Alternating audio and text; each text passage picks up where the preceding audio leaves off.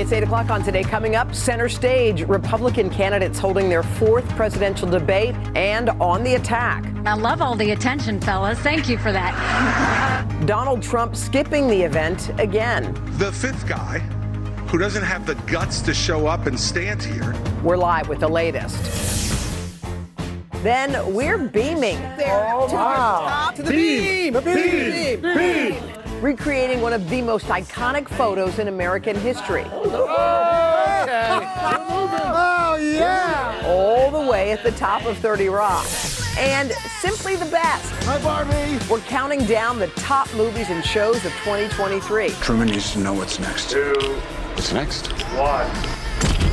So, did your favorites make the list? Scared him. We'll find out in Pop Start. Today, Thursday, December 7th, 2023. I deserve congratulations. It's a carefree Christmas from Rochester, Minnesota. Celebrating 10 years of marriage. From Randallstown, Maryland. From Vermont, Illinois. On a mother-daughter trip. Shout out to my friends at the University of Utah. In Salt Lake City. Made our first trip to New York. From Fargo, North Dakota. Super blue. Sending love to my students back at North Central High School in Spokane, Washington. On our honeymoon. From Big Lake, Texas. From Canton, Georgia. Took our first flight to be here today. From Wilmington, North Carolina. Here to celebrate Parks' first Christmas.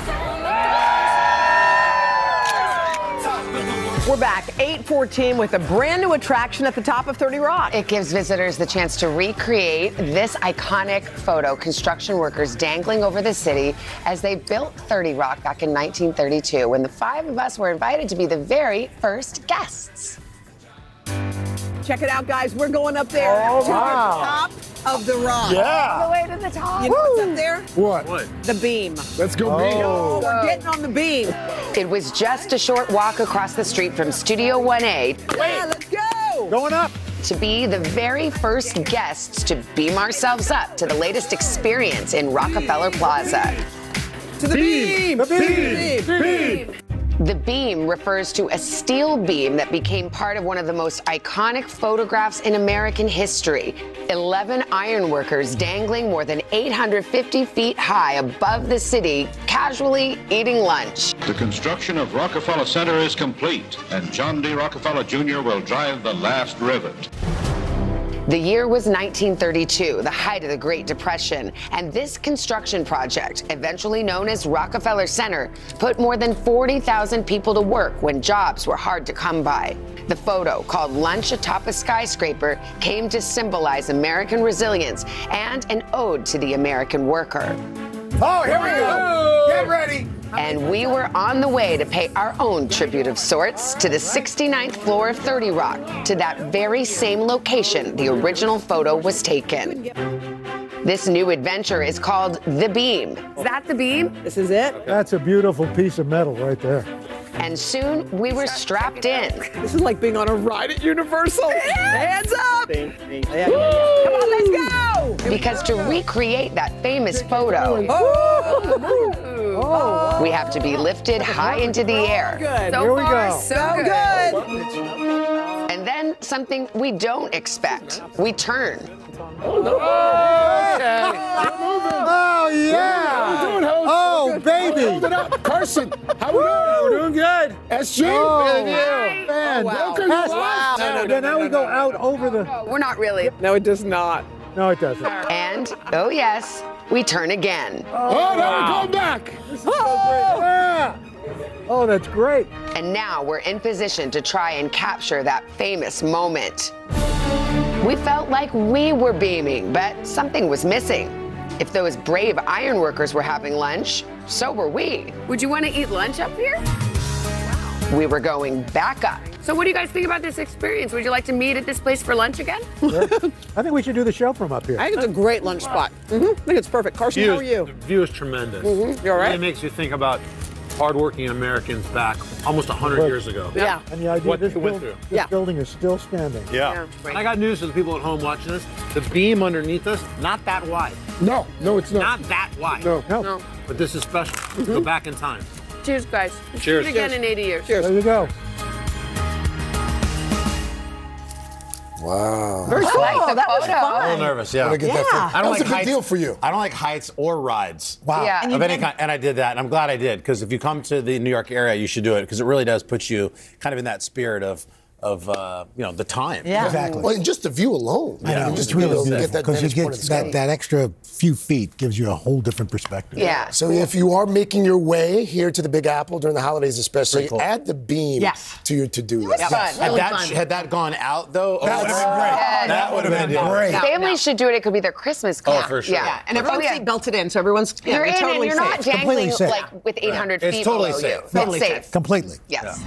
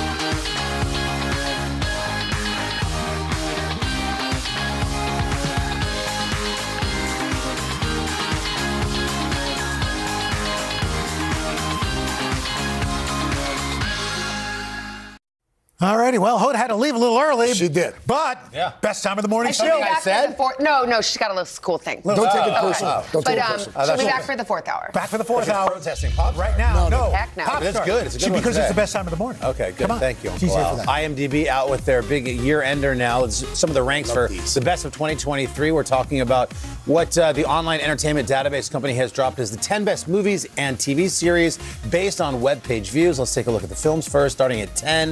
The Flash, Killers of the Flower Moon, Across the Spider Verse. We've got Five Nights at Freddy's, Super Mario Brothers, John Wick Chapter Oh. 4, The New Little Mermaid, Galaxy, Oh, yeah. uh, Guardians of the Galaxy, Volume 3.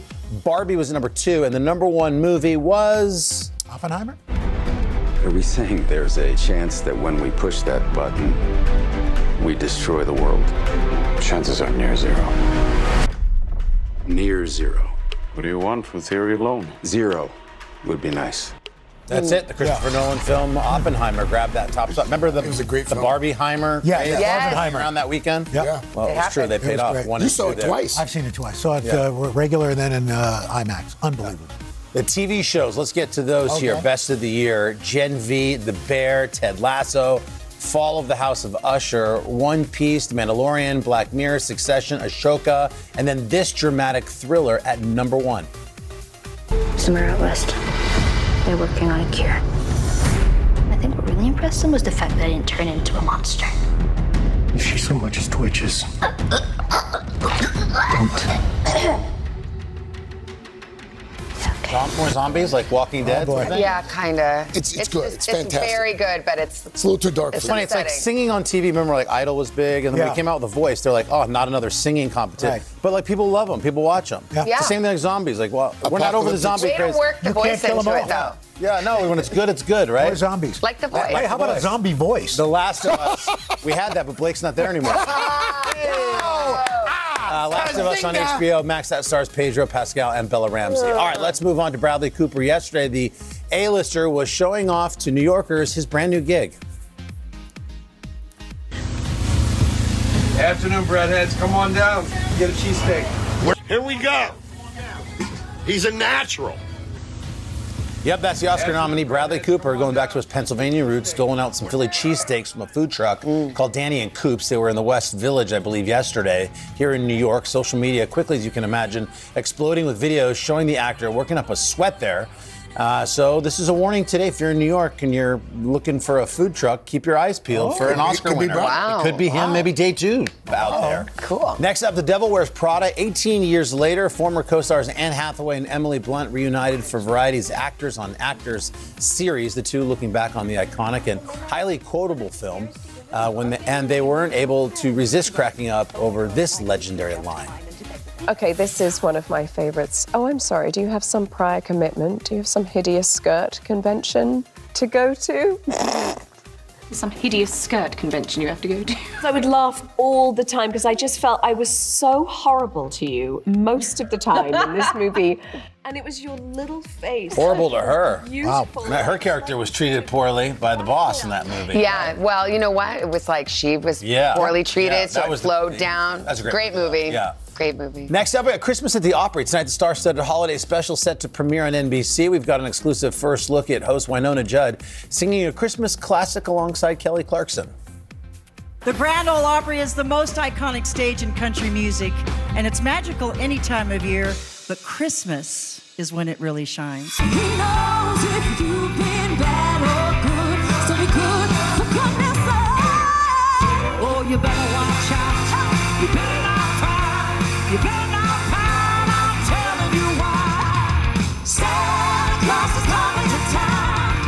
So that Kelly Clarkson's working hard this holiday season. Yeah, she's the- filling in for Lester tonight. Oh, is she really? It wouldn't surprise me. Yeah. She's out at tree lighting. Mm-hmm. She's doing nightly news tonight. Is that Yeah. Omnipresent. What She's can't that Kelly do? Uh, the two-hour special performances: Brenda Lee, Chrissy Metz, Mickey Guyton, all that happening here tonight at 8 o'clock Eastern on NBC. Of course, it'll stream on Peacock if you miss it, so be sure and check it out. And finally, Pantone. It's time to announce the next color of the year. They're giving us an exclusive Pop Start sneak peek. You guys ready for the new Yeah. color All of 2024? What is it? Drum roll, please. The 2024 Pantone color of the year is Peach Fuzz. Huh? Really? Peach Fuzz. What's Stop that? laughing, Craig. The What's color that? That's right. The Color Institute describes Peach Fuzz, Uncle Al, as a compassionate, Oh. nurturing, soft peach shade conveying a heartfelt kindness. Oh. Huh. I like This it. also marks Pantone's 25th Color of the Year anniversary. And if you're wondering what it looks like in the real world, we've got a little Peach Fuzz assortment right here. Do they choose it because that's what everyone likes this color, or they're I saying know. you it's going to be It's the gonna be everywhere. of the year? It's the color of the year. I think they're sort of This year. It's, going to gonna be. be everywhere. This will be the color you see. That's okay, right. I like it. For those of you that beige isn't too exciting. Yeah, peach with fuzz, number one Peach color. fuzz. You know, what the number two color of the year was What was it? Taylor Swift. Shut up. Oh, Of smells good. Because it's the list. Wait, it's got a scent? Yeah. Here. All right. You guys want to smell peachy? Oh, that does. That- That, we're that smells It's okay. lovely. Here. Oh, that's Merry okay. Christmas. When we come back, recipes. No peaches in the recipes, though, but recipes nonetheless for a perfect treat to serve at your next holiday party. Oh, Some- sliders. Some Sliders. tasty little sliders. Oh, that peach pack- sliders. Pack a lot No of peach in flavor. that. No, no peach. After local news. Good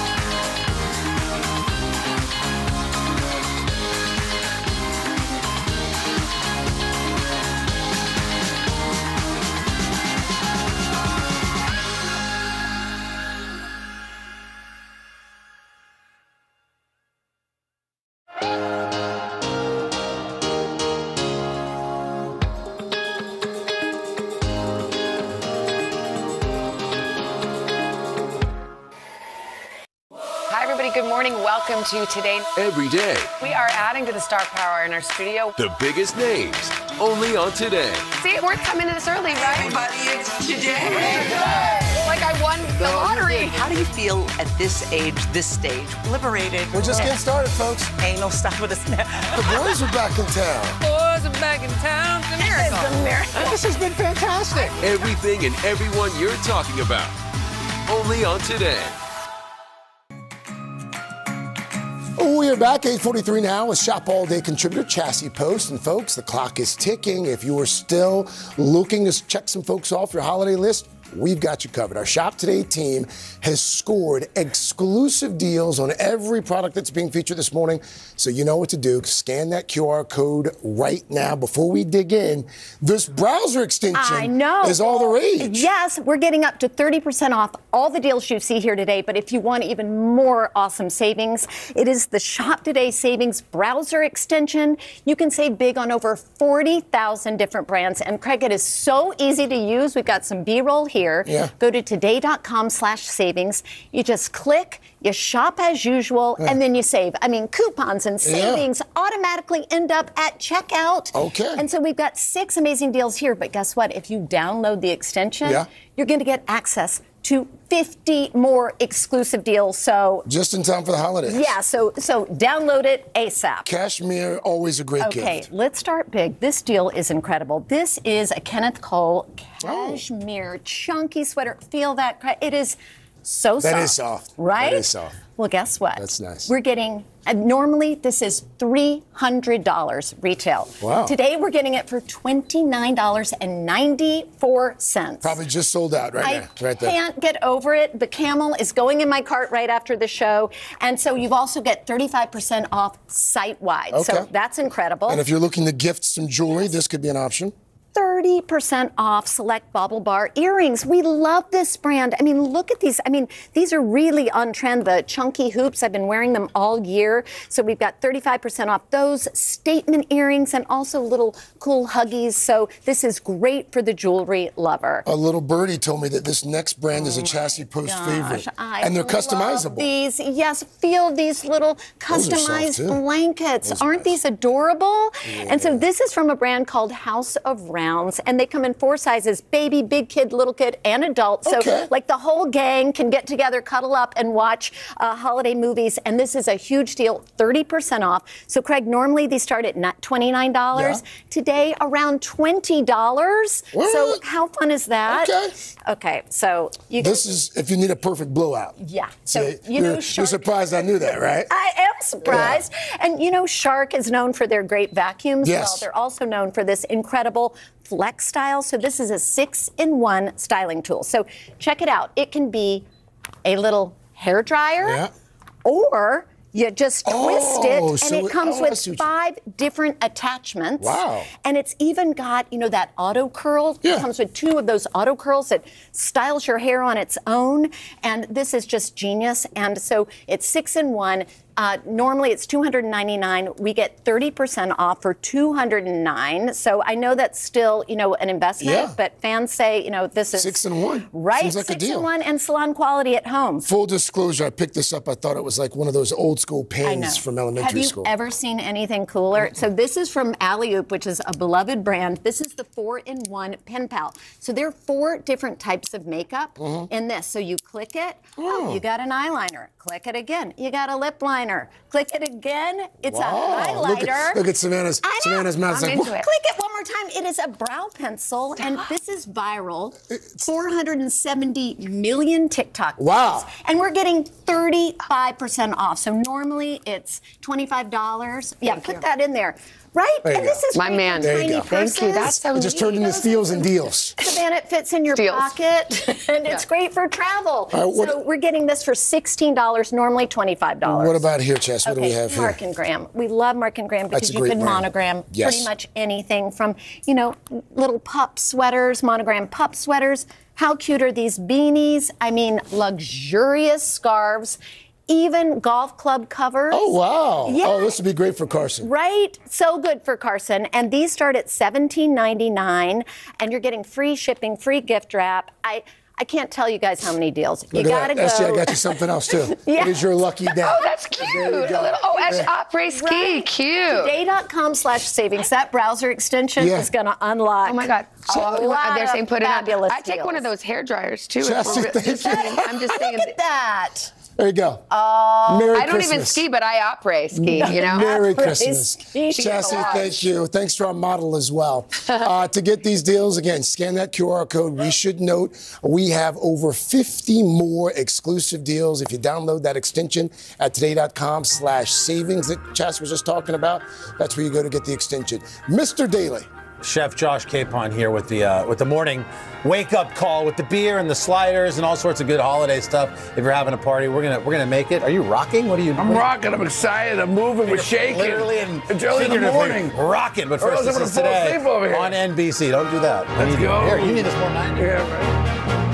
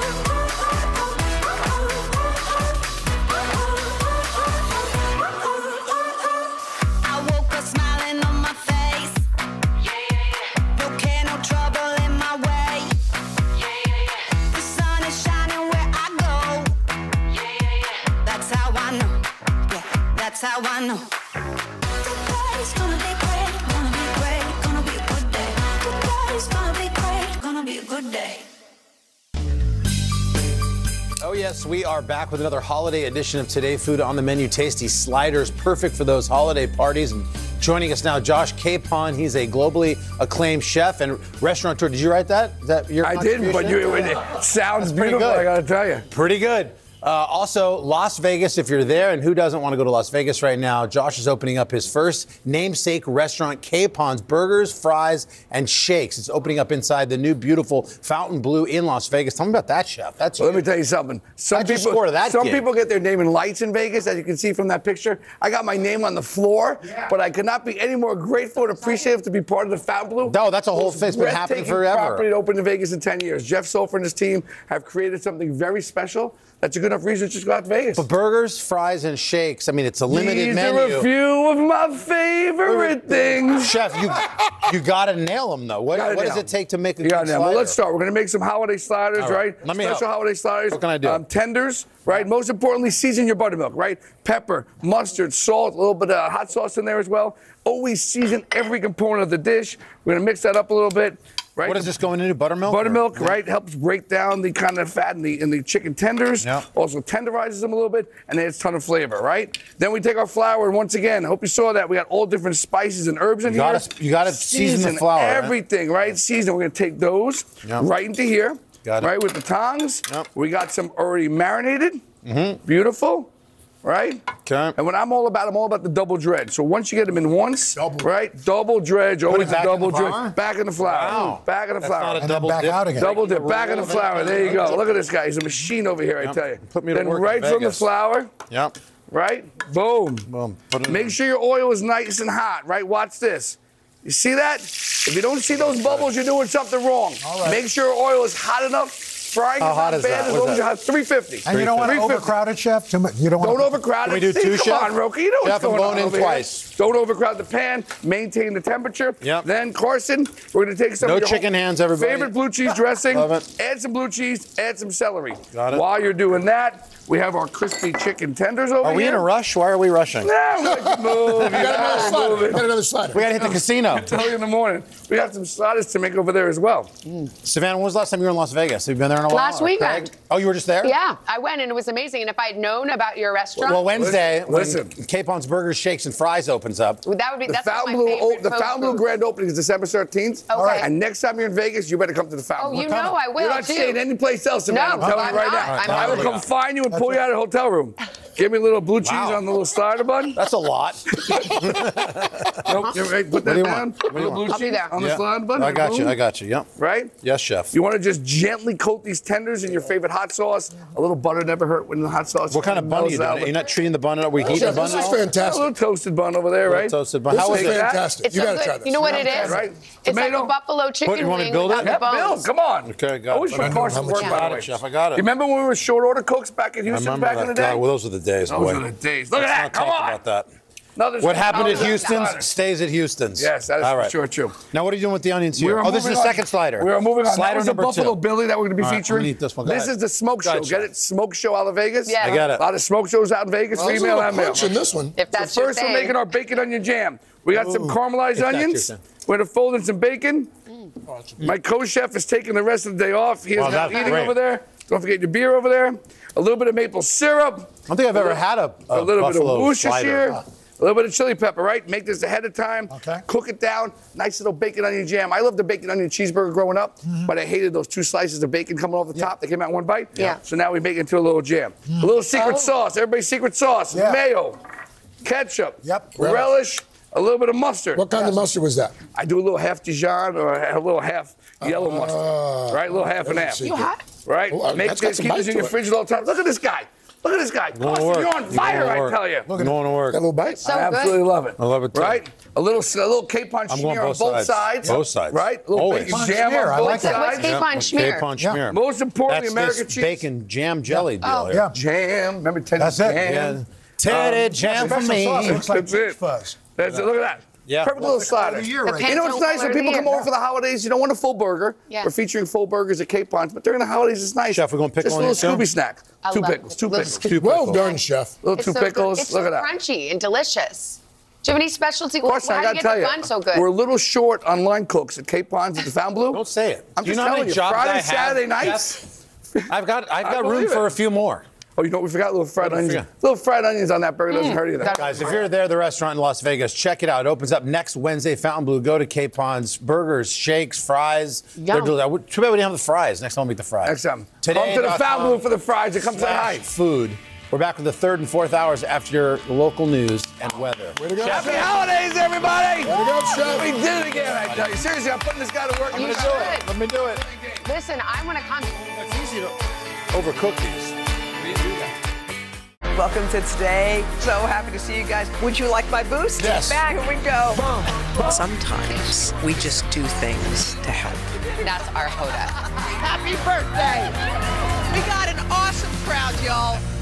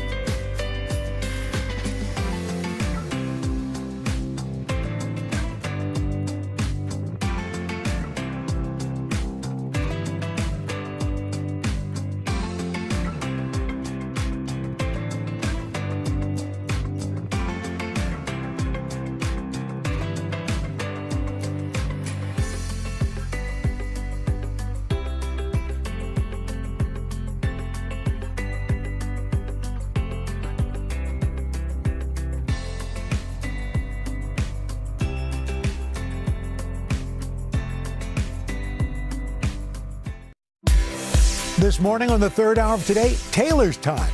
Taylor Swift and her fans reacting to her being named Time's Person of the Year as the superstar opens up about her life, her relationship with NFL star Travis Kelce,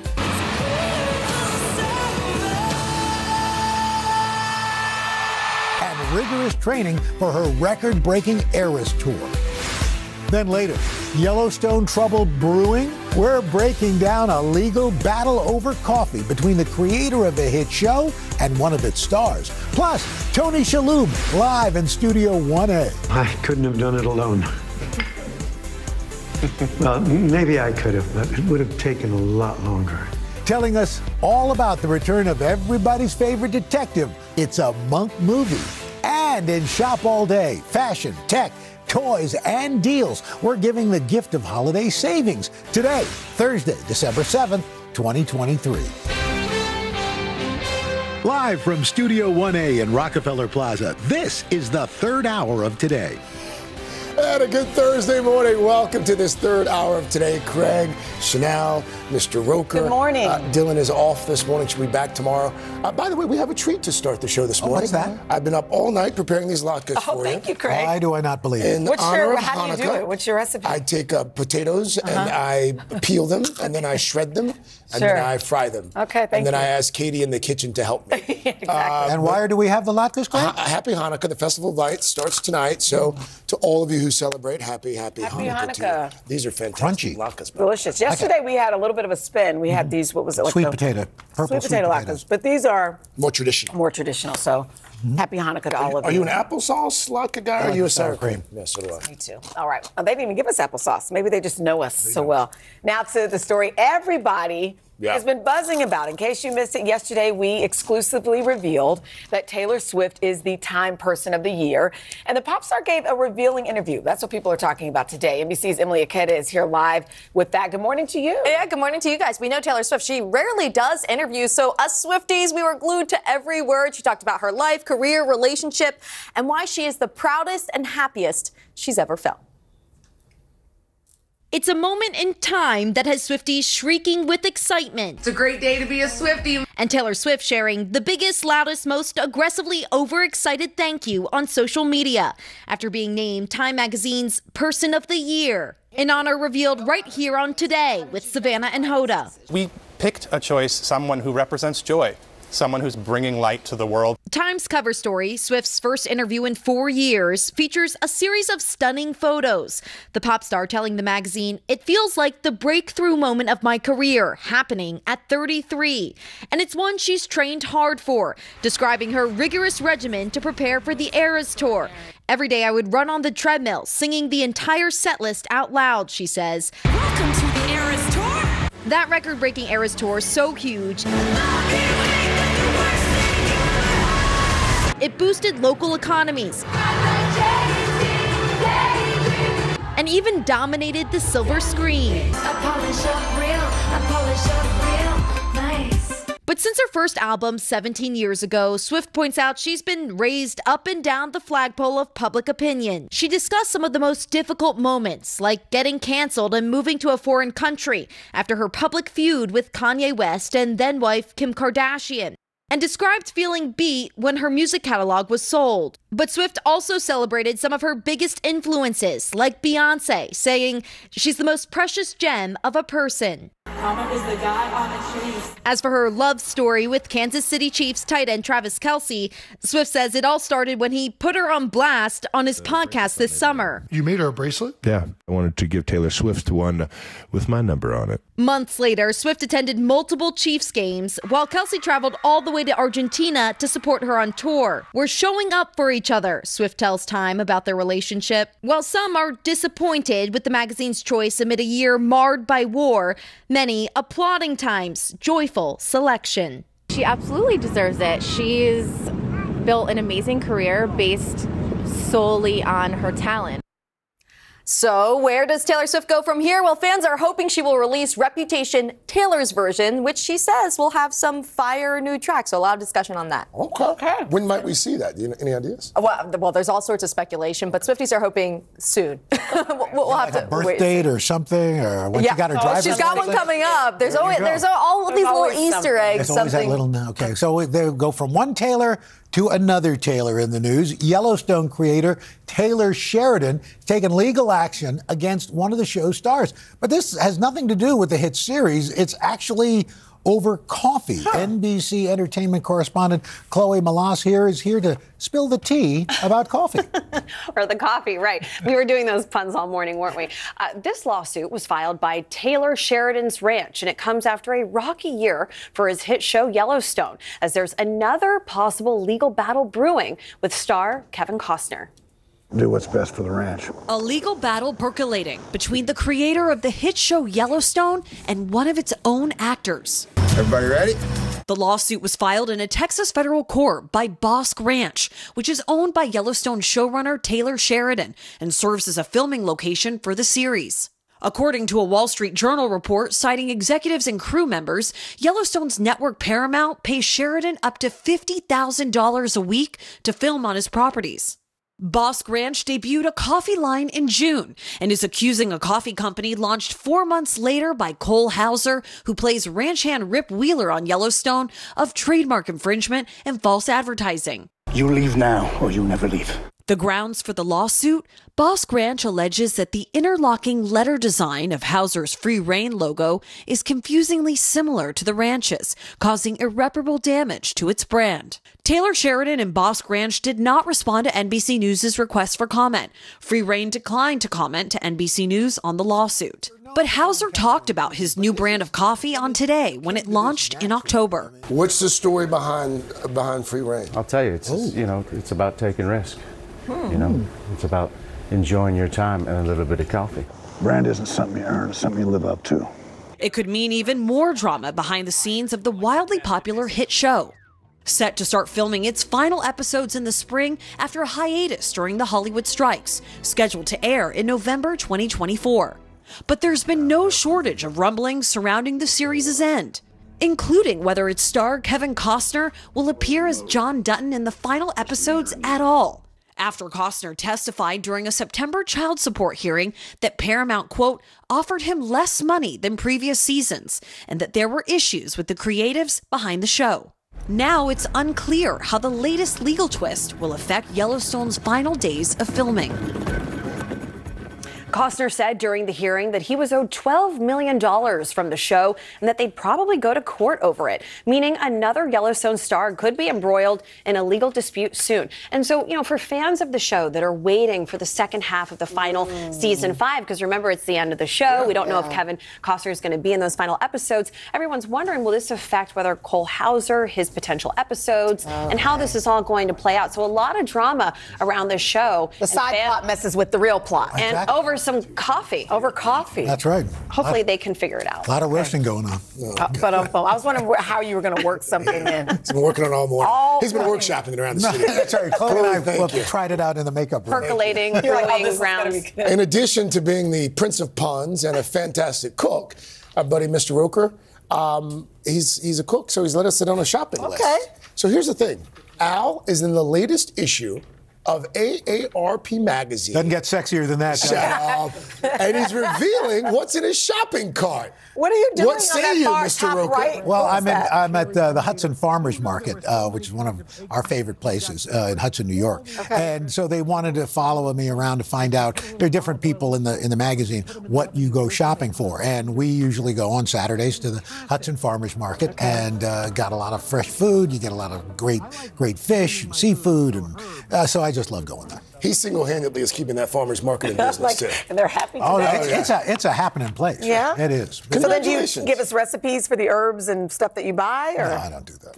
No, he's just let us I just let, enjoy I just let the show up. Okay. You, by the way, you can grab the newest AARP, regardless of your age. Just don't come across my lawn. it's on newsstands now. Well, thank you for sharing your shopping list with Anytime. us. Maybe next episode, uh, next episode, next issue, we'll get some, Some recipes. recipes. All right, when we come back, it's today's checklist. This is an important one how to boost your brain health. And do we all really need eight hours of sleep? And then Uh-oh. later, look who's here. Yes. Yeah. Alicia Liu is live in Studio 1A to tell us about bringing back a crime solving fan favorite, the return of Monk.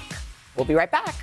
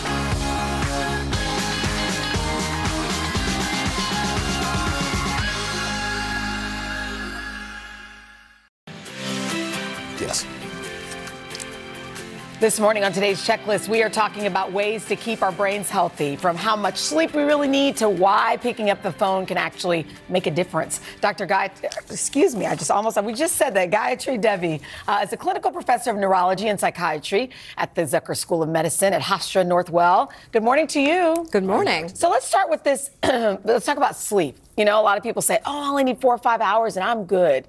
Is it true that for all ages or in different people, it, it, it does vary, or do we need that solid eight to 10 hours? It really depends on the person. So it does vary. Yeah, it's, it's there's no one size fits all for sleep, and um, so you can you can get away with four or five hours. You need eight hours. Some people need 10, 11 hours. There's and some people stress about not sleeping enough. Ah. So really, you have to realize that people need different.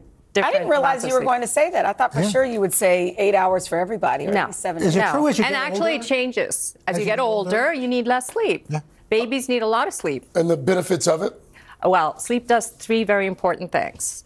It cleans up. When you sleep, your brain sanitation system is so much more efficient. Hmm. Gets rid of all the toxic stuff like plaques, which are associated with things like Alzheimer's disease and other toxic substances. Sleep's also good for uh, memory, so memories from the day. It gets consolidated and puts into the structure of the brain. And then thirdly, sleep's really good for reducing stress and anxiety. So you can't beat sleep. No. Yeah. Let's talk about diet and nutrition, especially this time of year. A lot of folks find themselves at parties and get togethers Yeah. eating a bunch of garbage. Um, but how do we make sure that we're eating right? And how does that boost our brains? Well, two important things. You want to cut down on carbs and glucose and high levels of any kind of sugar. So you want to try to reduce all the refined carbohydrates like rice and pasta and croissants and all the things we really love. Wow, what does that do? Uh, well, it increases, it spikes your glucose levels, and that increases insulin resistance, which is not good for your brain. Um, and so, you, if you want to eat fruits, try to eat more the actual fruit rather than the juices. Um, and also the pulp. The pulp, the pulp, and the skin, and all of that. And also try to eat the color palette. Try to eat lots of leafy green vegetables. Try to eat something that's all the colors. Mm-hmm. Imagine you're eating like a nice, colorful painting. Like a All right, eat a rainbow. No, Eat the rainbow. Colorful plate. Well, what about exercise? How important is that? Exercise very, very important. Important for a couple of reasons. One is exercise gives you a very healthy heart, and the healthier your heart, the better it is for your brain. Because even though uh, your brain weighs such a small amount compared to the rest of your body, the brain actually uses up a quarter to up to a quarter of all the energy and all the cardiac output from your heart. So your brain's highly energy intensive. Also, exercise improves your brain functioning, your cognitive, your memory, your executive function. Mhm. It's really good. And you don't have to do like a massive workout. You say there's uh, certain Yeah, I mean, you can. pretty- I think you know there there are those of us who love exercise, but if you can't do that much exercise, just do a few squats a day, Mm-hmm. a few times when you're watching TV. Get up and do a few squats, air squats. Go out for a couple of walks, bu- blocks around. The, yeah. Physical exercise is important, but mental exercise is important as well. My grandmother, hi grandma, I know she's watching for since I've been born. Crossword puzzles, all of the things. Do those really make a difference over the years? Yes, I think that, but you know, for example, I hate Sudoku. Yeah. And there are people who say, oh my They swear God. by it. Yeah, you know, you got to do this, you got to do. Just do something that brings you joy. Mhm. You know, if you if you are somebody who's at a desk all day, go out and do gardening. If you are somebody who likes to do a lot of work related to computers, um, then do something completely different. So it's What not it- about puzzles and crossword puzzles. it's not. It's just about activating different areas of your brain. Mm. So your whole brain stays robust. And the more areas of your brain that you keep healthy, the better your brain's going to do It's over like a time. mental palette. It is, exactly. It's a rainbow palette in the brain. Really quickly, we, when you know during the pandemic, there was a lot of talk about the importance of social connections. Yes. I- it- talk a little bit about the benefits of, of that with regard to boosting our brain.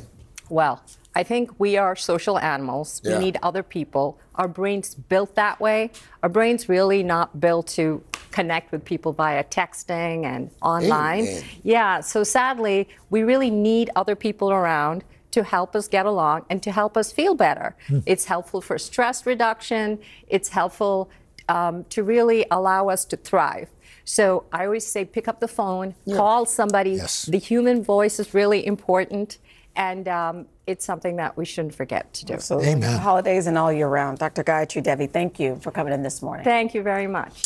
When we come back, look who's back. Monk, back on the case. Tony Shalhoub live here in the studio to tell us about stepping back into, into one of his most famous roles in a brand new movie that's about to hit Peacock. Third hour of today, right back after this.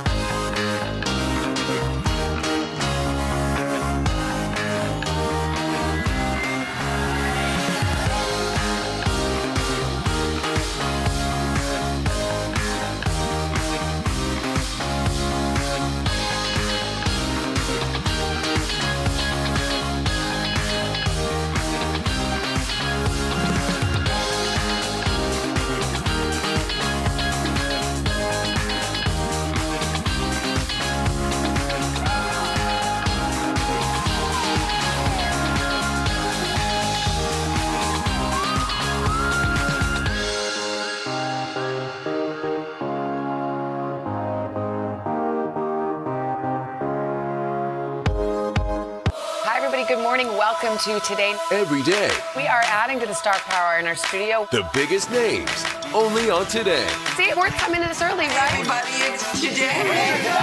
Like I won the lottery. How do you feel at this age, this stage? Liberated. We're just getting started, folks. Ain't no stopping us now. The boys are back in town. The Boys are back in town. It's a miracle. It's a miracle. This has been fantastic. Everything and everyone you're talking about, only on Today. We have been looking so forward to talking to our next guest. For five seasons, Tony Shalhoub has starred as Abe Weissman in the hit series The Marvelous Mrs. Maisel. But prior to that, Tony was widely known as Monk, Adrian Monk, that is, the brilliant former detective that battled OCD, a role which earned him three Emmys for Outstanding Lead Actor in a Comedy Series. Well, now, after almost 15 years, Mr. Monk is back. He's back in a new Peacock film. It's called Mr. Monk's Last Case. He's on a mission to solve one more mystery involving his stepdaughter, and he's reuniting with some familiar faces. Mr. Monk, I assume you take it neat? I'll pass. You know, I, I, I cannot tell you what an honor it is to have the great Adrian Monk in my house. You know, when I first moved here in 2002, you were already a legend. For a while there, it it seemed that you were solving a major case every week. Thank you. I couldn't have done it alone. well, maybe I could have, but it would have taken a lot longer. oh, and he had missed a beat. Tony, good morning. Good, to have you back. Good to be here. Thank we you. were talking earlier about you know remakes like this and how uh, how they reboots can be dangerous because sometimes the writers don't come back, sometimes the actors don't come back. Everyone came back for this one. Yeah, we're we're so happy. Everybody, not only did they come back, but they came back with so much enthusiasm, and um, we we all just realized how much we missed uh, the material, the characters, the the, the ensemble work, and uh, it was a really good experience. Well, it must be pretty good because it's already been nominated for a Critics' Choice Award. And we haven't even dropped We it. haven't even- That's- that's what when you haven't even people haven't seen it and they know it's good. so we love it. How, how was it? Was it hard getting back into the into the character of Monk, or You know, did it kinda was easy? It was a little daunting at first. I, uh, I, I, I didn't know exactly. You know, can I? How do you recapture what the physical life of the character? Has my has my voice even changed over those 14 years? I don't know. Uh, certainly, I look different, as you can see. But um, but uh, I guess by like the end of the first day, we were we just kind of got fell right into the groove, and we were doing it. I mean, the title of the movie is Mr. Monk's Last Case. Yeah. Is it really the last? That- Did you You'd see have to ask the, the writer and the and the network about that. I um, I I wouldn't. I don't like to ever close the door completely. Let's just leave it ajar. So Just, just a little crack in there. I Yeah, like we'll that. take it. Um, you know, Al loves the, the marvelous Mrs. Maisel. I was a big fan as well. Thanks. Um, congratulations on a heck of a run there. Five seasons just wrapped up. I, I heard that you guys have this group chat. The cast. right, right. We we uh, we do. We text each other a lot, and and uh, actually, I'm going to see them all tonight. Oh. later uh, this evening, we're doing a, a Screen Actors Guild screening and panel for the last season, which was perfect. And uh, the, it, we were so proud of the way uh, it ended up. Yeah, That was so terrific. Speaking of, you know, I, I didn't realize this, but it turns out there's a lot of buzz online that says you auditioned before you did Monk. You auditioned for the role of, of Kramer in Seinfeld, and you said this is not true. No, that is not true. I, oh. I auditioned for George Costanza for the role of George. Whoa, I didn't know that. Yes. Whatever. I wonder whatever happened. Did I get that? No, you did not. I, oh, okay. You did. I not. just, it was so long So ago. what was that? What, what, what, what happened? Well, I'll tell you what happened. Jason Alexander. I know, I know. can't tell you how many roles I've lost to Jason Alexander. Really? Let's not go down that. road. And yet you end up acting with him across from him in, in, in Mrs. Maisel. And he actually did an episode of Monk with us oh, too. Oh, that's He's awesome. just- was a I wonder what that's like as an actor, and I'll never know when you, you know, you were going to do a role, but you didn't for whatever reason, and then you see that person. You know, what does Oh. that what does that feel like? Well, It's uh, depends on how good or bad the Okay, material fair. turns out to be. Listen, you're now um, a grandfather of two. Uh, they are three and nine months old, right? Correct, What do yeah. they call you? Uh, they call me Noni. What's Noni. that? Well, Noni, uh, I, when I uh, first met my wife Brooke Adams, um, who also, by, way, the, by the way, appears in the Monk movie, and um, uh, she had adopted, as a single woman, uh, had adopted a daughter, and um, we were doing a play together. And Josie uh, called me Noni because she couldn't say Tony, and so that name. comes. And so now my uh, grandson calls me. And now Oh, you that's know. sweet. That's sweet. Noni, thank you. thank you. Thank you for being here, Noni Shalhoub. Thank you. Um, Tony, always Thinking- a pleasure. Oh. always a pleasure. thank you. you, thank you. Congratulations on being a grandfather. Mr. Monk's Last Case, a Monk movie. It premieres tomorrow on Peacock. Or is it the last? Oh, it's true. That's right. Well, still to come, we've got an exclusive look inside a new state of the art facility, how all this high tech equipment could help keep us safe when extreme weather hits. Then later in Shop All Day, your totes going to love these picks. Gifts for everyone on your list, all with exclusive deals as well. Third hour today, right back. We're gonna tote. Totes. I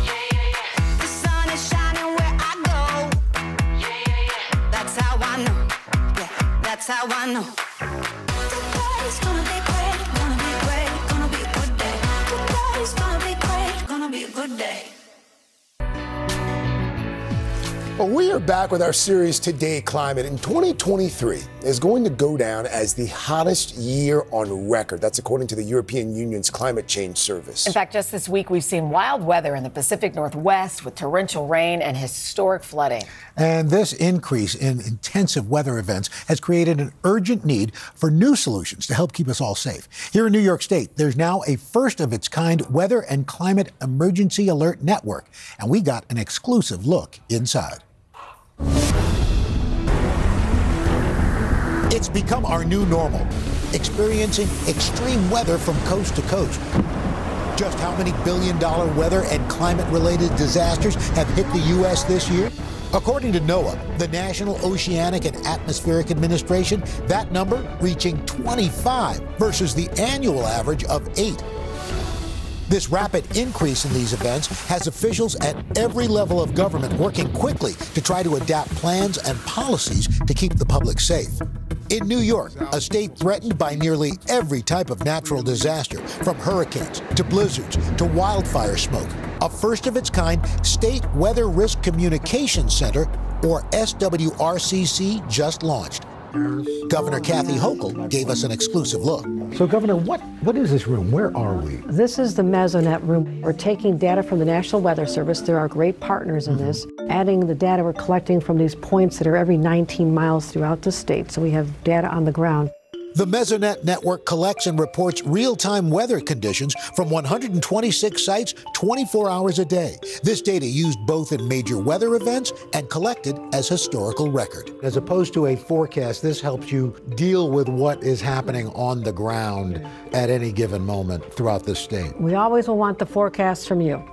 But what's happening after that forecast become a reality, the conditions can change quickly. And people need to know what's happening in their neighborhood.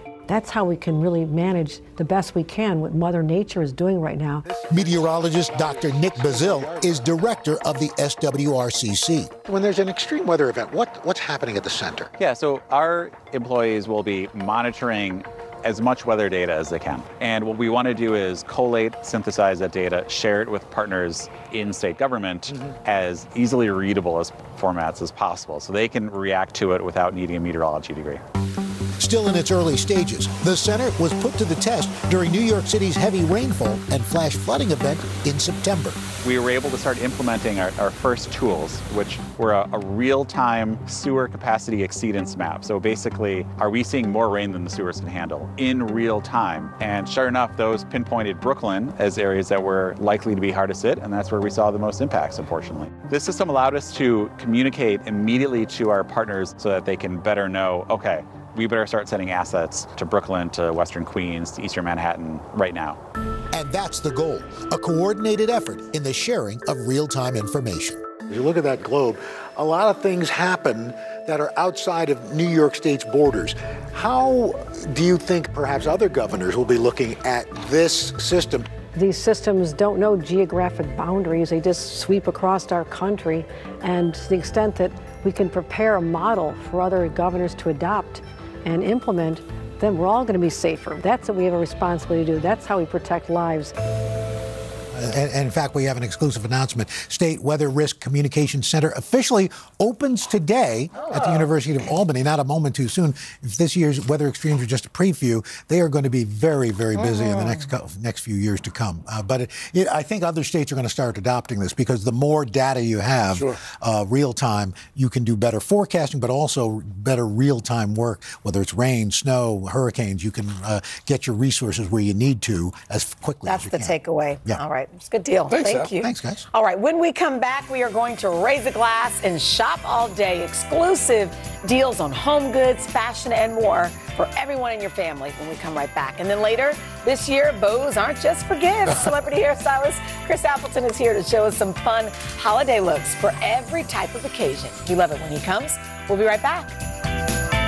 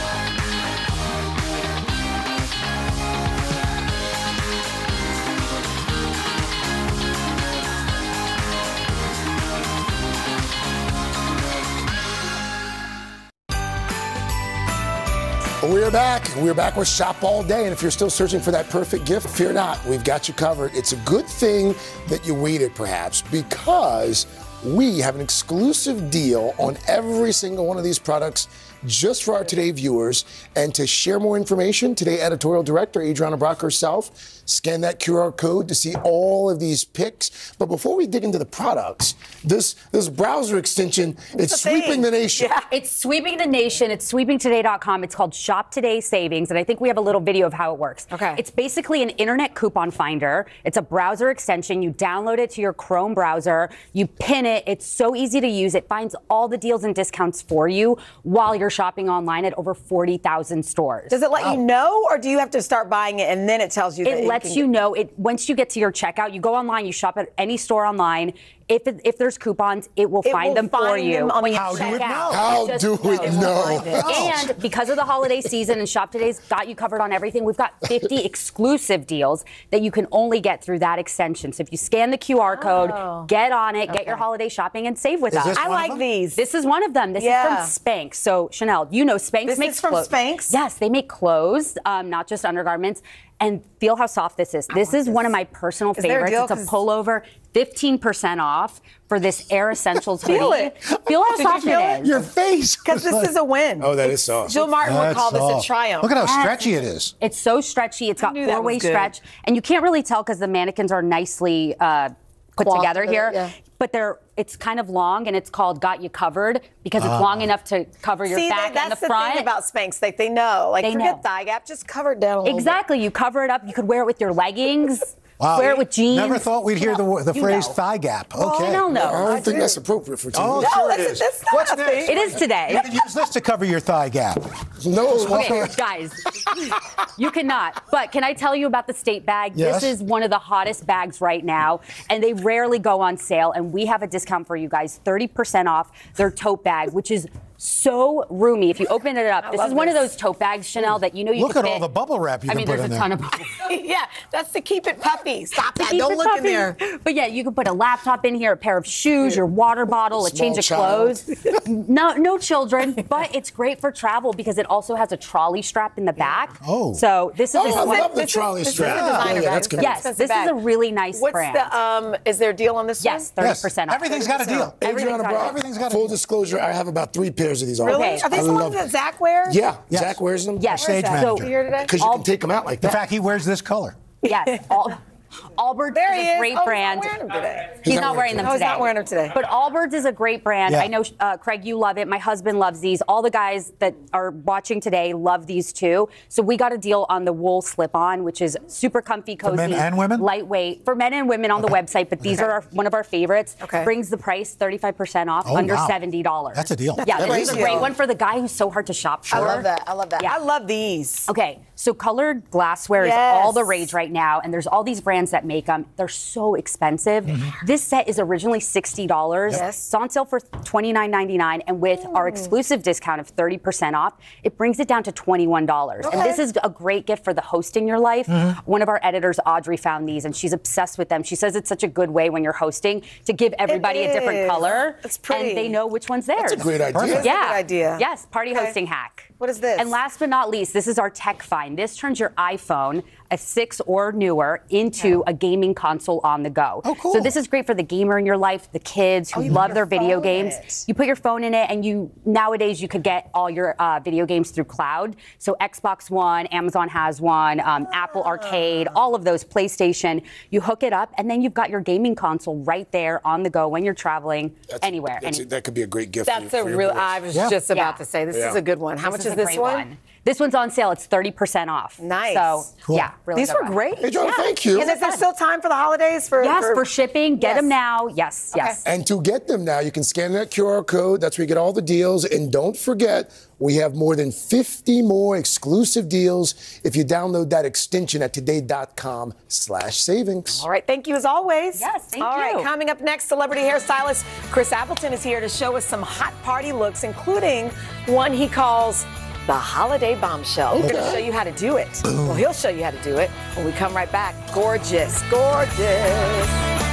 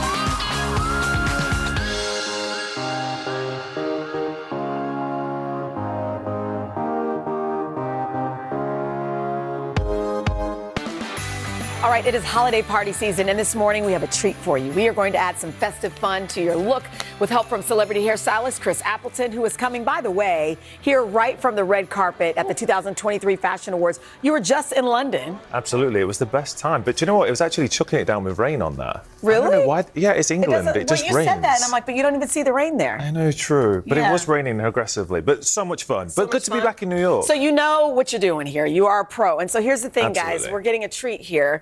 Um, so the first thing of the look, I didn't realize, are bows back for adults? For grown women? It's been honestly, I think, viral on TikTok. These mm. bows have been going everywhere now. Okay. This is the most extreme. This is actually a look we saw at one of the fashion shows. Okay. Where they basically dressed all the hair in these really tiny, inexpensive bows. But bows come in all different colours and sizes.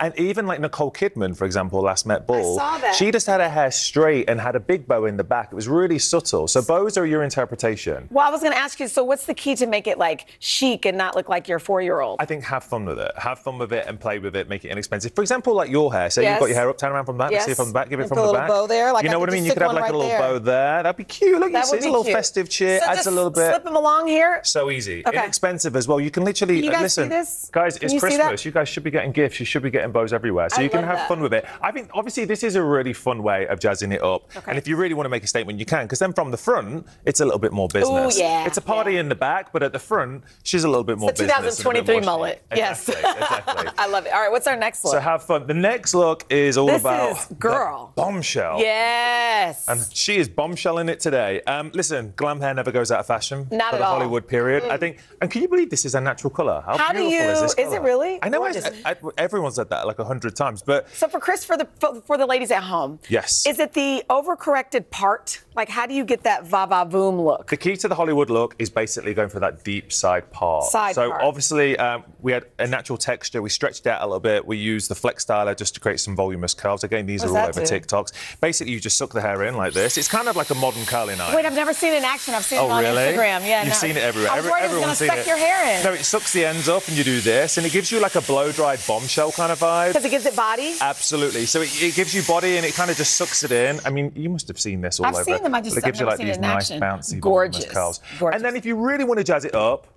it wouldn't be the party season. You might want to step away. Okay. Because everyone knows do? glitter stays around. Are you, are you about to put you glitter well just your... set your house well, I'm already a unicorn, Chris. So this, is, this is kind of like a nice little gold glitter spray. So if you oh, want to jazz yeah. it up for the holiday period, you can find one in your sweater. color. And honestly, this was I think this was five dollars. It's from a party store, but it gives it a really oh, nice gold love. kind of little shimmer and a nice idea. little sparkle. I'm gonna need you to wear a, well. uh, what do you call it, cape first while yeah. he's spraying oh. that that looks beautiful. Well. Looks hot. I'm going to copy that look. You might see it tomorrow. And also, you know what? There's even these. I was going to show you this as well. This is, actually like gel and it has glitter in it. Ooh. So even you can jazz it up in that kind but of way as well. Where do you put it? Like just. So you could put it in your part, which leads me on Ooh. to the next model. Let's ba-dum, ba-dum. You, may be sleepy, look. but you're on I it. I know I was on it. I'm like really. no, you're good. I'm, you're I'm good. feeling it. I'm okay, excited for doing? a period. Look at this. Look, this is for all you short-haired girls. I feel like all the time people say to me, Short hair. What yep. do we do with it? How do we jazz up short hair for the holiday period? What do so you this do? is a natural way. Look at oh, that you. Put jewels in the part. So this is just this really cute, like they're really again inexpensive yeah, from I used a craft I put them on my cell phone back in the day. Do you, you got it. And then everyone says, how do we make them stick? So I look how amazing. If I saw someone like that at a party, I'd be like, wow. What did you do? How did you do it? So all you need to do, everyone's got a bit of eyelash glue at home. Yeah eyelash glue on the end of that. I use a tweezer just a tweezer for application. You just pop them in the pot. You it don't have Alice, took, you can get it anywhere, any pharmacy, yeah, anything. It, it literally it took five minutes. So but it's a great way to jazz it up. Or if not, if you really wanted to have fun, okay. I would probably do something here where you see. can paint the um, silver into the pot, Ooh. you know, and you can paint this pot, you can paint it in and just paint yeah. it down the pot. And that's literally just gel and glitter. You can make it yourself. I love that. You don't even need to spend money. So they're just a few fun ways that. to spice this? it up for Christmas. Where would you oh, put a nice those? little spice. I like uh, those. Uh, okay, just well, a little sparkle. In the back. Why are you always on. coming for me, Chris? Come on, let's I feel like you're always okay. Spice. Fine, right, easy. Let's take the bows I'm going, babe. The bows pinned. out. The bows out. Okay. And just a little like, yeah, all right, guys. Chris a little sparkle in the back. A little sparkle in the back. He can't help it. Like every time he comes, I'm just flipping things off. Flipping it on everywhere. But the key is to have fun with it. Can I tell you something? Yeah every time you leave us, and then I go on social media and you're with Kim Kardashian or you're on the red carpet over here, and I'm like, we are so lucky to have you because you're very good at what you do. Oh, you're very sweet. So happy holidays. You too. Me too. Get Guys, some rest. have fun this season. Yes, spice and, it up. And you know what? These are all doable styles. Absolutely. Like, these are things that we can all do. Inexpensive and fun. We love it. That's Thank you, Chris. About. Craig, Al, you can come out of hiding now, wherever you are. We'll be right back. I'm gonna get them with the glitter. Exactly. Where are all day. I'm gonna get them. Let's get the glitter. Let's get them some sparkles.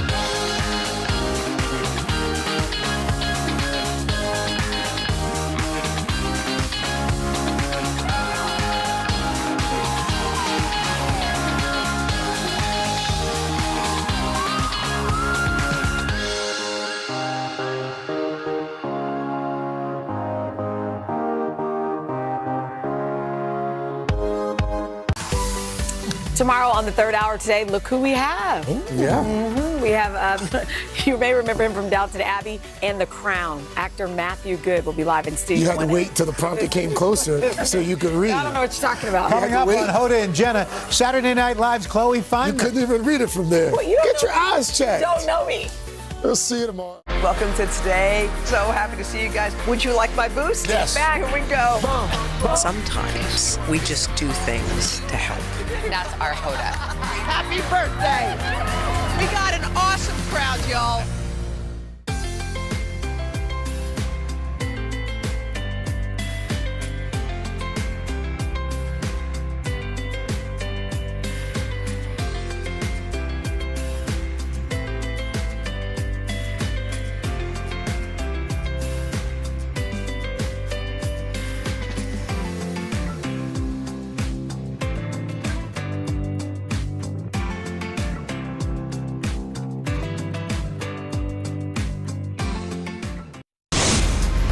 Today, get ready to laugh with Saturday Night Live star Chloe Fineman. Plus, relationship expert Nedra Glover Tawwab helps you set healthy boundaries for the holidays. And we're talking about Hollywood A-listers Halle Berry and Angelina Jolie. What Halle says the two bonded over after their friendship got off to a rocky start. From Studio 1A in Rockefeller Plaza, it's today with Hoda And Jenna. It all starts right now. It's, it's true. Hey, hey, hey. Hi, everybody. It's Thursday. It's December the 7th. We're so happy to see you. Thank you again for yesterday. Oh, We're- yes. We, we still are kind of basking in the afterglow. Yeah, because we we got to be stars for just one day. a fleeting moment. Anyway, we want to say thank you guys for uh, for going on the ride. Um, how are you? How's ever? What are you looking at? I'm looking at your Amazon color, which I love. Okay, by the way, they sell these on Amazon. Wait, this is a It's- great gift. It's not a real shirt. Do you know the kind? Yeah, we do. It's a you know bib. The, it's like a it's, It's like a a, bib. bib. Yeah. Anyway, they sell them and you can put them on your sweaters. Now, why are you No, staring I'm at just it? because I like It's it. on Amazon. I think it's a great gift. I wore one yesterday too. I know. How many of these glitters do you have? and you'll you'll know by next week exactly. Because you're gonna wear it. I love. I, I've decided that I'm into cozy sweaters right now. With a little winter, pop. a little- No, I'm into it. Do you know that there was a period of time when I was in fourth grade where I was into wearing ties? What do you mean, like men's ties? Men's ties? Just because? Because they were popular from the Limited Two back in Oh, 19... the limited. Remember, Remember, do you Limited? remember Casual Corner? Oh, I loved Casual Corner. Casual Corner. But Limited Two was, limited was Two. us. Cool. Two, T O O. T-O-O. But- So there was a period, and then the nerdiest part of the whole scenario is that we would make ties for our cats to wear to match us. Oh, I um, have a question for you. Speaking of cats. Yes. Taylor Swift posed with Benjamin Button. Oh yeah. and you claimed that you were going to pose with Hollywood Hager. I'm still going to. I want to see it because I'm noticing a trend on that other people are doing it. People are putting their cats around, Around their, their necks, necks. and some of the cats are freaking out No, and no, my up. cat is the most lovely, one. on. Monday, on Monday. Okay. Could you please come in with your picture? and Yes. Kind of a la Taylor. I, Well, what I need is I need that leotard. By the way, if you have not read the Taylor Oh, Swift wow. article, wow. Sam Lansky, who's an incredible Yeah. writer, wrote it, mm-hmm. and He's it- also a Swiftie. well, yeah. Mm-hmm. I mean, because you know, like he, he knows. He but he's also a great writer. Great writer. And all I have to say is that article will will what jumped out at you? The amount of work Yeah, that she goes in. that she and not that that's a surprise, but what she did to prepare for her like running on the treadmill Oh my and gosh. singing. She she sang her set, all of her sets, while running on the treadmill.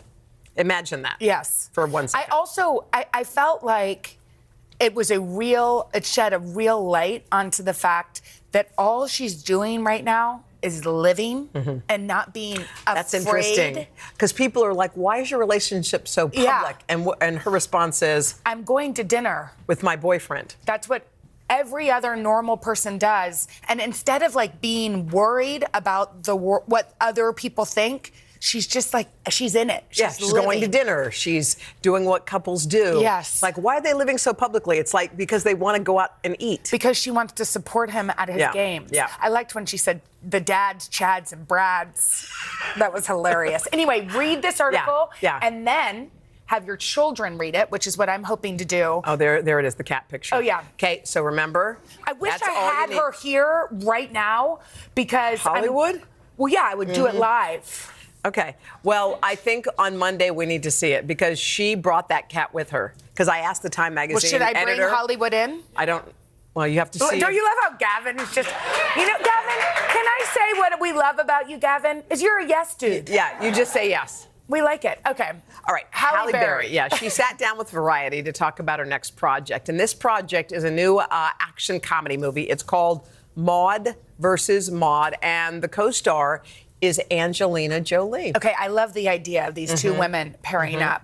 So she admitted that she and Angelina got off to a rocky start in their relationship, but they eventually connected over many things they have in common, saying, We've been talking a lot about divorces and exes, and we've bonded. Let's just say that. Yeah, um, that's interesting because sometimes when you meet someone who I don't know if they're a lot alike, it's hard to tell. But if you if someone is a lot alike, I wonder if you kind of either back away. Like I feel like when I meet a new Yeah, friend, friend. I feel like I know right away. Yes. Like I feel like there's a connect right away, Yeah. and if I feel like I can have a deep conversation quickly, then I know that's You're my kind of person. Yeah. Yeah. If I feel like I can, the person's like, oh, I don't know, then I, I don't feel like we are connected. It's so interesting about first impressions Yeah. too, because you never like. I have friends that will say, "Oh my gosh, that friend of yours, she was kind of mean." Yeah. and I'm like, "What?" Yeah, that how? friend that is the warmest friend I most know. awesome, right. And and then and I think the more self-aware you are,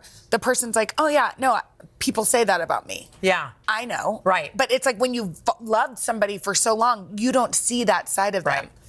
Right. I don't really know what to say. No, But I think your point is is that sometimes you're Stop. Please stop. This is what sometimes happens, and I don't This even know what it supposed to be a deep Okay, let's move on. Mariah Carey likes to take baths. She does, and I, and you know what? We have to say to Mariah, we are sorry about Page Six that called us the new queens of Christmas because we didn't call ourselves that. It was page six. We They didn't did quote ourselves that. You We were didn't. still the queen. And we didn't plant it. We didn't have anyone place it. She's the queen, and we're her duchesses. Right. Okay. We're her ladies in waiting. Okay. And we're going to be waiting. By you the know, way, till Mar- next Christmas. Mariah is, is, is, by the way, is featured on People Magazine's digital cover, which is gorgeous. And she opens up not only about being the queen of Christmas, but she loves a bath. And she says while she's in a bath, she's on the phone. She has her dog she in there? She brings her dog in the tub.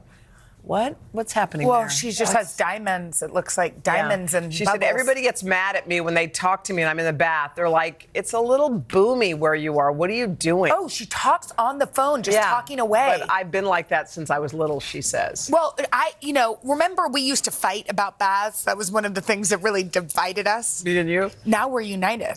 I kind of like a bath now, but occasionally.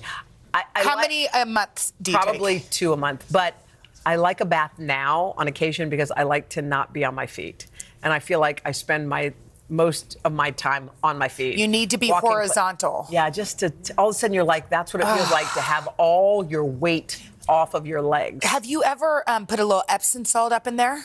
Up in there? Up in the bathtub? Have you? No. You've never had an Epsom salt bath? I know what Why I'm are you you for Christmas. me? Just because that's so What does it you. do? It makes you debloat. It makes Oh, you it does? relax. But actually, um, two nights ago, when I got into my bathtub, which is a place I like to spend a lot of time, Yeah, what happened? I thought of you Why? because I was like, oh, I, re- I remember Hoda used to hate baths, and now she likes them. I do like them. I'm a convert. My thought came. My thought you're you in the I'm bathtub touched. came to my mind. I'm touched. All right, so Bradley Cooper's got a new role. He is now on the side of food truck chef. So Bradley and Angelo's Pizzeria teamed up and they launched these Danny and Coops cheesesteaks. Because he's a Philly fan, you know he is. Yeah. So yesterday they opened up a pop-up food truck right here in New York City. There's Bradley. He's manning the kitchen. Look at Uh-huh. him. Look, at him, with that. He- by the way, he works it. You feel like he, he really works it. By the way, his ex, Irina Shayk, and his rumored girlfriend, Gigi Hadid, yeah, both there. both came for a Look, cheesesteak. there they go. Cheesesteak time. Do you like a cheesesteak? I uh, You can say. I do like a cheese. I don't really eat that much red meat, and I have to say it took me until college until I tried a cheesesteak. Yeah. And I was astounded. By? Well, it's just a lot up in that bread roll. I mean, Right. don't you agree? Yes. And you're dunking it in the juice, you know, the au jus. Do you have to duck it in there? Au jus. Do you like a? Um, I do. There, it's heavy. It's a lot, but yeah. it, you got to make sure you Gotta you're, be you're ready. prepared. all right. Like, don't be traveling nowhere. We're actually having cheesesteaks delivered according to sources. Wait, what? They they didn't make it yet.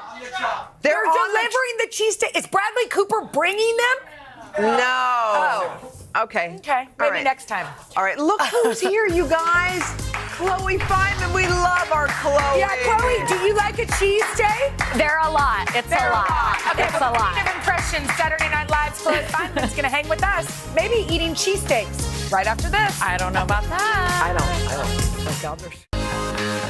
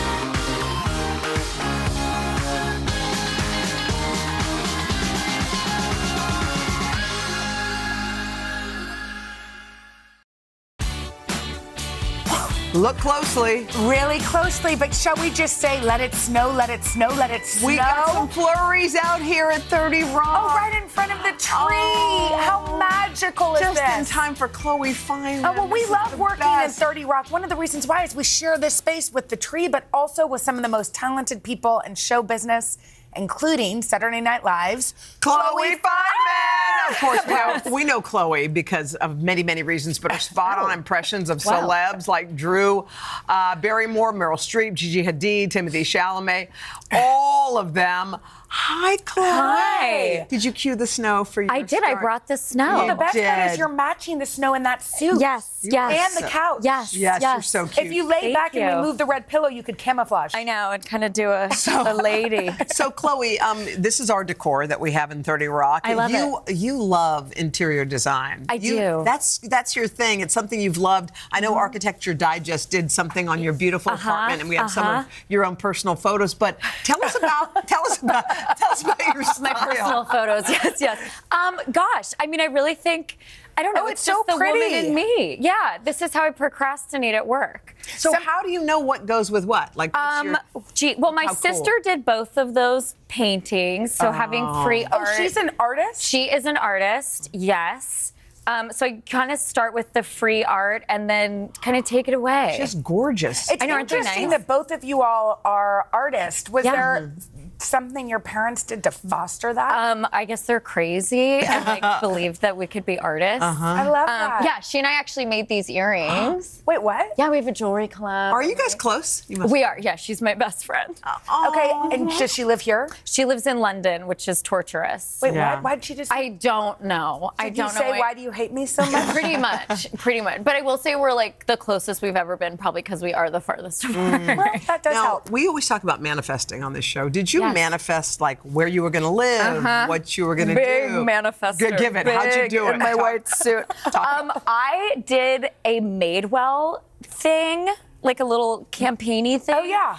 And they were like, "We're going to shoot at your apartment," and then they saw where I lived, and they're like, "Not in that apartment." and so then in the West Village where I wasn't living, they basically like took fake furniture and like made a better version of my own life, which was very eerie. Yeah. But like kind of like a vision board In itself. front of you. Mhm. Yeah. Yeah. And so I stood there and I was like, I'm gonna live here one day. and then a couple months later, the the exact apartment next door opened up, and I wrote a love letter to my Now, landlord. in A love the love letter. letter, I did love you this. lie a little? I did. I said that I was conceived on Perry Street. Now you know where I live, um, which I wasn't. But my parents did date and like lived together on that block. Okay, And I so walked by my dad's apartment a lot. It's so much. Um, and is it true that you keep wigs in your oven? I do keep wigs in my oven. It's hard to find storage in New You York. know what? You're right. It's true. So It's that means crazy. two things. You don't cook, and you also have a lot of wigs. I have a lot of wigs. I don't cook. I also have a storage unit, which is great. You have a storage unit too. Yeah. What about your cute dog? Do you let him on your cute couches? It's torture. Yeah, it's covered in fur. I, Mm-hmm. I left him this morning. Now tell us about your. Oh, There what's he his is. name? He His looks like a fox. Peach, like the fruit. Peach. Oh, peach is the new color of the season. Did you know that? Oh, is it? Pantone. Oh, Pantone. Peach has Pantone always is been peach. in. Wait, peach. that's so exciting. I know, so you need to get Look something for him. Yeah, Um, there he is, just destroying my furniture. There I am with my new cleaning tool. Look at Um, you. okay, let's talk Saturday Night Yeah. Live. Yes. This season has been so, so been good. really It's been good. Can we talk about your favorite sketch? Yeah. Um, Of yours, gosh. please. Oh, I mean, I was so excited to do that Britney sketch. Yeah. Oh, Yeah. should- Can we Should take we a look at this? Let's take a look. Why not? Oh. I'm beyond touched that my book, The Woman in Me, hit number one on the New York Times bestseller list, to say the least. My audiobook is read by the amazing Michelle Williams, but she wasn't the only one who wanted to read it. Here's a peek at some of the other actors who auditioned to read The Woman in Me. Natasha Lyonne. Ah, so at this point, I'm not a girl, but not yet a woman. I'm f- in between. I don't know. Timothée Chalamet, take 27. nah, nah, nah. nah, nah, nah. For sure, for sure. Just read the lines, please. Shh, uh, actually, I can't read. you were so crazy. Did you wait? Timothée Chalamet Yeah, he was actually hosting. hosted. So how was How that? did he feel You know, about it? he's okay with it. I do feel, yeah, there he is. Uh-huh. There I am, lost looking at his backside. Are you right behind? No, that's Phoebe. No, that's Where are Phoebe. you? You're not in. People Blocked out. mistake us all the time. um, no, he's such a sport about it. I'm so surprised. Do you always get good feedback from people you do impressions of? No. No?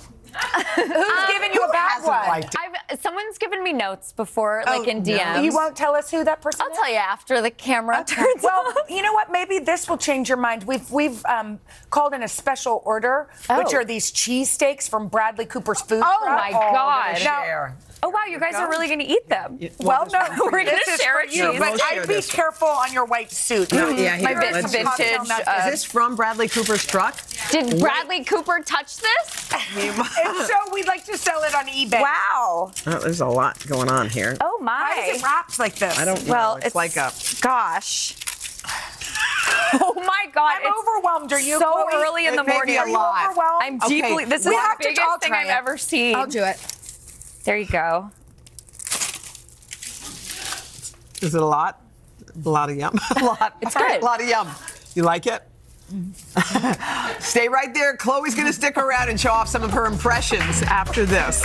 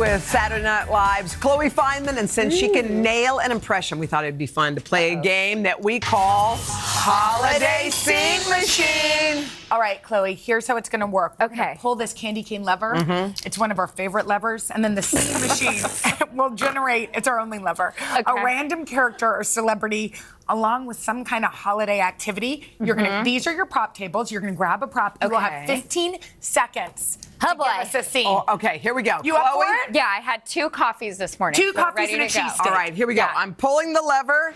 Let's see what it starts off as. It is Meryl Streep writing a Christmas card. Okay. Oh, well, what shall I? Oh, dearest Santa, I would like a musical of um, holiday cheer. and oh, what about chocolate and wonderful little gumdrops? Oh, Yes! Yes!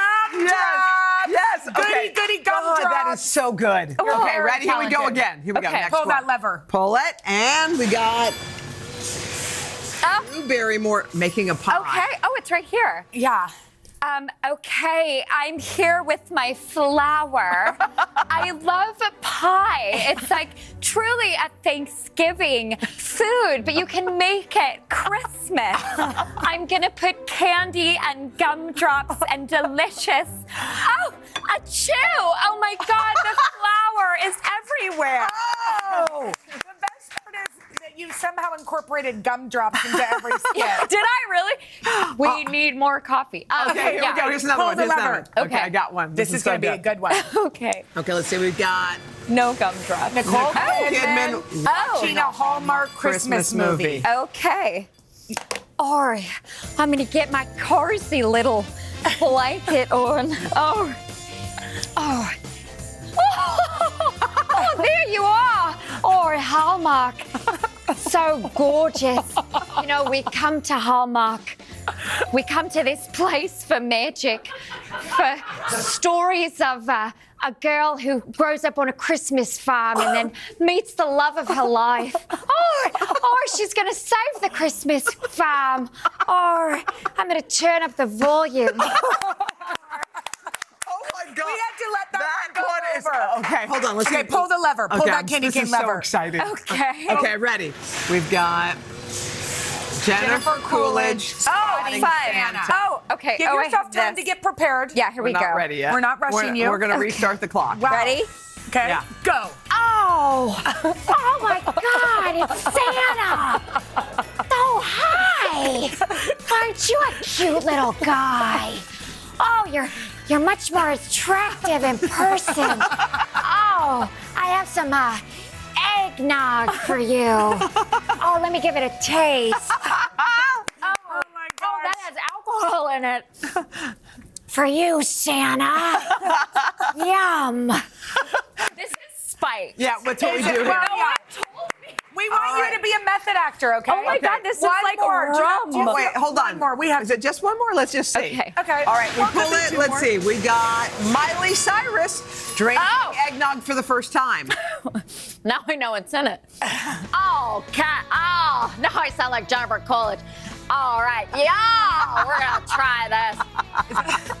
Oh, yeah. Is that Jennifer Coolidge? No, I can't get Jen. Now Get I'm Jennifer drunk. out of you. Get her Oh, my. God. Y'all. Oh, yeah. That's basically if Jennifer and Miley had a baby. By the way, you Chloe, are the, we you're adore the you. awesomest. We Thank love you, you. You can catch Chloe on SNL at 11:30 right here on NBC, streaming on Peacock. And this weekend, your host is going to be Adam Driver, musical guest Olivia, Rodrigo. Are you Olivia Rodrigo fan? I adore her. Don't you love driver's license? Yes, uh, driver, Adam Driver, driver's license. Yeah, Oh, there I you bet go. you'll be doing She's enjoying with that. Hi, I didn't think of that. Oh, okay, Chloe. We love we love you, and we'll be looking for you. Coming up next, y'all keep your holiday season healthy and happy. Therapist Nedra Glover Tawwab has some advice on setting boundaries right after this. You make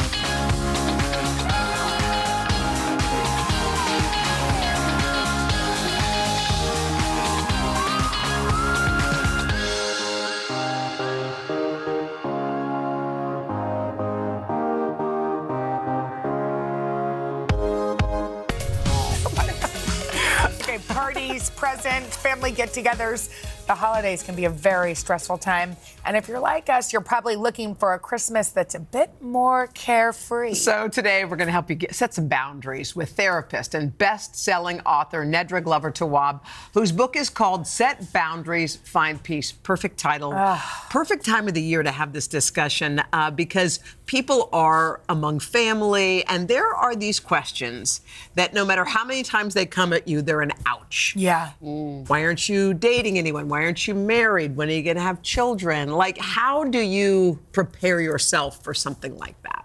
You practice like you're about to give a speech in the mirror. It's like when Aunt so and so says, These are the comebacks I will have this holiday season. Often we don't prepare, and so it's Mm. like shocking. It's like, Oh, she asked again, but you know she's going to ask. You know this person is Mm-hmm. So, what going the answer? Why aren't you married? Like, that's a common one yeah. women get. Do we even want to answer it? Because maybe we'll, we're still exploring that. So saying, I'm not ready to talk about it. You know, this is something I think about too, and I don't want to respond yet. Yeah. Yeah, it's, it's and uh, is there a way that you can create a boundary within yourself to know that probably the person does not trying to come from a malicious place, that maybe it's just filling space or Right, they're reflecting intent. their own things. Yeah, their intent on wasn't you? bad.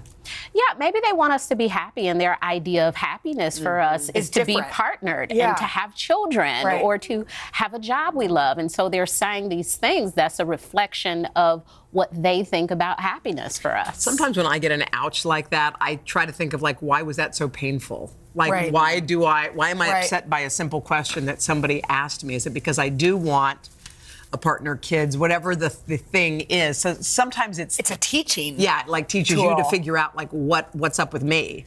Yeah, people teach us what our stuff is, what we still need to explore and discover. And sometimes when we are responsive to something, it's an opportunity for us to say, huh, okay, next Monday, that's where I'll start in therapy. Yeah, definitely. On that exactly. topic. Exactly. Yeah. Okay, let's move on to gifting. Yeah. It's that time of year. It can be tricky, right? Like with the boundaries when it comes to people asking you for things with money. What should we do? You know, I love to pull names, right? If you can't pull names, like if it's a large family, pull names. If you can't pull names, agreeing to buy only for kids or we'll mm-hmm. keep it in our household. But having mm-hmm. some idea of this is what we'll do, we can start that conversation Black Friday so people aren't shocked when the holiday comes that they don't have a gift. So, you know, maybe you buy everybody something and other people don't. Like, is the expectation to receive? Yeah. Or if we're in a mm-hmm. position to give, is it just okay to give and not get anything? Sometimes it's hard when you're in a group and they're like, let's get a group gift, but you really either can't be in on it because you can't afford to be in on it. What's a way to sort of say, um, I love y'all, but I'm not gonna. I want to be at the party, but I yeah, I'm not. Yeah, I don't have a gift to bring. I love what you just said. You know, I want to participate, but I will not be in the gift exchange. But if you need help with decorations or you need someone to help you make the punch, I'm the person. But I don't want to be involved in the gift exchange. Okay, let's talk about uh, hosting. Yeah. A lot of people have families come into their homes. And sometimes it's the same patterns, right? That Yeah. you see over and over again. How do we throw a boundary when it comes to that?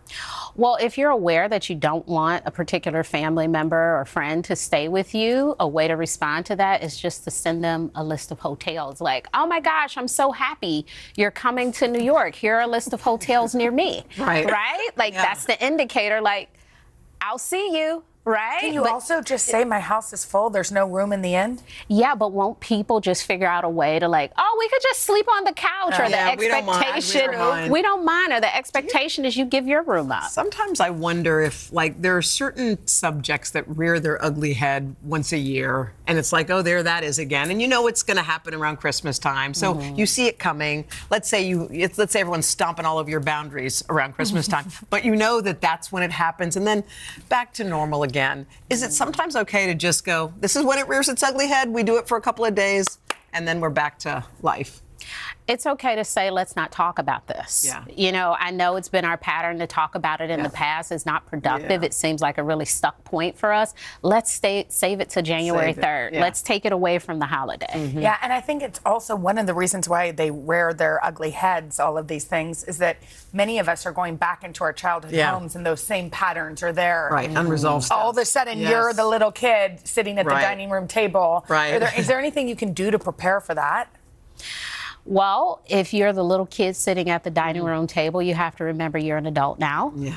And the situation for you should be different. Mm-hmm. And so it is commanding the space and being an adult. And sometimes we expect our parents and our older siblings to Yeah. release us from this little version of ourselves. But ourselves. it's us. And it's, It's us. It's Okay, us. you have a very cool deck of cards. I'd like to play this game. Called the Set a Boundary deck. Yes. So you pull something from here. Let's see So what let's- let's see what it pull says. it. We pulled Okay. it. What does okay, it say? It says time boundary. you say yes to family invitations out of obligation, even when it's inconvenient. Mm-hmm. Yeah. So, what are we supposed to do with this? Yeah. Discuss if that's us and how we. Yes, you discuss it. So if you're doing this and this is an area of challenge to you, how do you respond to it? Mm-hmm. You know, I think about like if this invite happened for tomorrow, not in three weeks, would you go? If they said, hey, tomorrow I'm having this thing, can you come? If it's like, no, maybe it's a no for three weeks too. Like it sounds like something you're not deeply engaged in. So maybe it's okay to say no now. I think learning how to say no Yeah, and big being okay with it Right. is And- a really And important not worry that you're hurting someone's Yeah. feelings. I love you, but I I can't do I it. I can't do it. And it's not a no forever. It's no to this thing, but Yeah. please keep me, you know, in the loop with Yeah. whatever comes up next. Except next year, do not or the year after Because I don't want to go. And that's when you just stick to no. No. No. I won't be available Friday or the following Friday. I'm never available. Okay, thank you, thank you. I'm never available. Thank you, thank you. Coming up next, we're celebrating the first night of Hanukkah. Oh, our friend Gail Simmons is sharing one of her family's favorite recipes. That's after this. It's so funny. So thank you so much. That's so cool. So you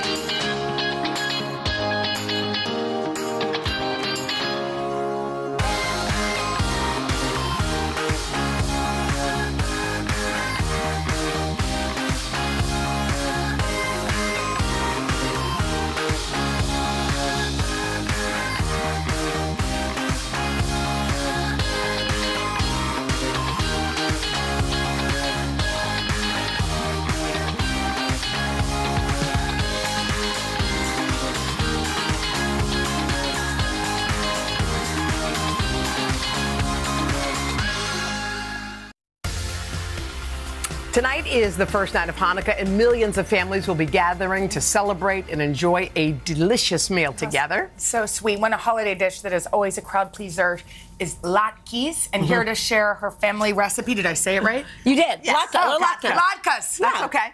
Yeah. Gail Simmons is with us. Gail, From Top first of Chef. all, we adore you. Thank you. Um, so And I you. Your Okay. family has a special recipe that you make. It's basically a potato potato It's a potato pancake. pancake. But they're absolutely. Very special, right? Well, you know, these are the ones that my mother made for me every year, Mm. always. I make them for my children, with my children. Like, I could never imagine a Hanukkah without them. Okay. But a potato pancake is a potato pancake. So there's really only a few ways to do it. my sort of piece of controversy is that I use a food processor.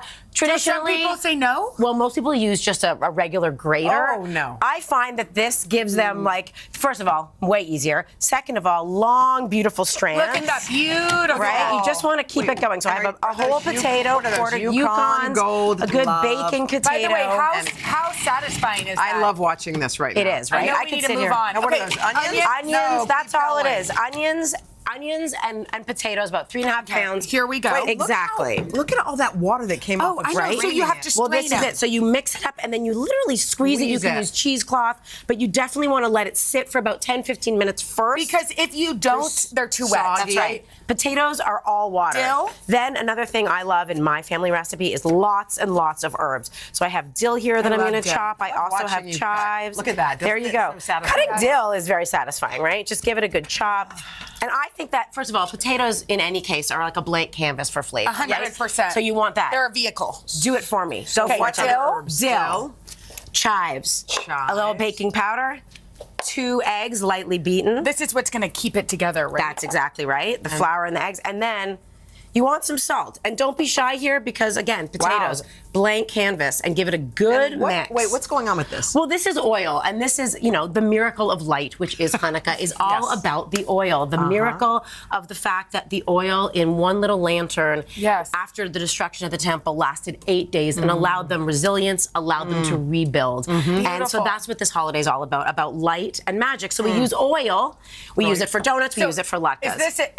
you you filled the pan with oil, and what kind of oil do you use? You know, a really neutral oil, a canola oil, mm-hmm. grapeseed oil, and then you also actually want to strain these a little bit too. There's How still a lot that? of. You just put it over a strainer, over strainer? squeeze it out a little bit. Is You're going to see when it's strained? This is it. So the eggs kind of come out. They don't. They really absorb, Oh, okay. and then you'll see it won't be a problem at all. But look at that water So after far, two I'm strains. zero for all. no, you don't have to worry. Look. Okay, let's watch how we I just squeeze Huh? it all out. Look yeah. at that. Give it a squeeze. I, I mean, this Oh, is I how can I already- do it. come on. I and like then that. that noise. I I'm like gonna that. down here. It's the it's the it's the So it's the best do noise in the world. You're making a very special sauce. I am making a sauce. So while these are cooking, this is actually a sauce. I, I didn't want to just do the traditional sour Yeah. cream this year. This is strained latke. It's a recipe I Oh got from my it's dear so friend good. Michael Solomonov, an incredible restaurateur in mm. Philadelphia, and he makes this really delicious, It's amazing. modern uh, latke recipe. So it's Oh my god. cubed apples. Mm. Red onion, a lot mm-hmm. more of those herbs. So I have parsley, I have Dill. dill, chives, So some lemon juice, ah. And a little bit of salt, of course. Mix it all up, and that to me is the Gail. ultimate delicious dip Gail. for my Gail, mom's we adore latkes. you. Happy Gail. Hanukkah. Happy Hanukkah. This is a Hanukkah. Thank beautiful you. dish. Thank you. We're We sending love so you. much Peace love. and light to everyone this To year. you too, Gail. Thank to you. you too. To get this recipe, head to today.com slash food. Coming up next, elevating your holiday entertaining. Uh, Nathan Turner has some creative and delicious ideas after this. This is sick. This is so They're yummy, right?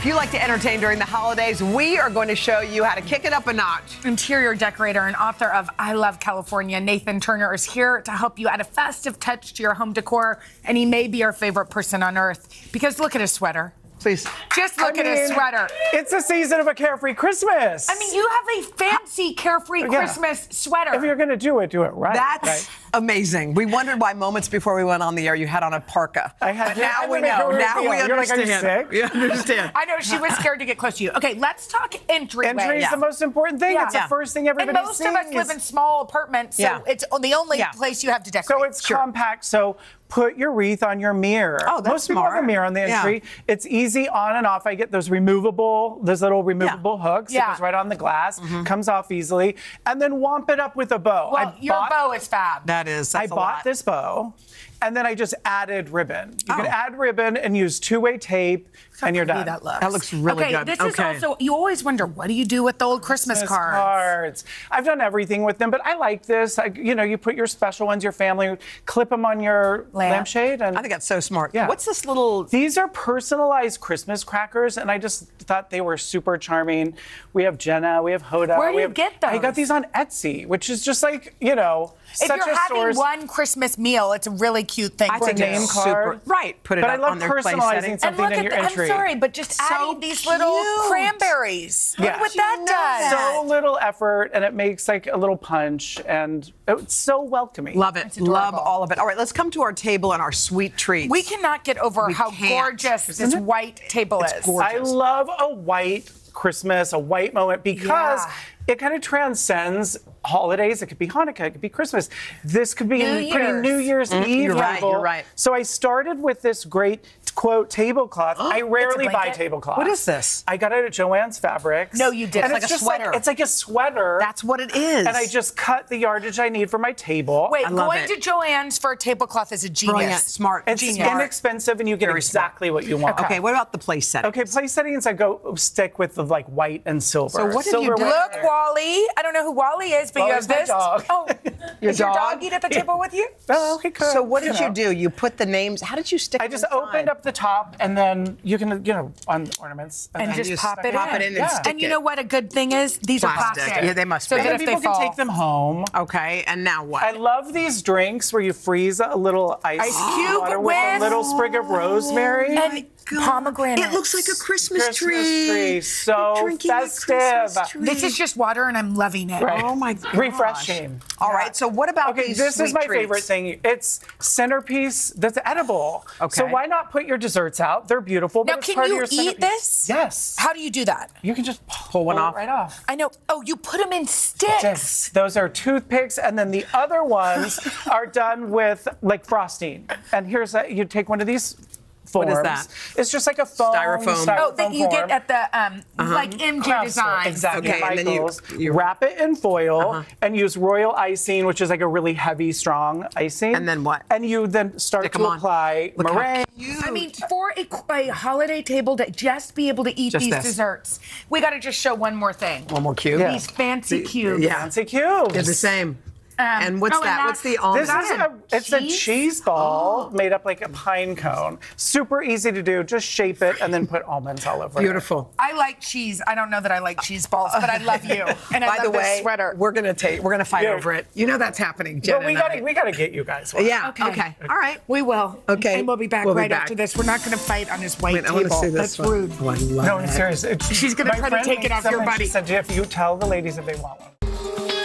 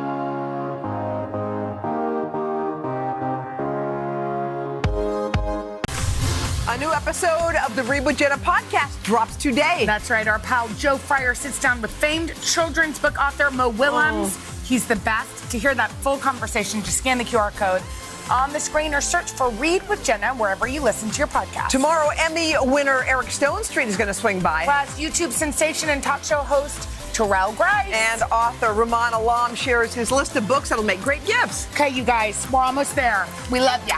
Bye. Have a carefree Christmas.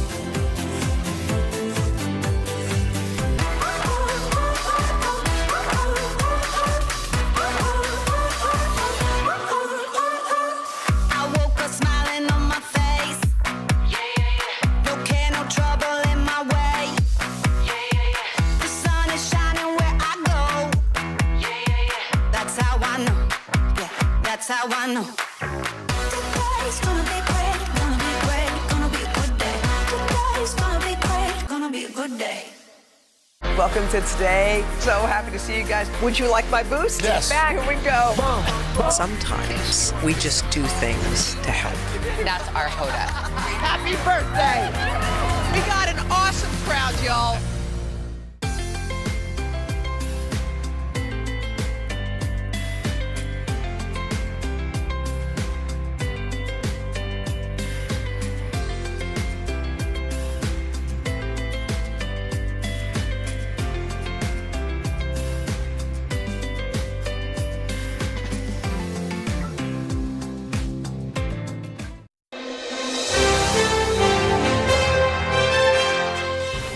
Of all, it's so good to see you. When you walk in, it's like sunshine has arrived in our little dark room. It's your season. Christmas is here. So, question first Is your Christmas tree up?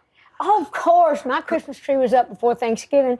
and the day after Thanksgiving, we turned all the Christmas lights on in my yard, in my house.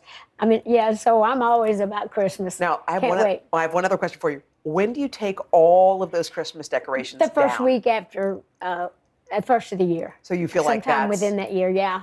I want to go. Sometimes I'll keep a few little things. My birthday's the 19th of January. Of course. Sometimes I'll keep a few little things in the house to think, well, I'll celebrate my birthday with, with a little tree, maybe in one room or so. Sweet. you, you've had so many Christmas memories since you were a little girl to today. Is there a Christmas that kind of stands out to you? Like a lot of people say it was maybe before, even before all the fame and before all that. Like, is there one that sticks out to you and you say, that Christmas? Well, that memory I actually made a movie of called Circle of Love. That was when my mom and dad had been married for years, had a house full of kids, and mom had never had a wedding ring because they married when they were 15 and 17 mm-hmm. years old. So I remember all of us making up money to help buy mama a wedding ring, mm. and we all got to be part of that and remembering how special that was back there in the country and mama, you know, being so happy and surprised about her ring and it made a wonderful story. But I have tons, tons of memories. A little Yeah. brother that was born around Christmas time because we always wanted our walking, talking dolls. Mhm. Mama said, Well, you got one that really pees and really cries and really does all the stuff that you're wanting that little doll to do. Here you are. So I have a lot of precious memories being from the country and, you know, being back back oh. in the backwoods where you make your own fun, you make your own Christmas. And you make your own memories. Boy, Yeah. you got some good ones. I want to talk about that, but I want to talk about this movie that you have out called Dolly Parton's Mountain Magic Christmas. This is all parts of you. Dolly Parton, Christmas, Dollywood. I'm starting to cry just thinking about it. It's got all your friends. It's a beautiful story of putting on a show. It's a musical. It's a movie. When I saw it, I was like, that is so Dolly. That's all of it. Well, we're so excited about the, the movie. And of course, we did it at Dollywood, which mm-hmm. is my theme park up in mm-hmm. East Tennessee where I was born and raised. It's like a, a movie set anyway, some of everything. And so we invited all these wonderful guests like Jimmy Fallon, uh-huh. uh, you know, who's on the show. And so we've had all these great, you know, people on and great actors. We did a show about a, it's like a show within a show mm-hmm. because I think people are real interested in knowing what goes on behind the scenes. Mhm. So we made it where we really made it like how the show was going on, all the things that can go wrong behind the scenes, but then we actually did the numbers as if they were rehearsals, getting ready to actually do it live, sort of thing. So it's a lot of drama, it's a lot of comedy, a lot of meaningful songs, a lot of meaningful places, stuff for kids. You know, we got sing-alongs with the kids. So, uh, and getting to do it at home was great for me. I mean, the list of celebrities is pretty amazing. It's Willie Nelson, it's Jimmy Allen, it's your goddaughter Miley Cyrus. Cyrus, And her, and her daddy. and her Billy daddy Billy,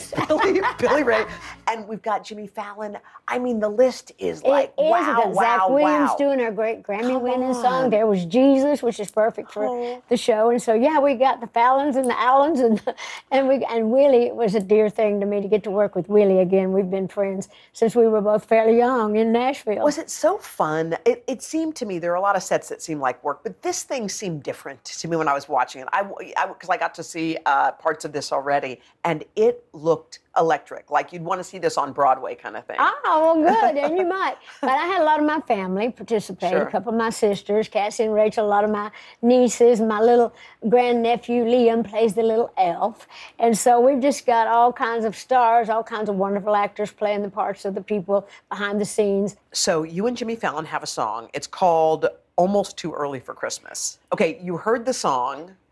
What was the first thing you thought when you heard it? It's almost too early for Christmas. Why don't we see how it goes? Well, I, first of all, there was a little backstory to Okay, that. tell me. Jimmy was going to be on my Christmas show. He said, "Let me send you the song and see what you think." And he sent that to me though, like in September, and so it was called "Too Early for Christmas." I thought, "Wow." What a great idea for a song. It's almost too early for Christmas because the Halloween decorations are still out and the Christmas haters and all.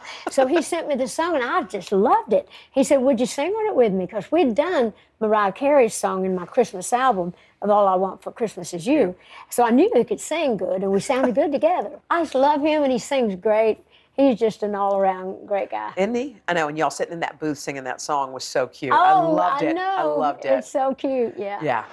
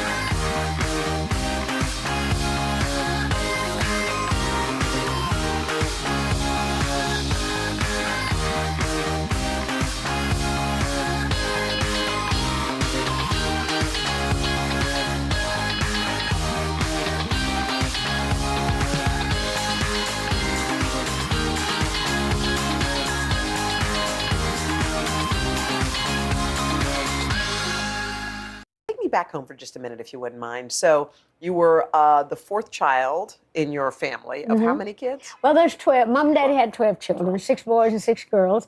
And so we had a big, big family and we lived back in the woods, but we had a good time. And, you know, we just loved each other. And Christmas, we made Christmas whatever. We made it. Mama was always great to make everything seem fun and happy and made things more exciting than they were. And so we just did what all country people do. We made the most of it. One of my favorite questions to ask somebody, because I feel it's it's such a window into their life, is close your eyes for a second. Okay. And then imagine your childhood bedroom. Look around. See Looking what you around in, with my eyes closed. I'm With your- looking. what Okay, am I look, looking for, You're, honey? you're just looking at your room, and or oh, who who was with you in your room? Were there anything on the walls? Were there multiple kids? What? Where did you sleep? Like, what was that childhood Actually, bedroom? I don't have to close my eyes Okay. to see that room Tell me. because we, you know, in the early days, you know, we, we lived a few different places, but in the early days, you know, we our house was really small, and Mom and Daddy had a little separate area where they slept. But we mostly just piled up. We had two or three beds, and we had three or four kids sleeping in in bed. And some of them peed in the bed, and we just dealt with that too. And it was cold in the winter. We'd fan the cover, get cold with that. But anyway, I just we just loved. We, Daddy get up building the fire in the mornings. You know, Daddy is the fire hot. You know, is the fire hot? That's what y'all get up- said? yeah, and so we didn't. He wouldn't let us get up till the house was warm because it was cold in our old houses. But anyway, I just remember things hanging on the wall would be like a picture of Jesus, or those little two little kids, two little orphans crossing a bridge, and you know those famous little pictures you see, the Lord's Supper in the kitchen hanging on the wall, and or coats and hats and whatever. But we just lived a simple rural life, like so many country people do. But but it was a house full of love and, and warmth. And so even though it was cold outside, it was warm mm. in our hearts. Who who taught you about generosity? Oh, that was I. That I'm from a faith-based family. My grandpa was a preacher, so when you grow up like that, you, you're supposed to. It's better to give than receive. Although as kids, we we loved getting the presents, you know, whatever we got.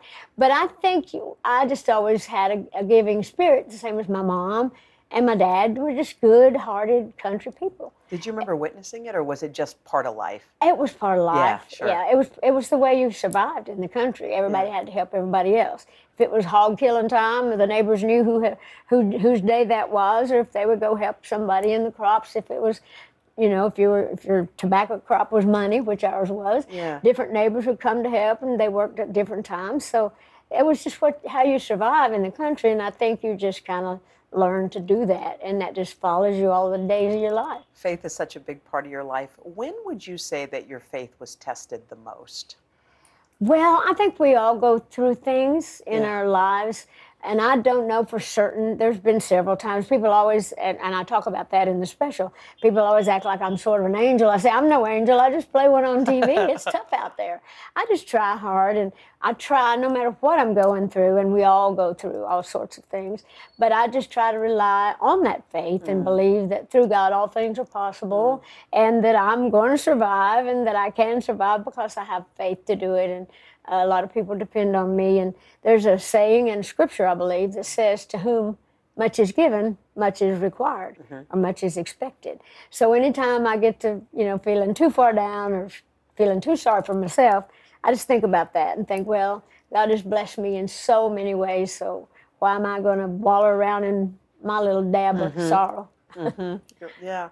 When uh, uh, the holidays are festive, and I want to talk about all that, but it also does bring back memories for a lot of people. And in the country music world, Loretta Lynn and Naomi Judd passed Oh, wow. this just just over these past months. And loss is something that people deal with differently.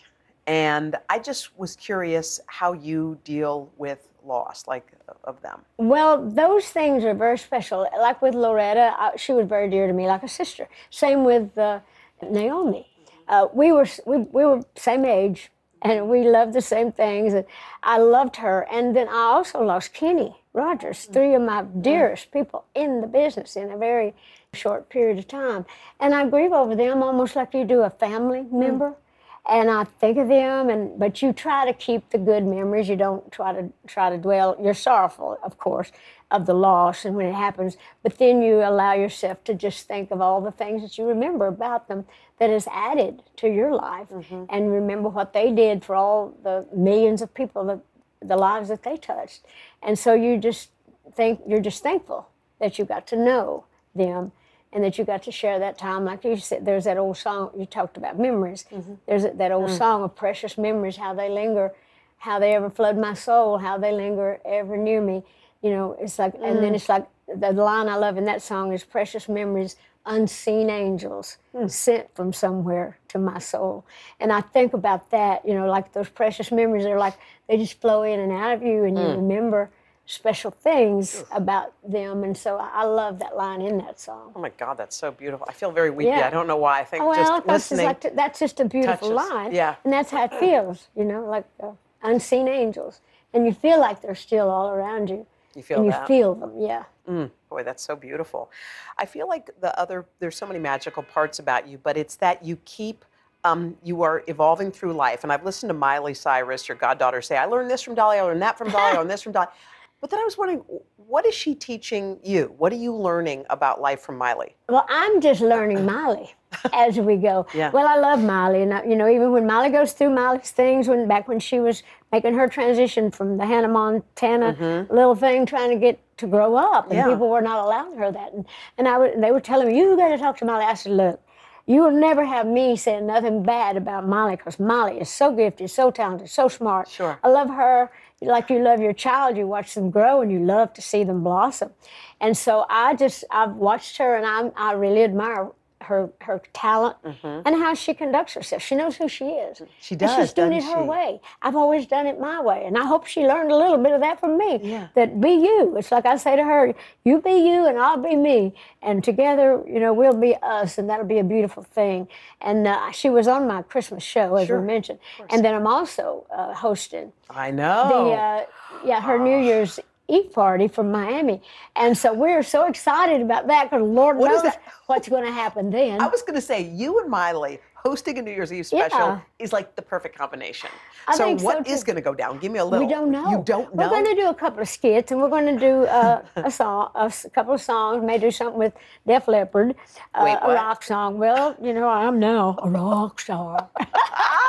so I'm going to sing a little something with them, and we're going to do a couple of duets, some, some medleys, and we might even sing Jolene, you know, toward the end. But uh, we're, I don't know how much I should tell without Miley kicking my butt, because I don't know how much is going to be a surprise. I do basically know what we're doing. Okay. But there's so much of us that's hosting that will just be us, being us, and no scripts, no nothing. I'm sure we'll have some guidelines that we'll have to follow Yeah. for the timing. But Yeah, sure. I have no idea what we're going to wear, which I'm going to probably be a little more bold than Of normal. course. And got to. Is always bolder than normal. So I, I think it's going to be fun. and from Miami. From Miami, will there be cocktails, or are you a no cocktail person? Oh well, at at New Year's Eve, Yeah. uh, whether I was or whether I wasn't, I'm gonna have a, a Shine Girl moonshine cocktail.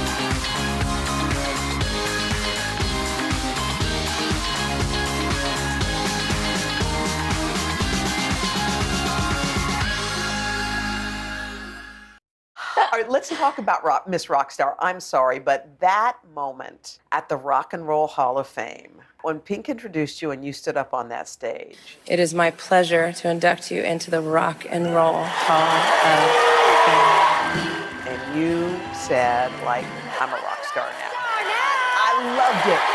But you know what struck me in the very beginning when they said, Dolly, we want you to be in the Rock and Roll Hall of Fame?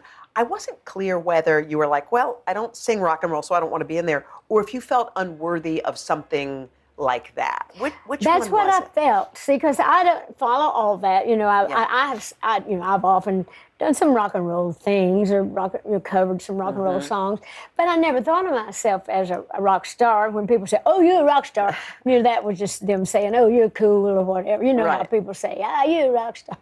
But my husband loves rock and roll, but I'm, you know, I've just done everything in country, and I know how hard you work at your craft. Sure. And when they they said they wanted to put me in the Rock and Roll Hall of Fame, and there were so many other people, I also thought that they just voted on that, and it was like that person was going to go in. And I thought, I am not taking any votes from any of these people that spend their lives doing that like I spend my life doing this. And so I found out later that they give it to you for if you've influenced other people and other, you know, I found out more about it. Mm-hmm. But I had said at the start I didn't want to to accept it because I didn't think I'd earned it. And still ain't sure. but I thought, well, time is good. You know me, I'm about time. And I thought, well, if they're going to give it to me anyhow, I'm going to accept it gracefully. And then I'm going to go ahead and do a rock album and just make the most of it. Okay, Carl Dean, your husband of 56 years, um, he loves rock and roll. So is he thrilled that you're doing a rock album? Well, he's praying for me, I think. I guess he's hoping I can pull it off, but I really think it's some of the best work I've ever done. I think Wait, I've pause. already done it. For real? I've already been working on it. It's going to come out next fall. Wait, wait, wait. The best work you've ever done? I think so, only because it's different for Yeah, me. yeah, yeah, yeah. And it's I worked, you know, I wanted it to be good. I didn't want anybody to be able to criticize me too much. They might anyhow, but I really think people might be surprised because I've loved these songs for years. Yeah. And the songs that I chose, I chose a lot of the songs he loved. And then some that I loved, and I wrote a few things too. And Kent Wells, my longtime uh, musical director, band leader, guitar player, uh, he produced it. I just knew he was right because he's always kind of he's got that inner rock rock and roll in him. Sure. So he did a wonderful job, and we used all these great rock musicians. And I'm going to have a lot of the uh, iconic singers join me on several of the songs. Well, I'm asking. but Pat Benatar is going to join me on something, and Pink is going to join me Pink. on. Don't you love, Love. her?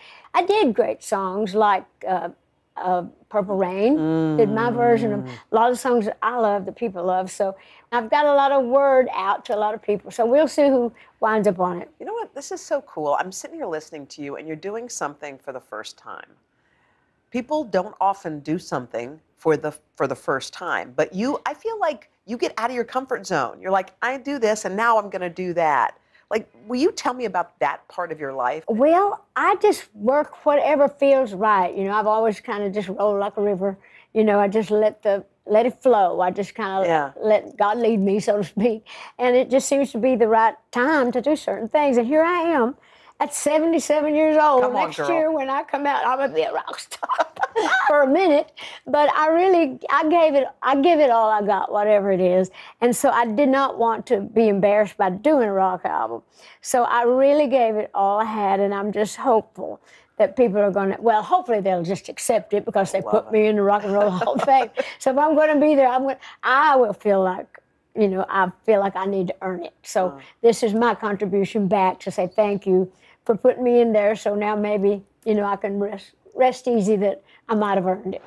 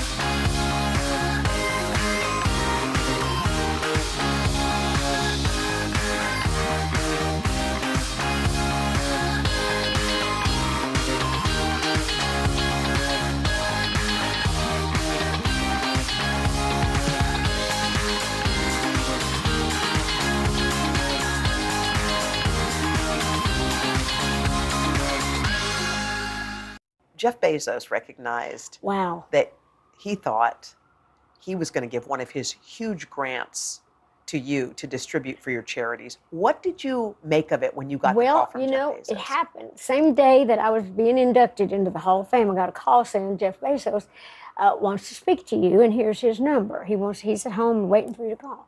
So and I thought, what is he calling me for? I thought maybe they wanted me to do a commercial for Amazon or something. You know, I thought, well, that's weird. But of course, out of respect, you call. And uh, then we talked for a little bit. And then when he, he told me, I said, Are you telling me that you're giving me a $100 million for, for my charities? And he said, Yeah, that's what I'm telling you. No strings attached, except that it all has to go to, you know, charity. And I started to cry on the phone. And it was just really like, I said, I'm sorry. I'm getting a little, you know, I, it really moved me. I mean, it just to think that I was thinking, you know, what a generous thing to do. And then I was just thinking of all the great things that I could do for so many needy people. And I just thought, wow, thank you, God. You know, and it was like, um, it was amazing. It was, it was just out of nowhere. And just, I, I guess you can imagine what a wonderful day that was, getting put in the Hall of Fame. And then also getting that because I spent about a thousand dollars buying tickets for the lottery for that two billion dollar lottery thing, and then of course I didn't win any of that. And then I, that same day I won, you know, not won. I felt like I'd won the lottery by you know getting that hundred million dollars to help all these wonderful causes. But I really think whether it's his money or whoever's money, I think if you're in a position to help, you should. And you, you should choose things close to your heart that you can be proud of to represent and be out there and feel good about what you've done. So it's you're supposed to help one another. Can I ask you the most basic of questions? Why do you sing? Why do I sing? Because I can't help it. I mean, that's who I am. That's what I do. I was. My grandpa said I came out uh, crying in the key of D, so they named me Dolly. but anyway, that music is a big part of my family. It's just it is in my DNA, and so I sing because that song. I sing because I'm happy. You know, I sing because I'm free. I sing, you know, because I have every reason in this world to sing, and so I love it, and that's what I do. Well, you don't do it for the money and you don't do it for the fame. I know that for sure because I, I, would like do it without the fame and the money. I've always said I Yeah. would, if I worked as a waitress, because I love to sing and write, I'd be saving my tips to make demo records to send to Nashville to try to get my songs recorded or be singing in the local bar or at the county fair or wherever I could. I'm certain that I would sing no matter what my life would have been. Let's talk New Year's resolution since this is you are coming up on this Miley, the special with Miley Cyrus. What what do you have on your list? Well, I'm like everybody else. You know, you make a bunch of resolutions and you never keep them. Third weekend of January, that's just all forgotten. you know what I mean? But I hope, my hopes for the new year is I think what all good hearted, faith based people are just good. You don't even have to be faith based, just good people are hoping for a little more kindness, a little more love, a little more trying to pull together instead of falling apart. And one of the songs I wrote for my rock album is called The World's on Fire. And it's about that whole, you know, liar, liar, the world's on fire. What you gonna do when it all burns down? Liar, liar, the world's on fire. But we still got time to turn it all around. It's like an anthem, and it's all about what's going on. And it's uh, and so that's what I'm hoping and praying for that in the new year that we can try a little harder. We've been through so much with the pandemic all over the world though, with just the weather and all the you know, just the scary stuff, the Scary stuff. earthquakes and things. It's just you just think, well, you got to think positive, and that's one of the reasons I wanted to do this Christmas show Mhm. because I felt like I needed to help if I could to bring some brightness and lift people's hearts up a little bit, and and really just uh, you know sing some songs that are meaningful, tell some stories that are fun, and just take people's minds off of that. But I'm just hoping that next year and the year after and the years to come that we can we've learned a little bit about what's going on and how long can we go, you know, like that. Can't we rise above? Can't we show some love? Can't we just lift up and, you know, just help help each other out? You know, it's like one of those things, can't we just, you know, move on? And we we all feel the same. We cry, we hurt, we bleed, we suffer. You Yeah. know, we all want, Yeah. you know, we all want to, you know, things for ourselves, but Lord, why can't we just pray about it, think about it. And even if you're not even, a, like I say, a faith based person, you've got to believe in good. And just like in my show, when I said, you know, a lot of people don't believe, you know, in in heaven, I would say, well, I do. And if I, if there is a heaven, I hope to hell I go. And I'm going to be working at it, you know, trying to get there because I'm going to try my best to try to bring as much joy as I can and lift people up as much as I can in my way. And I just think we all need to try a little harder. I don't care what our politics or our religion or our color or anything else. We need to try a little harder. So that's that's my personal New Year's resolution to try a little harder myself, to try to make as much of that happen as I can through songs or through giving or through whatever it may be. Dolly, you're such a delight and such an awesome human being. I mean, Well, so are you, and thank you. Like I say, I ain't all I ain't all that, but I appreciate the compliment, and I've got a lot of wonderful people in my life that help me look really good. So I always like to thank them for it. So I just get to get out here and take a lot of credit for a lot of hard work that a lot of other people do. But we're getting it done, and that's the main thing. love you. Yeah, thank you.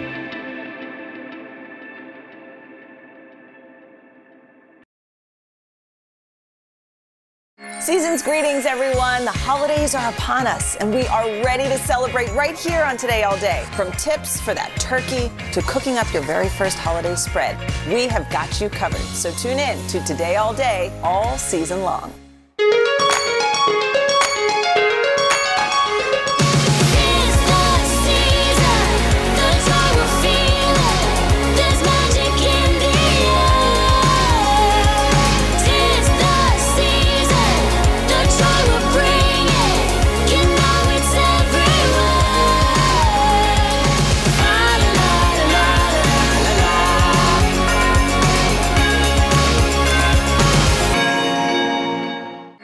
Season's greetings, everyone. The holidays are upon us, and we are ready to celebrate right here on Today All Day. From tips for that turkey to cooking up your very first holiday spread, we have got you covered. So tune in to Today All Day all season long.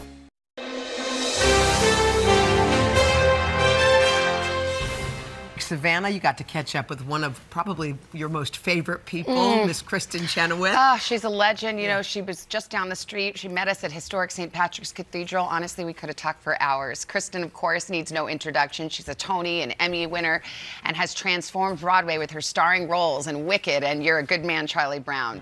Well, she credits God and her faith with helping her get to the main stage. And as a Christian, she believes it's her mission to share God's love. And whether that is on the Broadway stage or walking down the streets of New York, she's finding a different kind of voice. I can't believe we're here. Can you believe we're here? You got your start singing in church. I did. Not a church like this one, though. Oh, no, no. Uh, mine was in Broken Arrow, Oklahoma, and it only had about 1,000 people in, in membership. But God was a huge part of my life, and how I found my gift was through church music. What does it feel like to sing a great hymn like How Great Thou Art and be able to sing it like you? I feel, thank you so much, you'll make me cry. It's, it gets me back to my roots. Whenever I sing, you mentioned Great is Thy Faithfulness earlier, and I Great is thy faithfulness. Great is thy faithfulness. I just the echo. Morning by morning, new mercies I see. Take my mic down. Never. You have a song in your heart, and you should sing it. Maybe not as loud as me. Definitely not as loud as you. I'll kid. lip sync. Would you say you first found your voice in Yeah. church? I was in the choir, little kids choir, and my, they were having an audition for an adult solo. And my mom said, "You can't. You're a kid." I said, "Let me just go try out." You know, that says a lot about me at that age. So I went, and I got the solo. They were like, "We're going to give it to you." And then that Sunday, I sing the solo, and the church erupts. And I say this story only to tell you that when you're a little kid and the encouragement you get from people that love mm. you to follow the passion that you love, I was given an opportunity to sing about something that I believe in, which is faith, mm. And do it in front of people who love me, a very safe space. It started the ball rolling. And I love to sing for all kinds of faiths because I believe that we we worship a God that is loving, not one that is man has made so you're going to hell. Hmm. And a loving God. And if I can spread that joy then I'm going to try because that was one of the things God told me when I was a little girl. People go, "Oh, he actually he spoke. Hey, Chris, you know." I get these impressions on my heart. I don't know how else to explain it. It's a still small voice, and when I get that impression, it's like a handprint. Like, yes, that's correct. It's interesting about God's voice because um, it's hard to describe, although actually I think you describe it really well. Thank you. But I often find it is saying something that is unexpected. Yes, yes. I remember Savannah even talking about my adoption. And I've just started talking about it recently because because I got the impression on my heart this will help other people. People need to know that you just weren't in in this world magically. They need to know what was behind it. It will inspire people. And so it's become a lot more easier for me to talk about. But if I couldn't listen, I would have kept that secret. And I'm not ashamed of it. Kristin was adopted as a newborn. Her adoptive mother happened to be in the hospital the same day she was born for an operation that would leave her unable to conceive. By chance or heavenly plan, Kristin unexpectedly became available for adoption. She said to the doctor, I always wanted to try for a little girl and now I won't be able to. And he remembered that story. So when my birth mom, Mama Lynn, came to give birth, she they called my dad before and said, "Do you want to surprise Junie tomorrow? Because I've got a little baby here that's going to need a home." And my dad said, "Yeah." And so they kind of took my mom, robed her up, and day of her surgery, and took her down to the babies. And they said, "See that baby? That's your baby. So she's waiting on you when you get done." And so we went home together. And she said, I always felt like I had you because we went home together. And I mean, how can I, me personally, not believe in miracles? Mm. I got the perfect family. I was brought into this world by the wonderful mother, Mama Lynn, and I was able to get an education. I grew up in a loving, giving family, one full of faith and a lot of fun too. And, you know, it's a gift. It's a gift. So that's a miracle. But how does Mama Lynn, did she sing? Yes. Okay. And the, my birth father was a great musician as well, hmm. Billy Etheridge. And some people might know who he is out there, but so I know where it came from. And hmm. she's petite. I got her height. People say nature versus nur- hmm. nurture. I think no, nature and nurture is what it is. It's such a beautiful alchemy, their story. You know, it's like this magic. It's divine. It's divine. It's divine. You've had ups and downs in your career. You've talked about how you've looked for God's voice to guide you. Yeah. How has that helped you make decisions that might have been a little surprising at the time, or a little unorthodox or off the beaten path? It's been really interesting because I have a, a wonderful team that works for me to help me guide with these decisions. Even when I was younger, I was lucky enough to get a great agent. I went to New York with my friend Denny to help him audition and get settled in. And I thought maybe I'll just try out for something for fun, have the experience. And I ended up getting this part. And I had a big decision to make. And this is where I talk about the gut. This is where I talk about that impression. Some people call it the universe. That's fine. For me, it's the Lord. But I have to get quiet. My whole life, I've heard from my aunts and my mom two ears, one mouth, Kristin. Two ears, one mouth. Speak less and listen more because you mm. know I can talk. and when I do that, I'm able to kind of hear what God wants for me. And I went to New York. I said, I want to do this thing. And it worked out. So mm. God has other plans sometimes. And it's happened several times in my career. But faith is a journey and not always an easy one. Along with great success, Kristin has had great setbacks, including an on-set accident that nearly killed her a decade ago. Severely injured, the road back was a crucible. It was horrific and scary and awful. Now, I could go in the path of bitterness and anger, and I did for a while. I did. But I could let all that go. It happened. So, guess what I'm going to choose? That way. And a lot of it is up to us. He gave us a mind, and for me to just, I don't guess I'm preaching, but for me to talk about that, that'll be something I really want people to know.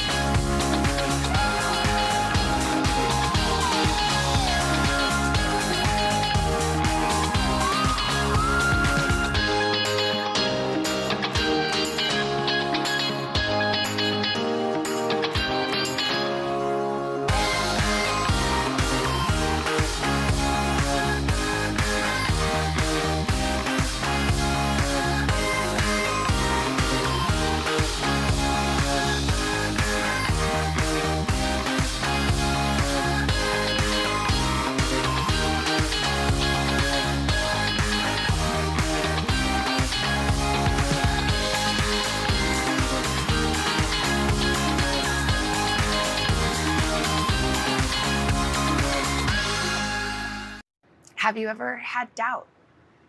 Seasons of doubt or disconnection with God? Yes.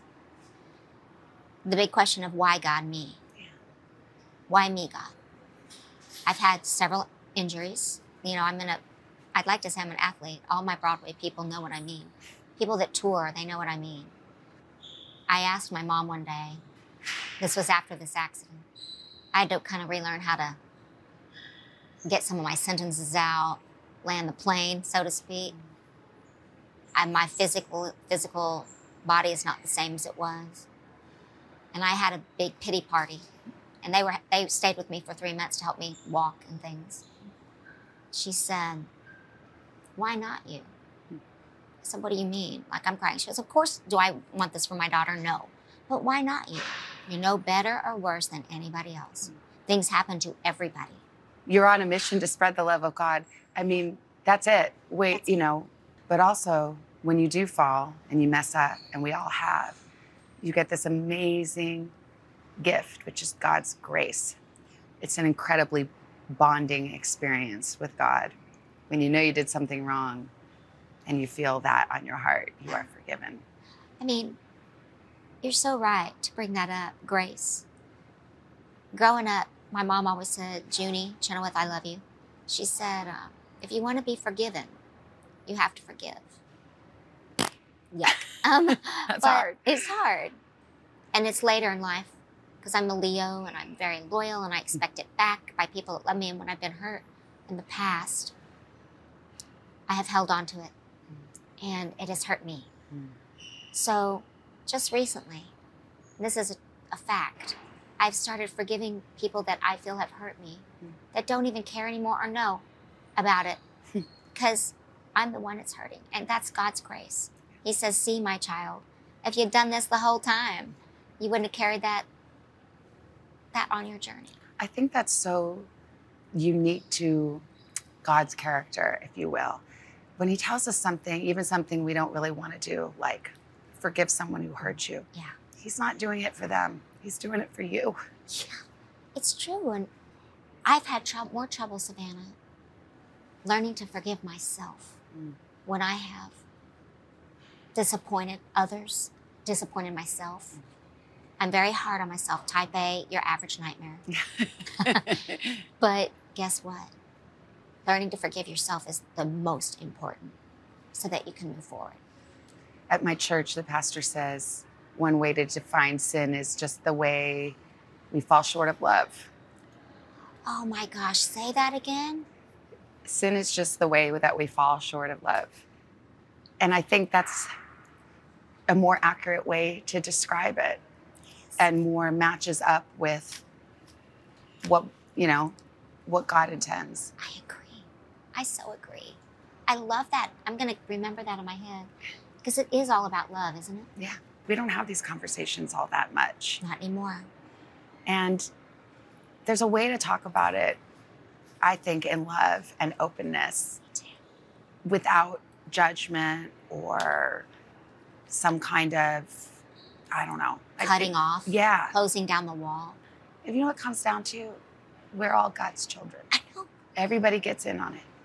It's it's I think if we thought about that more, it would be transforming. Then we really would be look at each other as brother and sister instead Yes. of the enemy. In this family together. Yeah. I think that's what God wants us to do. Too, Savannah. So on this day, Kristin Chenoweth, who God gave the voice of an angel, raised hers loud and strong, and we were blessed.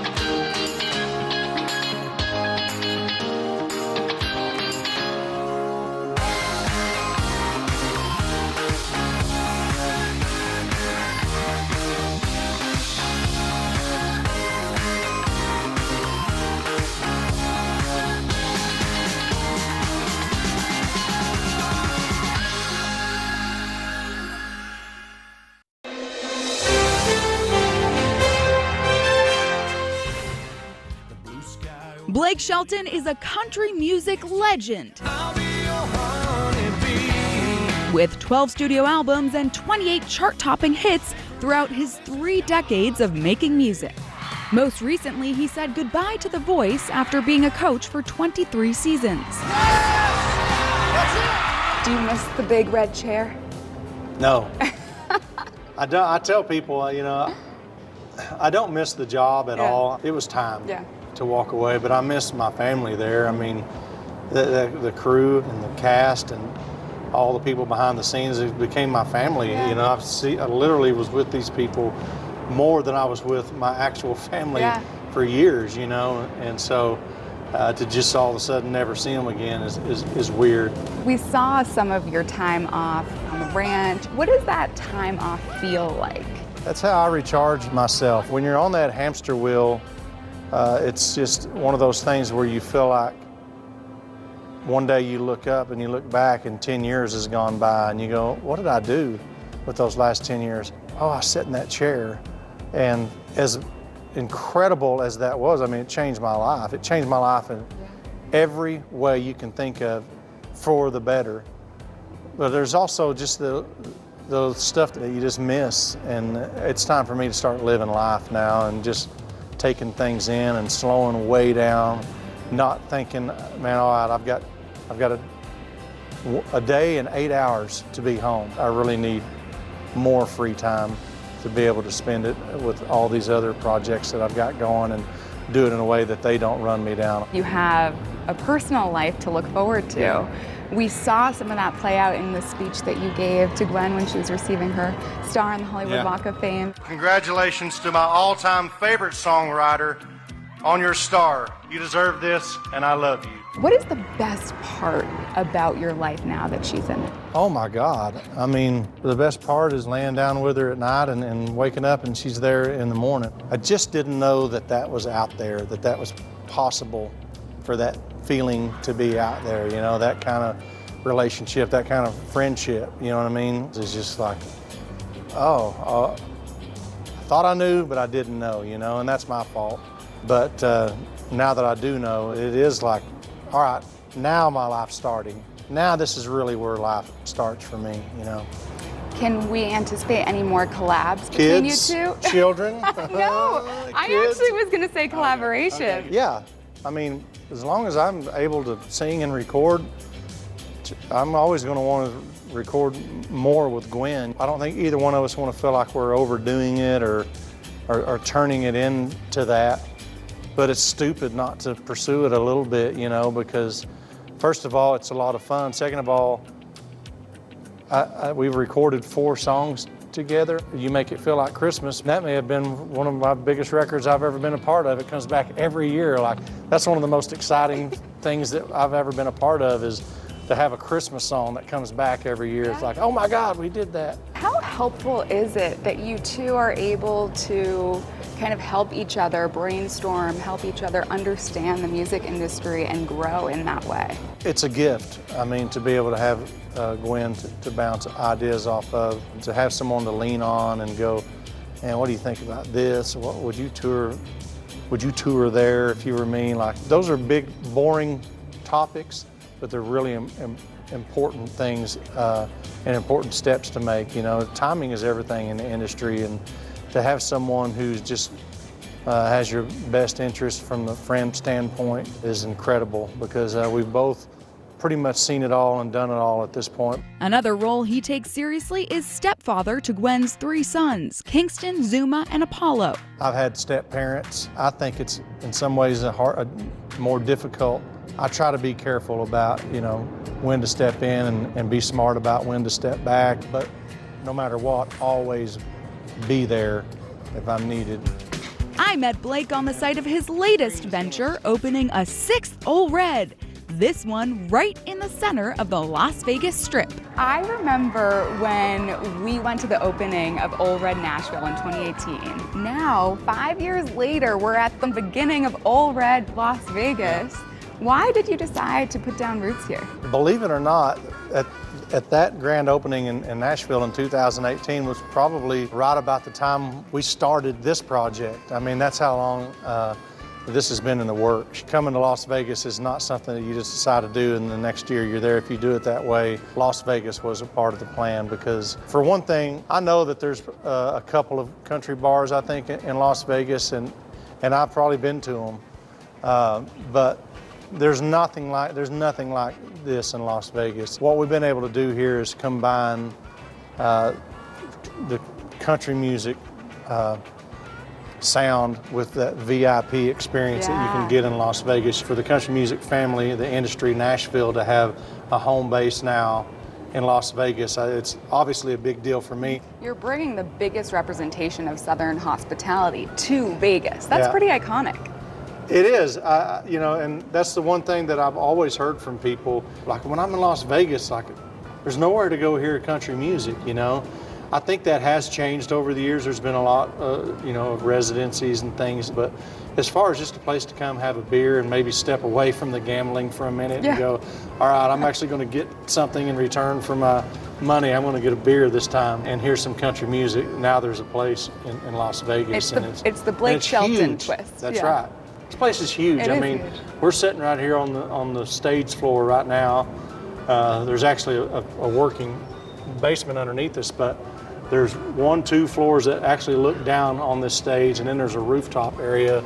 Uh, every floor has a bar, and of course, that uh, third floor up there has the VIP experience and, and the Yeah. suites and stuff. It's So just we're where the performances are going to be. this is it. This is where I'm, This is it. I'm telling you right now, when, when we do our grand opening, I want to be the one uh, that breaks in this stage because I think it's going to be here for a hundred years from now, and I want to be the one who stepped on the stage for the first time. And Blake is stepping back onto stages across the country soon with a brand new tour kicking off in February. Well, your album came out in 2021, and then last year you had single Nobody.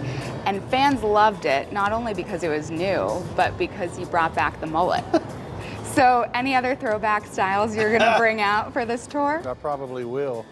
Uh, I, but I don't know. Probably, if anything I bring back that's a throwback, it'll be some of my old records that I haven't sang in, in years. You know, I've just uh, been spending time lately listening to some of those old records, trying to get ideas for the show, and it's like, oh my God, I forgot about this song, and this song was actually a hit in 2002. How come I don't do it anymore? So I'll probably bring back a, a lot of that old school music that I just haven't done uh, in in a lot of years because I've been on a hamster wheel for so long. I think it'd be a blast to dig out some of that old stuff. So, it'll be a best of Blake Shelton I guess so. tour. Yeah. That's fun. The best I can do of Blake Shelton. You're bringing Emily Ann Roberts on tour with you. She Yeah. was on season nine on Team Blake. Why is that so important to you? when she was on on The Voice. Uh, I remember uh, I was standing there off to the side with my manager watching her rehearse, and I told my manager, I said, "Hey, you ought to manage her. I mean, look at her. She's super talented. She's got so much charisma. She's beautiful. Like, that's a star standing there." And he goes, "Well." I'll talk to her. Seven or eight years later, he's been her manager all this time, and it's just now to a point where she's released a, a record and, and is ready to go out on tour. And of course, if she would have gone out on tour with anybody else, I would have been like, what the hell? Yeah. What about your old coach here? You know, so the fact that I get to bring her out and put her out on, you know, in these cities and uh, on the big stage is, is a, I love that. I, I love to be the one that, that uh, uh, gets to introduce her to, you know, a whole new live audience out there. Any new music we can expect? I never really stop recording. It's it's just something that I do sporadically. I'll call Scott Hendricks, my producer, or he'll reach out to me and go, "Hey man, let's just go cut these two songs that we've been thinking about and just get them done. They're, they'll be done when it's time, you know." And before I know it, which is where I'm at right now, I'll have eight or ten things recorded and and and something that looks like an album, you know. And so I would say just based off of history and knowing how I've worked in the past, probably have some new music uh, in 2024.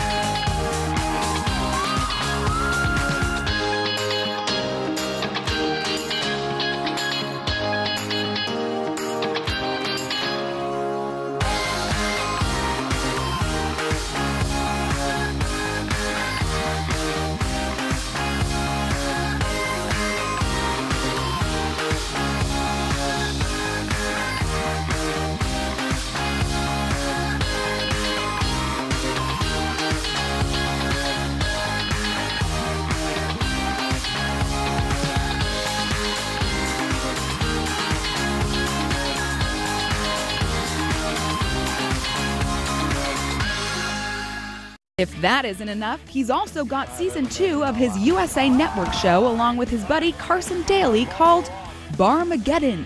It pits two celebrities against each other in classic bar games with a twist. My new favorite game is called Fool's Ball.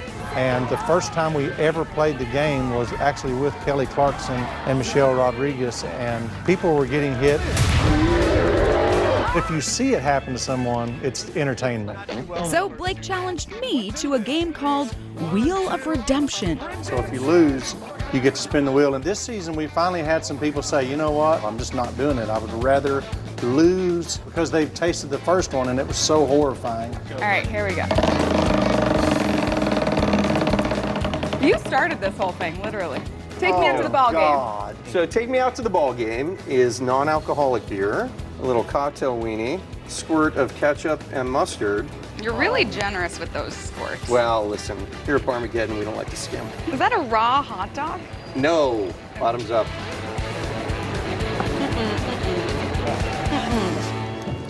Whether it's games or music, Blake is all about folks having a good time. When customers come into an Ole Red, what do you want them to feel leaving it?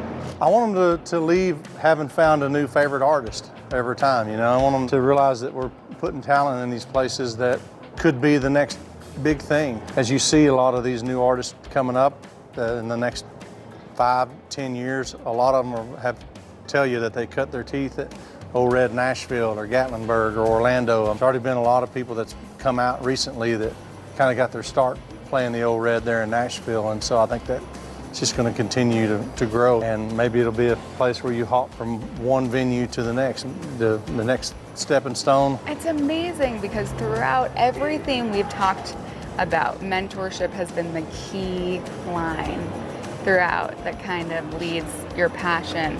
And I think it's really, it's awesome that that's your dream and that you're living it out. It's the new voice, it's the new residency, it's the new Ole Red. Yeah. So come on down I will. to Ole Red Las Vegas.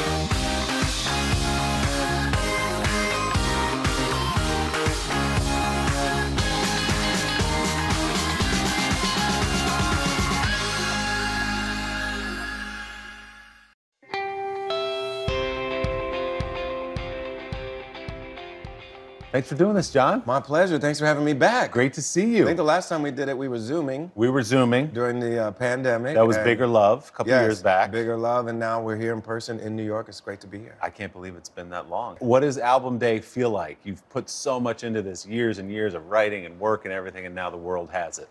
I'm truly excited. I, I think it's similar to being a kid on Christmas where you're like anticipating and waiting for, you know, what you hope will be a really good day.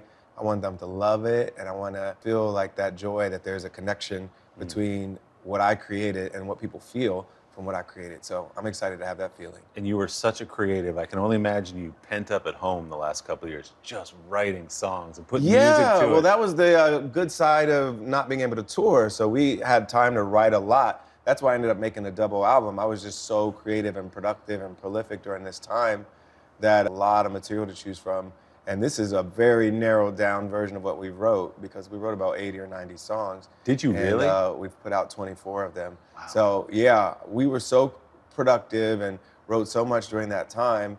And uh, I've been waiting to, to give it to the world.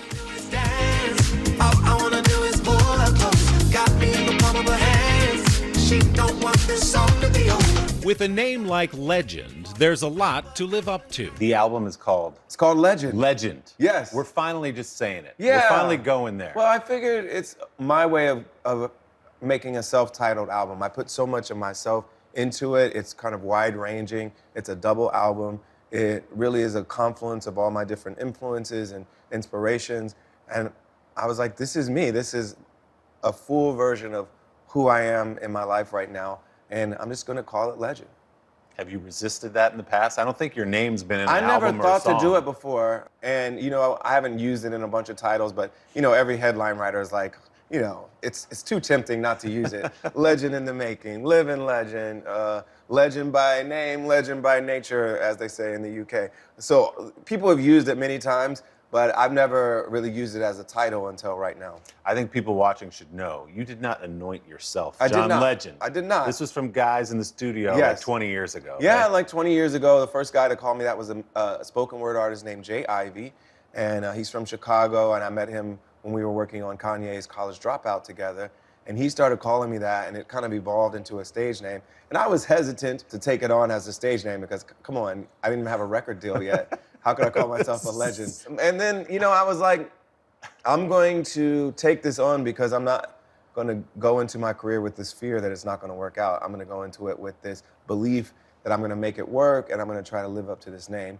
And that's what I've been trying to do for a couple decades now. Honey, honey So when you sit down, John, to do an album, is Uh-huh. it different every time? Bigger Love, maybe you had one sort of theme in mind, and this time something different? Well, part of the choices I make beforehand are like who I want to work with. Sometimes it's a little more free flowing and you know, you never know who you're going to end up in the room with. But a lot of it's planned out at first, but you don't know what that collaboration is going to create. You just kind of you know people that you like and that you might be interested in working with. Sometimes it's people you worked with before. Sometimes you want to spice things up and change things up. This is the first time it was executive produced by Ryan Tedder. Yeah. I had written with him before, but we had never done this much work together, and it was so much fun working with him. And then we brought in all kinds of amazing creatives, amazing co-writers, amazing producers, amazing guest vocalists.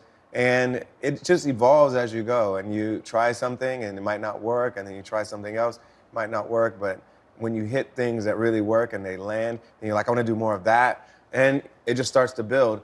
And eventually you've got a you've got an album. Come out hot with Rick, Rick Ross. Ross. Rick Ross on track one. And I've collaborated with him more on duets than any other artist. We've done a bunch on his albums. We've done two on my albums. And then we've done a few with DJ Khaled and, and French Montana and various other artists. So we work well together. His voice and my voice, the kind of beats we like to do together, it really works well. But we've also got Jazmine Sullivan, JID, Saweetie, Jhené Aiko, Ty Dolla Sign, Ledisi, Rapsody, just some really talented, amazing people, and a lot of people behind the scenes that aren't featured as well. So you got down to 24 songs from Yes. 80 or 90, you Yeah. said. When you write 90 songs, how do you even decide what the 24 are going to be? And will the other ones end up somewhere? someday? Well, when I've made albums in the past, I've usually written like 40 or 50 at least for a, a single album. So for this double album, we wrote a bit more. But yeah, there's a bunch of tracks that may never get heard. I don't know. Maybe they'll release them after I die, like Tupac. I don't know. But I like to write a lot and I like to collaborate a lot. And then I try to really focus in on which songs really move me, the ones that feel necessary, the ones that I feel like will move other people. I try to make it so there's no filler. You know, that's a matter of opinion. But uh, I, I think I made Legend with no filler. yes, no skips. No skips. Listen to it right through.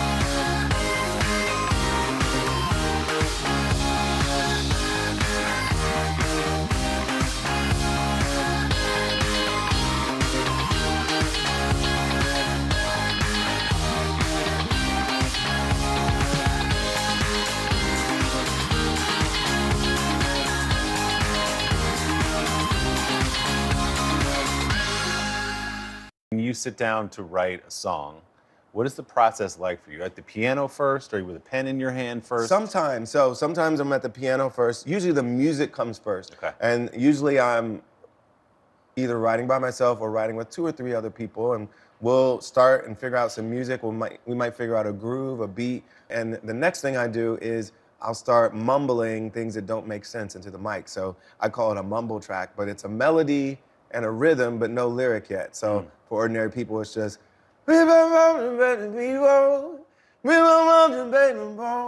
so I'll start a song like that. It'll sound like nonsense, but it'll have a melody.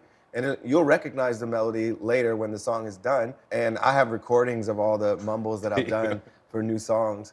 That's your next uh, album. that's my The next album, just mumbling. um, but yeah, so every song starts like that, and then eventually I figure out what the theme of the song is, what it feels like, what emotion I'm, I'm exploring, and then build the lyric around that. When you do an album, do you think, okay, my first album was this, my next one was this. This is your eighth studio album. Yeah. Do you think of it as a big sort of spectrum of your work, or do you just say, I want to put out the best music this time I can? I, I start just thinking I want to make great music and I want this to be better than what I did last time. Mm. Um, and honestly, I want every album to be the best album. When when I'm working on Legend, I'm thinking this has got to be my best album ever. And I go into every project like that, and I go into it thinking I have to prove myself every time too, because I don't feel like I've I'm guaranteed success. I don't feel like I'm guaranteed that people will love it. So I go into it thinking I have to prove to them that it's worthy of their attention, worthy of their love, and worthy of them coming back to it.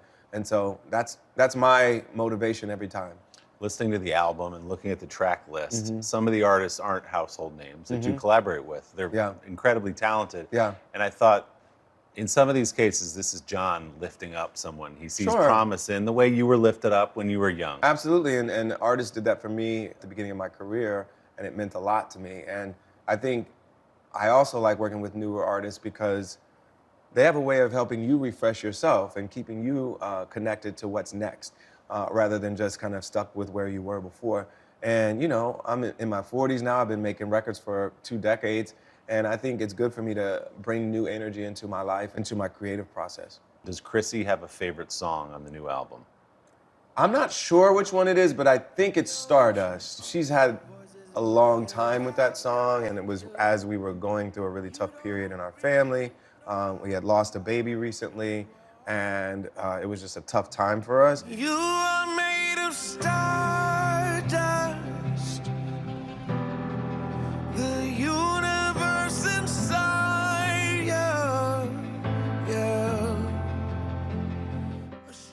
And that song was very healing and very inspiring for her and for us as a family. And uh, I think that will always be her favorite. So it's not the song that you wrote for her about the Well, way that, you have that's not the only one I wrote for her. I just happened to bring that one up recently, but uh, we've got a few. But yes, that one too. She likes that one. That's a beautiful song. It was called Splash. yes. It's a sexy song. A lot of my songs are about sex. A though. few of them, they are, they are. But some about love. Yes, about love. Some And- of them about commitment. Some of them are about going through challenges together. The gamut of what it means to be in a relationship with somebody that's deep and lasting. Well, that's the the song I was thinking of, which is where it's sort of this the title is sort of a twist. Mm-hmm. But what you're saying is we're growing differently together, and the more we grow, the more I actually fall in love with you. Yeah, the song's called I Don't Love You Like I Used to. And when Chrissy heard the title, she was like, What? Why are you writing a breakup song? But it's the opposite of a breakup song. When you are in a long relationship, when you go through challenges together, when you see all the different sides of that person, you actually can grow to love them more because it, it's been fortified by more real life, you know? It's not just the uh, original infatuation, the original lust, the original attraction that you had for that person. It's so much more than that. And that's what the song's about. I think it's a good like anniversary song. Absolutely. because as, as, as you grow and your commitment deepens with somebody, you have kids together, all these things, uh, your love grows too. That's true. Yeah. In August, the couple announced the happy news that Chrissy is pregnant again. How are you feeling about number three? Oh, we're excited. You know, it's always a bit of cautious optimism, especially when you've lost one before. We really feel excited. We're looking forward to this new joy in our lives. Our kids are excited too. Especially given where you guys have come in the last couple of Mhm. years, this must feel all the sweeter. Yeah, it feels really good and it feels like we learned so much over the years through struggle and through the challenges that we face. And I think we've both grown so much. Chrissy especially has grown a lot in the past few years. We're ready. We're ready for a new baby in our lives. You know what they say about number three? Now you go to a zone defense. Zone defense. You can't go No man more to man. one-on-one. You got a head on a swivel. You're going to lose one of them once in a while, and that's Exactly. okay. That's okay. Legend's day job allows him to be home in Los Angeles with his growing family.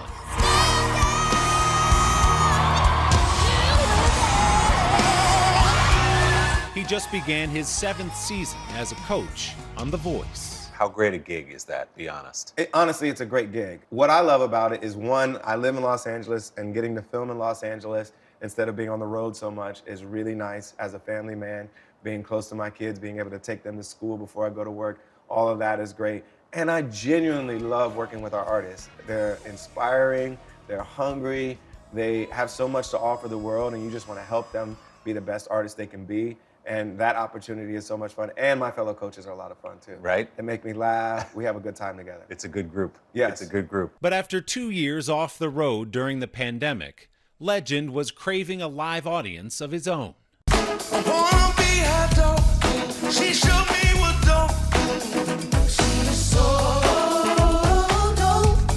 April, he began a Las Vegas residency. Now, you've already had the chance to play some of these songs live in Yes. Vegas. I just love seeing the reaction when people hear the new songs and they see them live without having heard them on a record yet. And uh, it's been a lot of fun kind of market testing them in Vegas. And which of those are the crowd pleasers? Well, all she want to do is like, Yeah. the, it's, it's the best one live. All she wanna do is, all she wanna do is dance. All I wanna do is get up on. Got me in the The energy just elevates in the room. Everybody gets up and starts dancing. And for a song to do that well without anyone even knowing it when I'm playing it, uh, it's pretty amazing. You've been home writing songs, as you said, for a couple of years. What was it like to get out in front of that crowd again in Vegas and just feel that energy back finally? Well, my Vegas show is like no other show I've done before. We have dancers, we have feathers, we have the full Vegas glitz and glamour, but we also really wanted to take care to explore my entire career, my entire journey, my entire story. So it's a really autobiographical show. with that autobiographical piece of it, Mm-hmm. when was the first moment, John, when somebody said, Ooh, this guy can sing? Do you remember what age that was? Was it in church? I was, it in later? church. I was probably seven or eight. I was singing in the church choir. I had begged my mother and my grandmother to let me sing in the church choir. They were in charge. My mom directed the choir. My grandmother played the organ. And so they were in charge of the choir, but I was a little too young to be in the choir for a while. But I kept begging, and I'd be at rehearsal all the time with my mom. So uh, eventually, uh, they let me join. And probably by the time I was eight or nine, I got a solo in the choir. And I, I felt like I was on top of the world. and when you feel that energy from the crowd, it's very addictive. Uh, you want it again. And I think that's why I'm here today, is because I enjoyed that feeling that I felt uh, early on, and I wanted to keep feeling it. So from that moment, did you think I'm going to be a professional musician? Was it Oh. conceivable to you that that was it was, but I had no idea what that entailed. Right. Uh, you know, I, I would watch Star Search, I would watch the Grammys, and I would see, you know, these young artists on Star Search, you know, auditioning and, and competing. And I was like, I could do that. And then I would watch the Grammys, and that would be the pinnacle. You'd see, you know, Michael or Stevie or Luther, and you'd be like, I want to be up there where they are. I always wanted that, and I had no idea what it would take, but I just kept making music. I was taking piano lessons, singing in the church choir, singing at school. Whenever somebody would give me the mic, I would find a way to sing. It must be crazy for you to be in an arena or in Vegas with a sold out crowd and think, I was nine years old singing in a church. Yeah. How did I get here? Yeah, so in the middle of my show, I usually tell a story about, you know, the fact that this is my dream come true. I'm living my dream and I feel so grateful. And every time I'm on that stage, I don't take it for granted. I get to do what I love to do every single day. I get to write songs and perform them for people. I get to feel that connection with the audience, feel their energy. It's amazing.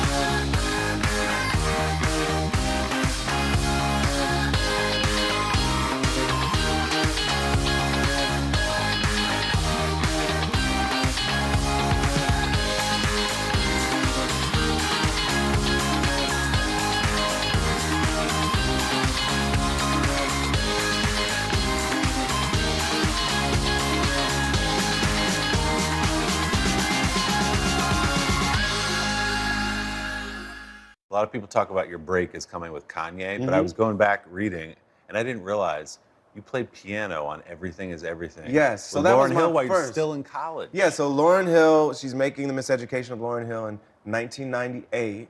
I was a junior in college, and I, on the weekends, would drive up from Philadelphia to Scranton, and I was working at a church there. I would direct the choir, and I would play um, keyboard for the church. And one of my choir members grew up with Lauryn Hill. She would drive back and forth to Jersey sometimes to work on the album with her. And she invited me to go with her one time. And eventually my friend says, Johnny, why don't you play a couple songs for Lauryn? She should hear what you can do. So I sit at the piano, play a couple songs, and then Miss Hill says, why don't you play on this song we're working on right now? I played on the song, and it was Everything is Everything. And that was the first time I was ever part of a major record. So I didn't know that the song was going to make the album. I didn't know that my part was going to make the song. But in the late summer, as the album was about to come out, Lauryn's A&R person calls me up and asks me how to spell my name for the credits. And so uh, I'm like, okay, I'm on the album.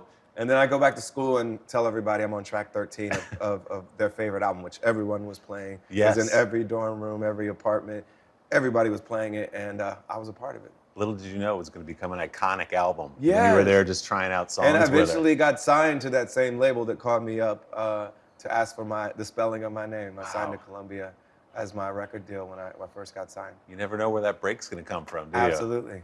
Same goes with with Kanye. I know. Yeah. Kanye was not yet Kanye West. He was not when you very met him. famous at the time. He was just starting to bubble up as a producer, and he was living in Chicago, but then he moved to the New York area, and I was roommates with his cousin, and uh, his cousin Devon and I went to Penn together. We were roommates in New York together, and Devon says, uh, "I've got a cousin moving here from Chicago. He just started working with Roc-A-Fella.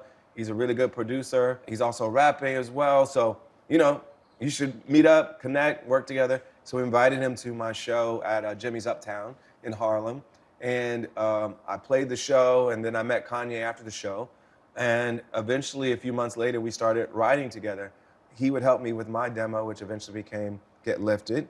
And then I would sing and play keys and write with him on his demo, which eventually became The College Dropout. It's so cool to think about. Kanye is living in an apartment in Newark. Yes. Just writing songs. There was Yes. that documentary that shows him working Yes. out Jesus walks. Absolutely. And, and so all I was that. going in there to write with him and sing with him. and then he was helping me work on my new music too. And then eventually I signed with his production company, Good Music, and we made Get Lifted together and a bunch of other albums after that. And man, you started off with a bang. Your first album Yeah. gets eight Grammy nominations, wins three of them. Yes. What was that moment like for you? Because album one, you're here, you've arrived. It was surreal, and you know, I didn't have any expectations that it was going to do that well.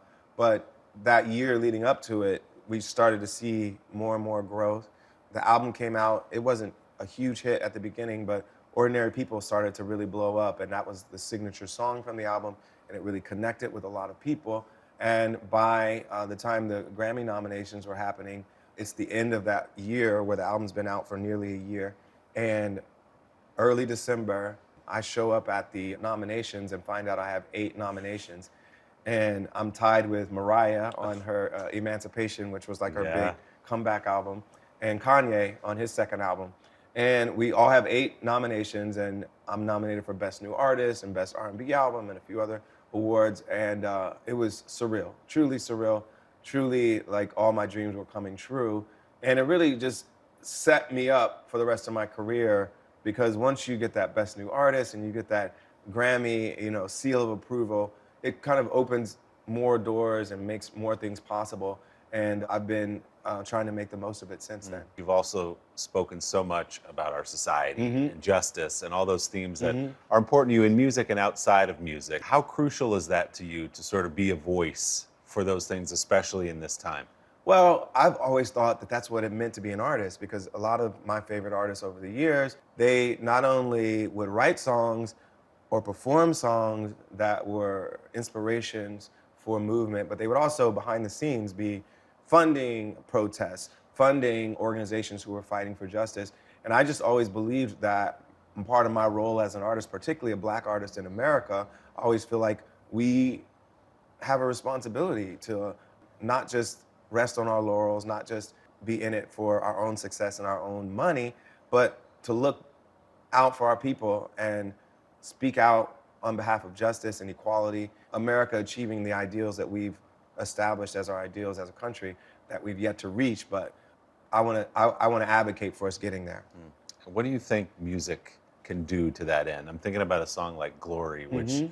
number one is a great song, so it draws you in, but then the message gets through to people while they're tapping their feet. Well, I'm never sure how impactful a song is because I think there's so much more that goes into change. It's organizing, it's getting people's attention in the right way, it's it's uh, using whatever moral persuasion you can use to get people to come to your side of thinking. But I think music, one, is inspired by the movement, inspired by people out there being activists. Um, when we wrote Glory, we were writing it inspired by Dr. King. but We were also writing it inspired by the people who were protesting in Ferguson at that time. And so we included lyrics that alluded to both time periods. And once we wrote the song, having been inspired by those activists, then we saw people turn around and march with our song. And so it's a kind of a perfect illustration of how that feedback loop keeps going between the artist community and the activist community. We're inspired by them, they're inspired by us, and it keeps it going. And it's a constant struggle, isn't Yeah. it? In our culture, it's maybe Yeah. two steps forward, one step back. There's always um, been a backlash, whether it was Civil War uh, and Reconstruction, you saw the backlash to that, and Jim Crow kind of uh, lasted for decades as a backlash to the advances that we made right after the Civil War. So America's history has been progress and backlash, and all that means is that we can't rest. We have to keep fighting and keep pushing toward a more perfect union and a more just country. What gives you hope, John, for America right now? Well, I think we have to celebrate all of our wins. Each time we uh, are able to accomplish something, um, a lot of times my organization, Free America, is fighting for legislative change, like we fought for Amendment 4 in Florida. And that re-enfranchised like a million people in the state. And when you have a victory like that, it's good to celebrate it. It's good to celebrate these wins. And I think those wins are the fuel that we need for more hope, to keep fighting for more change, and to achieve the goals that we really want. And I think you need that progress to, to feel that hope, and that hope is the fuel you need to keep going.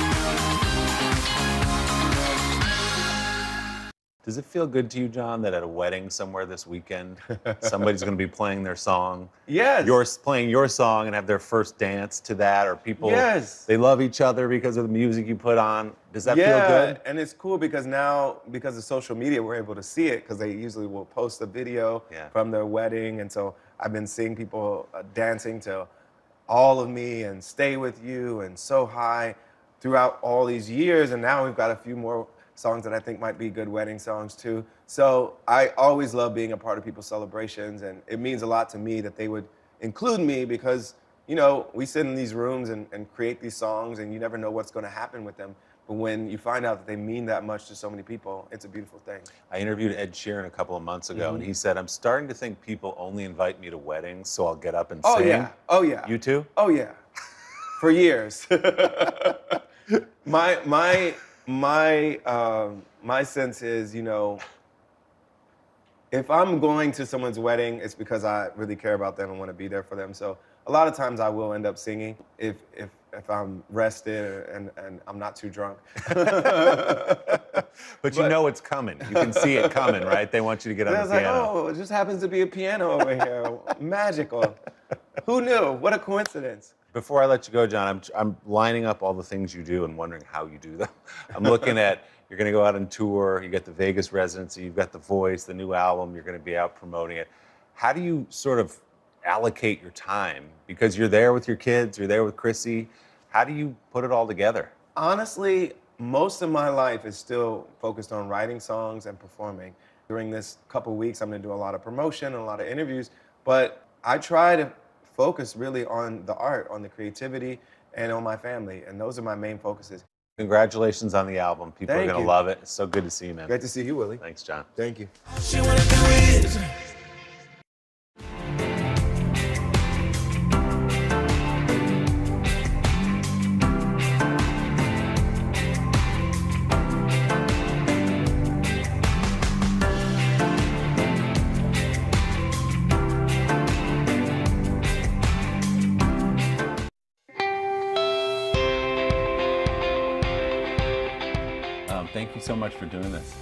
God, thanks for having me. to see you. When you walk into a studio like this, Mhm. is it hard for you like not to sit at the piano or not to pick up the guitar? Yeah, my eyes are just darting around at all the possibilities. When did music come into your life? I guess how did music come into your life? Well, you know, my family always did music, and my uh, grandfather, Grandpa Vernon, he was like a country yodeler. And um, we all loved him so much, and he got ALS, and he died really young at 50. And my parents were young parents, and so I just, all of that was really um, vivid, and the loss of his voice, I remember being a paramount turning point for my mother, who was also a country singer. I feel the way she coped with her grief was to dive into singing. He always wanted her to do it, and she's painfully shy about it. And so she, you know, took a little bit of the money that he left and bought a PA system and started like a bar band and auditioned out at a community theater and involved me because I was so interested and I was only eight maybe at the time. So I got up on stage for the first time in a community theater called the Northwest Grand Old Opry at about eight and started singing and that became what the Carliles did. And so it had a weight to it. It was really sacred to our family and I still love country music to this day, classic country music, because I feel like it, you know, it raised us and got us through such a traumatic time for Hmm. our mom. And um, all I could think about was being famous, getting on stage, Is that hearing right? applause. Oh yeah, yeah. From eight years old, basically. Yeah. This is what I'm going to do. Oh yeah. Yeah. And it was never just music for the love of music. It was music for the love of people. At what point did someone in your life say, hmm, her voice is special? There's something extraordinary about what's coming out of her mouth. Someone say that to you at any point, or did you realize that I can really belt it? I think I thought I was special long before I was special. You had that swagger. I remember, oh, singing in the dentist's office, singing on the bus, singing, just singing for anybody that would listen and feeling really special and not being, you know. Um, but wa- wa- just wanting to be, really, really wanting to be. And um, just eventually started to like study it Hmm. and take it really, really seriously so that I could get to where I wanted to get to. And I see it, I see it in other young people too, the audacity, Hmm. the American exceptionalism. it's embarrassing, but it, it, it can sometimes lead to a really beautiful life. It's not bad to have a little confidence, even No. if you haven't earned it yet, right? No, no. Yeah. And sometimes for kids, like it was all I had, you know? yeah. And for, for kids like me, I recommend a little bit of audacity. If I went back and listened to you singing as a teenager, say, would I hear any of the voice I hear on stage No. today? None of that. Uh-uh. totally different. Yeah. Oh yeah, you'd hear no um, like power or drama or technique or any of the things that I really thrive on right now. I mean, I feel like right around the time I was um, 13 or 14, my love for Elton John and just honestly the gay 90s and the drama therein had formed to a point where I was wanting to sing like Freddie Mercury, and there was I wanted to have some glamorousness in my life vocally and, and Mm. some elegance, and so I started to sort of um, dream of of doing that, you know. Did they give you some sort of beacon as a young gay woman living Yeah. in rural Washington? Like, Yeah, and being raised on country music and being such a, a Gemini scallywag trailer park country girl, and then there here's this elegance, and this elegance is really intertwined with queerness in a way that I couldn't even articulate, but I just knew I want I just wanted it. I wanted parts of it, you know. But I wanted to retain the rugged Right. authenticity of, of who I am too. And I, I hope that I'm uh, achieving that and that I'm, you know, setting myself up to honor both of these weirdos. well, you're, you're doing that and then some. Um, so then as you move on, you do start to find that voice that I might recognize a little bit better. Put out your first album in 2005, but you'd been you'd had some success before that. You, people were noticing you. Do you remember when you felt like you'd made it, so to speak? the entire time. if I won a karaoke contest, if I was busking and there were 30 people when I opened my eyes, uh, the entire time. It was, it was actually ridiculous. It could have been quite a miss. Where does that come from? Where did that confidence come from? I don't know. I don't know, but it's like everybody always talks to me about, well, you've worked so hard at it. You know, you've worked so hard, you've worked so hard. And I'm like, I did. You know, I don't, I don't know if it really feels like that. When you really, really love it, you all, you kind of tend to feel successful even in really hard times. Mm. And even rejection just feels like a fluke, Right, you know? right.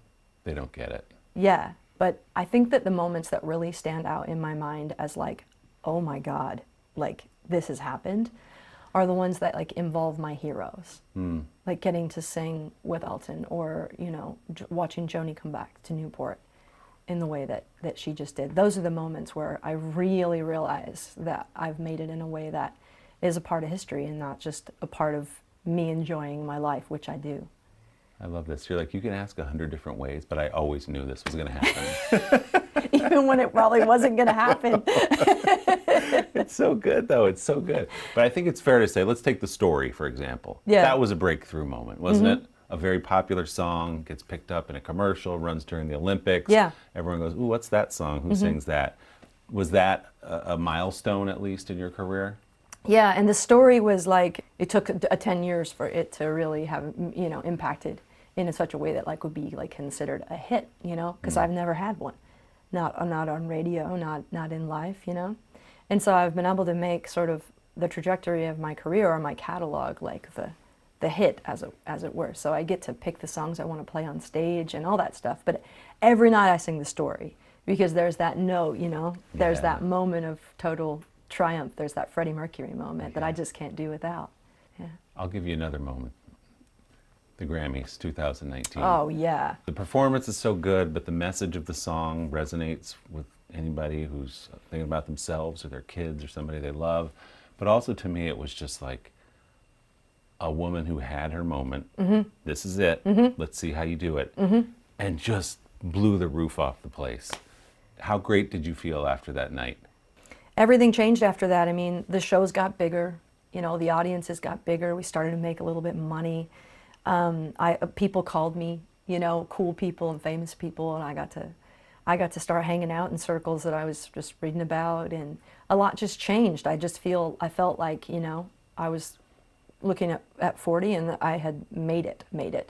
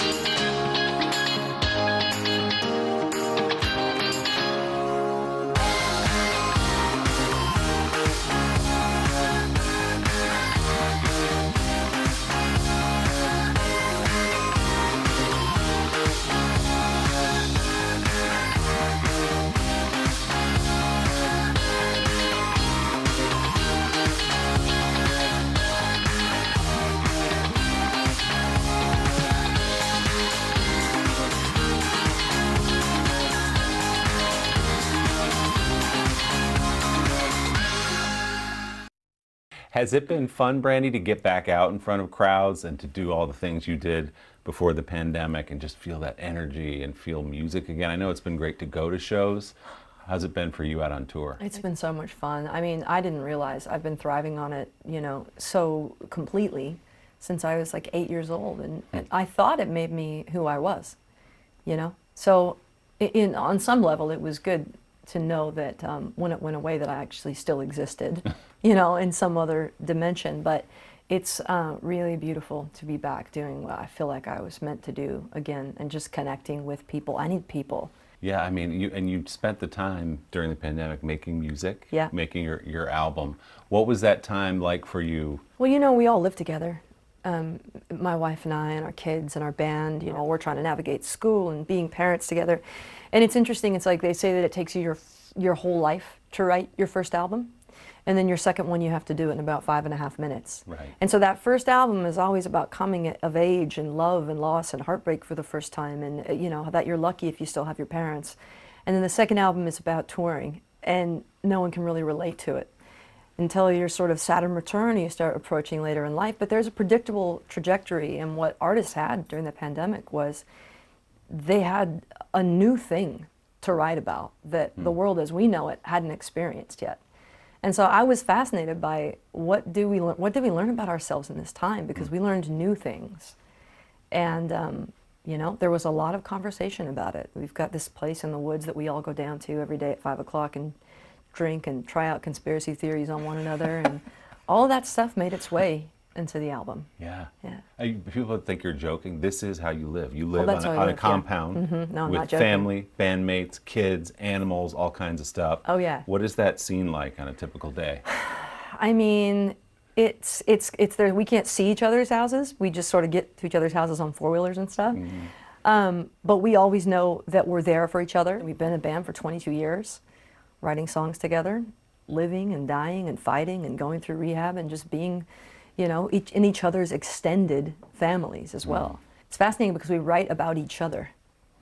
And so I know when a song's been written about me and I have to sing it. You know what I mean? Yeah. Or I know um, that they've written about something difficult that's happened in their family, and just from pure empathy, I can barely sing the words without without crying. And um, the fabric of, of that relationship it makes I think our writing prolific, but authentic because I'm not I'm not interpreting. I'm in the story. On in these silent days, you've got songs about motherhood. You got songs about being married. You got songs about your faith Mhm. and that journey you've been on. You've written and sung about those those themes before, but did you get a new perspective on some of those those ideas that made it onto the album? Yeah, well, it's like like I was saying, it was such a magnifying glass. You know what I mean?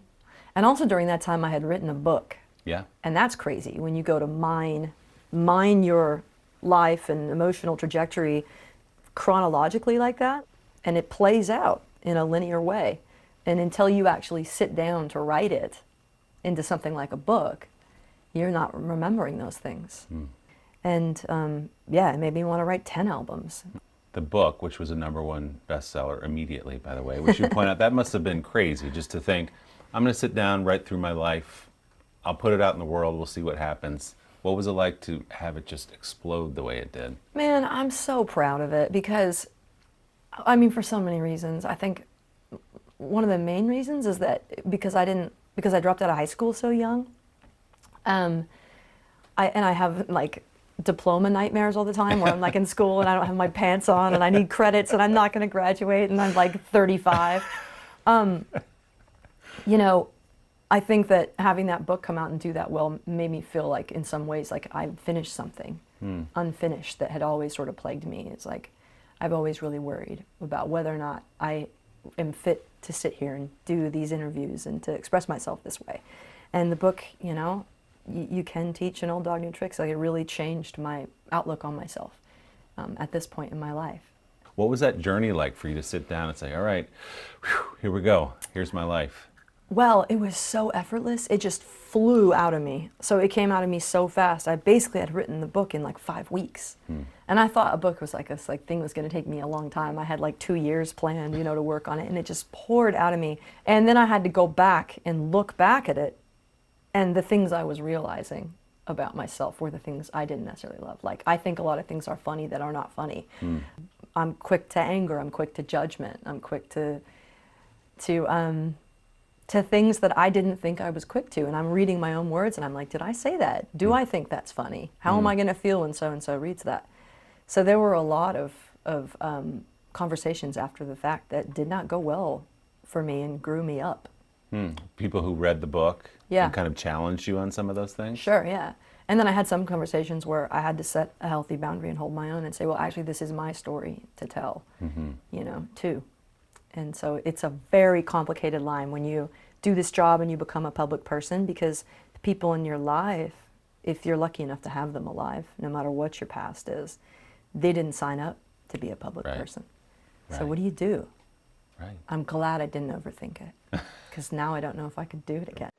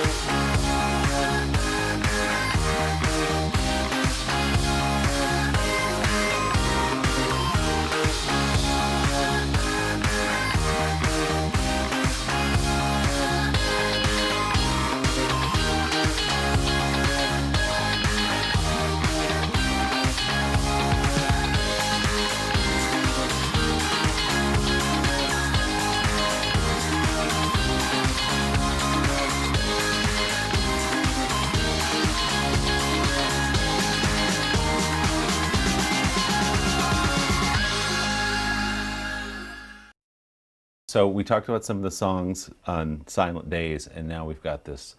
I guess you call it. You'll describe it better than I do, but sort of the stripped down version of the album, the Canyon Haze. Mhm. What's different about this version than what we heard last fall when when it came out?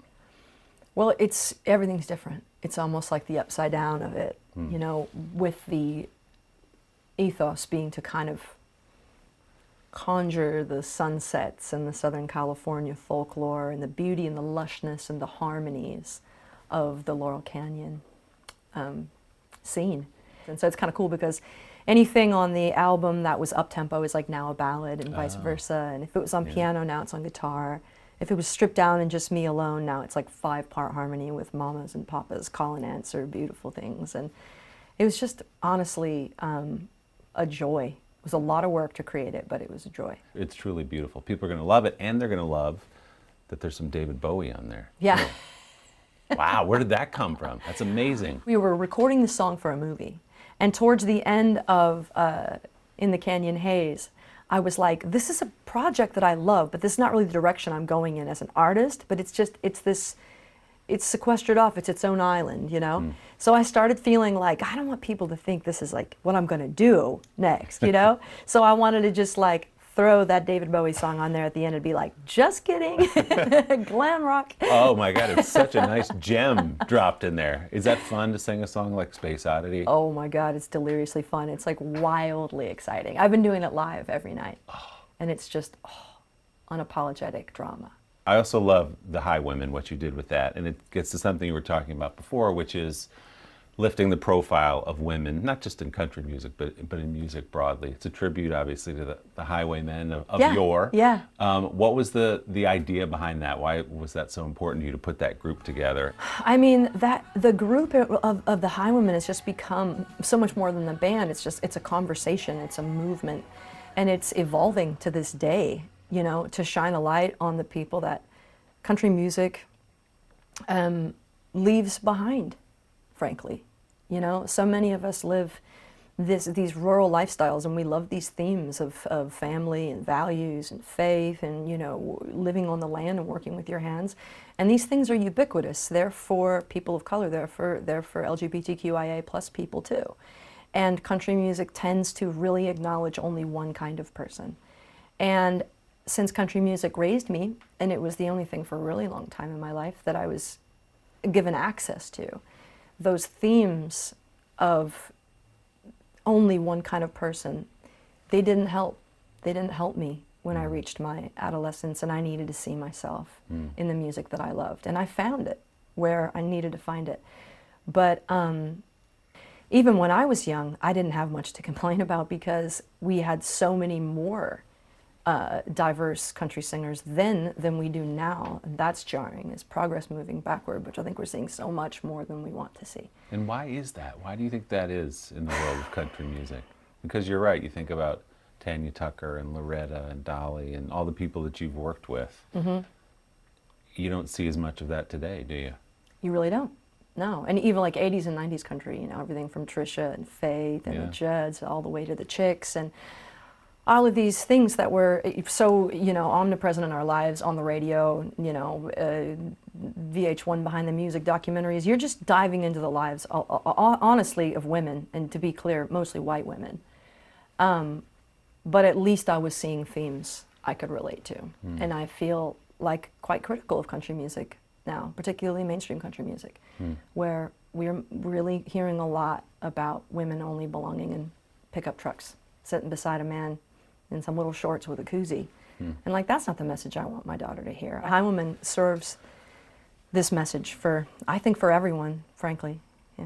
Yeah, it's a bit of a protest, and it's a nice bonus that the songs are amazing and that you, you guys are so so good together. It's kind of an invitation, too. You know, it's like a bus ticket. It's like, Yeah. come on, join the High Woman. Right. Tell right. your stories. Have you felt over the years, Brandi, excluded because you are a gay woman living in this world that, you know, it's Americana, but it is country. Yeah, totally. From country music. Yeah. But from many other genres, um, not in a conscious way. And I do sort of feel like I want to uh, shine a light in those corners to people that may not know that they're that they're excluding other people. You know, because even I've excluded other people in, in my life, and until it, until it was explained to me, until I understood that I wasn't making an effort, you know, to paint with a with a broader brush, I didn't.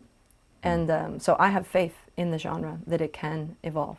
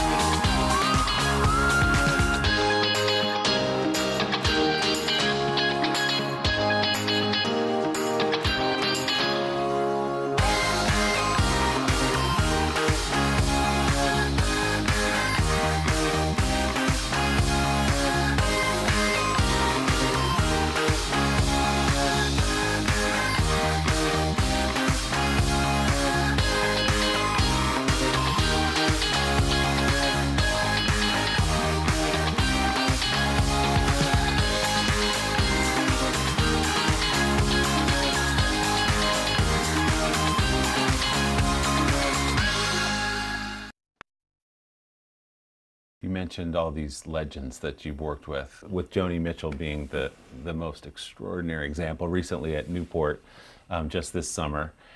Can you take us inside some of those jam sessions we hear about at her house where I think this idea was sort of born? Like, what's it like? Because we understand no cameras, no nothing. Yeah. Lock it down. She's like, park your pistols at the door. That's what she says.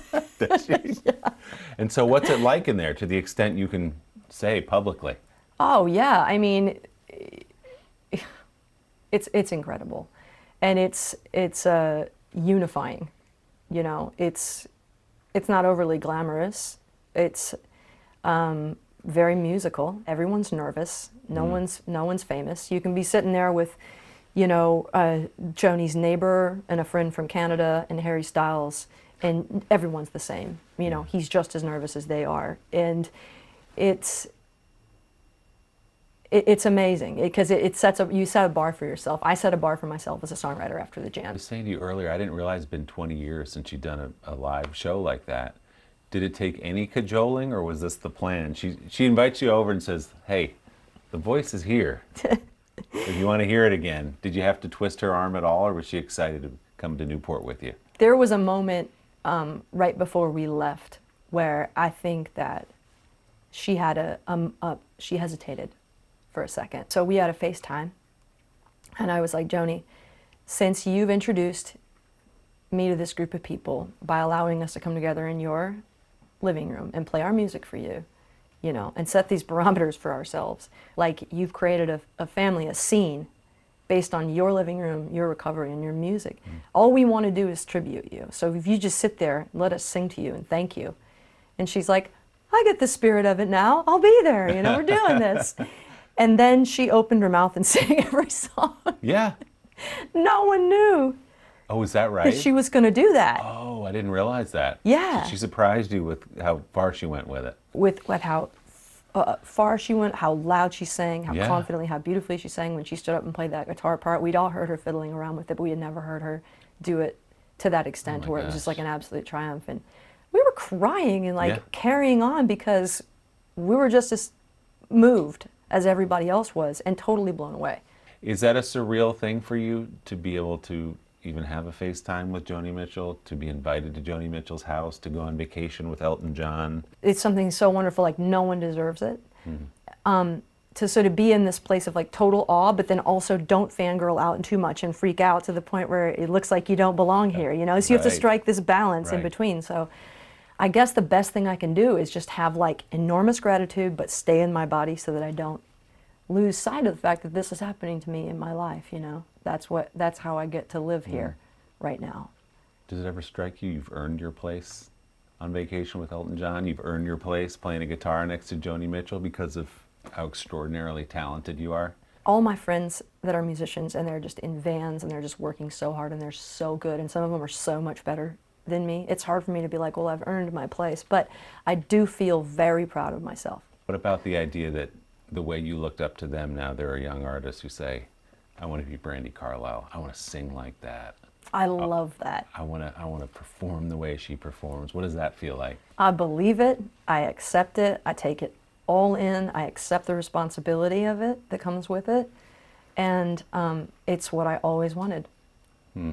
and um, it's a it's a distinct honor, especially people that are at risk, especially people that are underprivileged and that don't feel seen or represented, even in their own families or their schools or their church. Like to know that they're looking at a concert or reading a book or listening to a record and going, "There's another side to this." Hmm.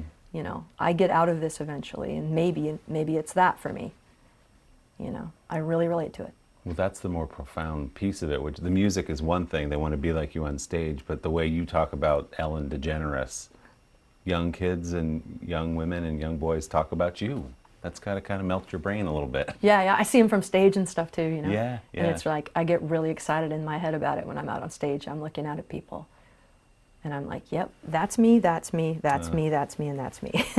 It's amazing. Quite a ride, yeah. right? It is quite a ride. Okay, so you've worked with almost everyone I think you want to work with. Who's still out there? Do we need to send a signal right now to someone? I've really been thinking about this lately. Do you know what it is? Is that Elton John's been my greatest hero since I was 11 years old. It was a major turning point in my life in almost every way that, that a person can affect another person. But I still have never got to perform with Elton John. Never? No. Oh. Can't we just make that happen? That's what we got to do. I mean, but we don't know because the tour, you know, it's like, when's he going to be? So, yeah. I think he may show up at one of your shows. Mm. I'm going to put that in the atmosphere. Maybe I'll show up to a couple more of his. Hmm. This, I feel like this is already happening, and this is you're very good at like just planting a seed. That's what I wonder sometimes. Has it already happened? Do I just really want it to happen, or did it happen in some other dimension? There's that confidence again. It's Yeah. going to happen. it's going to happen. Congratulations on your success. It's so great to talk to you. Oh, nice. It was really nice to talk to you Yeah. too. What a great interview. Huge Thank you. fan. Huge fan. First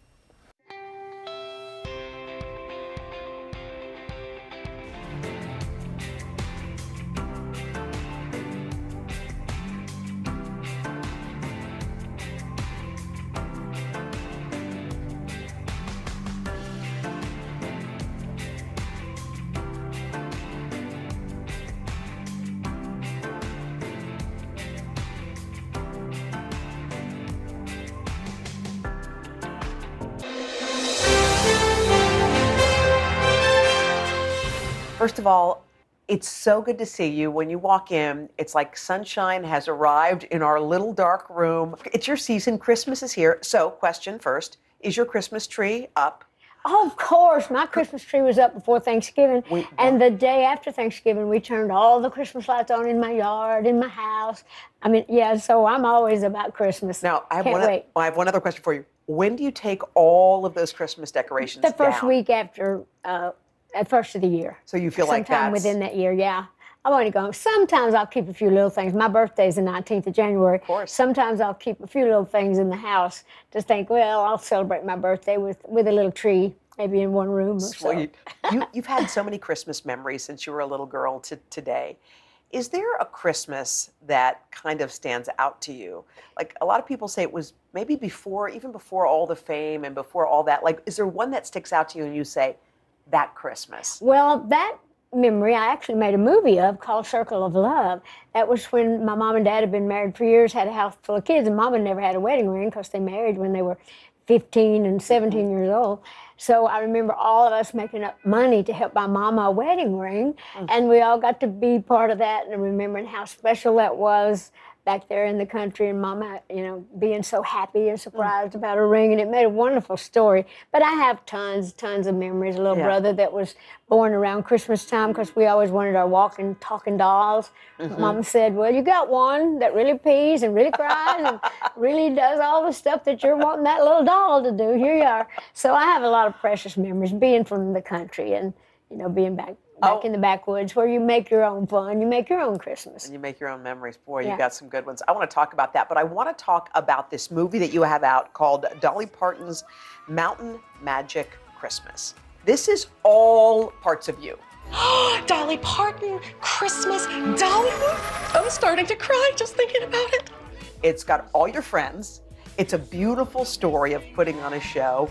It's a musical. It's a movie. When I saw it, I was like, that is so Dolly. That's all of it. Well, we're so excited about the, the movie. And of course, we did it at Dollywood, which mm-hmm. is my theme park up in mm-hmm. East Tennessee where I was born and raised. It's like a, a movie set anyway, some of everything. And so we invited all these wonderful guests like Jimmy Fallon, uh-huh. uh, you know, who's on the show. And so we've had all these great, you know, people on and great actors. We did a show about a, it's like a show within a show mm-hmm. because I think people are real interested in knowing what goes on behind the scenes. Mhm. So we made it where we really made it like how the show was going on, all the things that can go wrong behind the scenes, but then we actually did the numbers as if they were rehearsals, getting ready to actually do it live, sort of thing. So it's a lot of drama, it's a lot of comedy, a lot of meaningful songs, a lot of meaningful places, stuff for kids. You know, we got sing-alongs with the kids. So uh, and getting to do it at home was great for me. I mean, the list of celebrities is pretty amazing. It's Willie Nelson, it's Jimmy Allen, it's your goddaughter Miley Cyrus. Cyrus, And her, and her daddy. and her Billy daddy Billy, Billy, Billy Ray. and we've got Jimmy Fallon. I mean, the list is It like is. wow, got Zach wow, Williams wow. doing our great Grammy winning on. song. There was Jesus, which is perfect for Oh. the show. And so yeah, we got the Fallons and the Allens and and we and Willie it was a dear thing to me to get to work with Willie again. We've been friends since we were both fairly young in Nashville. Was it so fun? It, it seemed to me there are a lot of sets that seem like work, but this thing seemed different to me when I was watching it. I because I, got to see uh, parts of this already, and it looked electric. Like you'd want to see this on Broadway, kind of thing. Oh, well, good, and you might. But I had a lot of my family participate. Sure. A couple of my sisters, Cassie and Rachel, a lot of my nieces, my little grandnephew Liam plays the little elf, and so we've just got all kinds of stars, all kinds of wonderful actors playing the parts of the people behind the scenes. So you and Jimmy Fallon have a song. It's called "Almost Too Early for Christmas." Okay, you heard the song. What was the first thing you thought when you heard it? It's almost too early for Christmas. Why don't we see how it goes?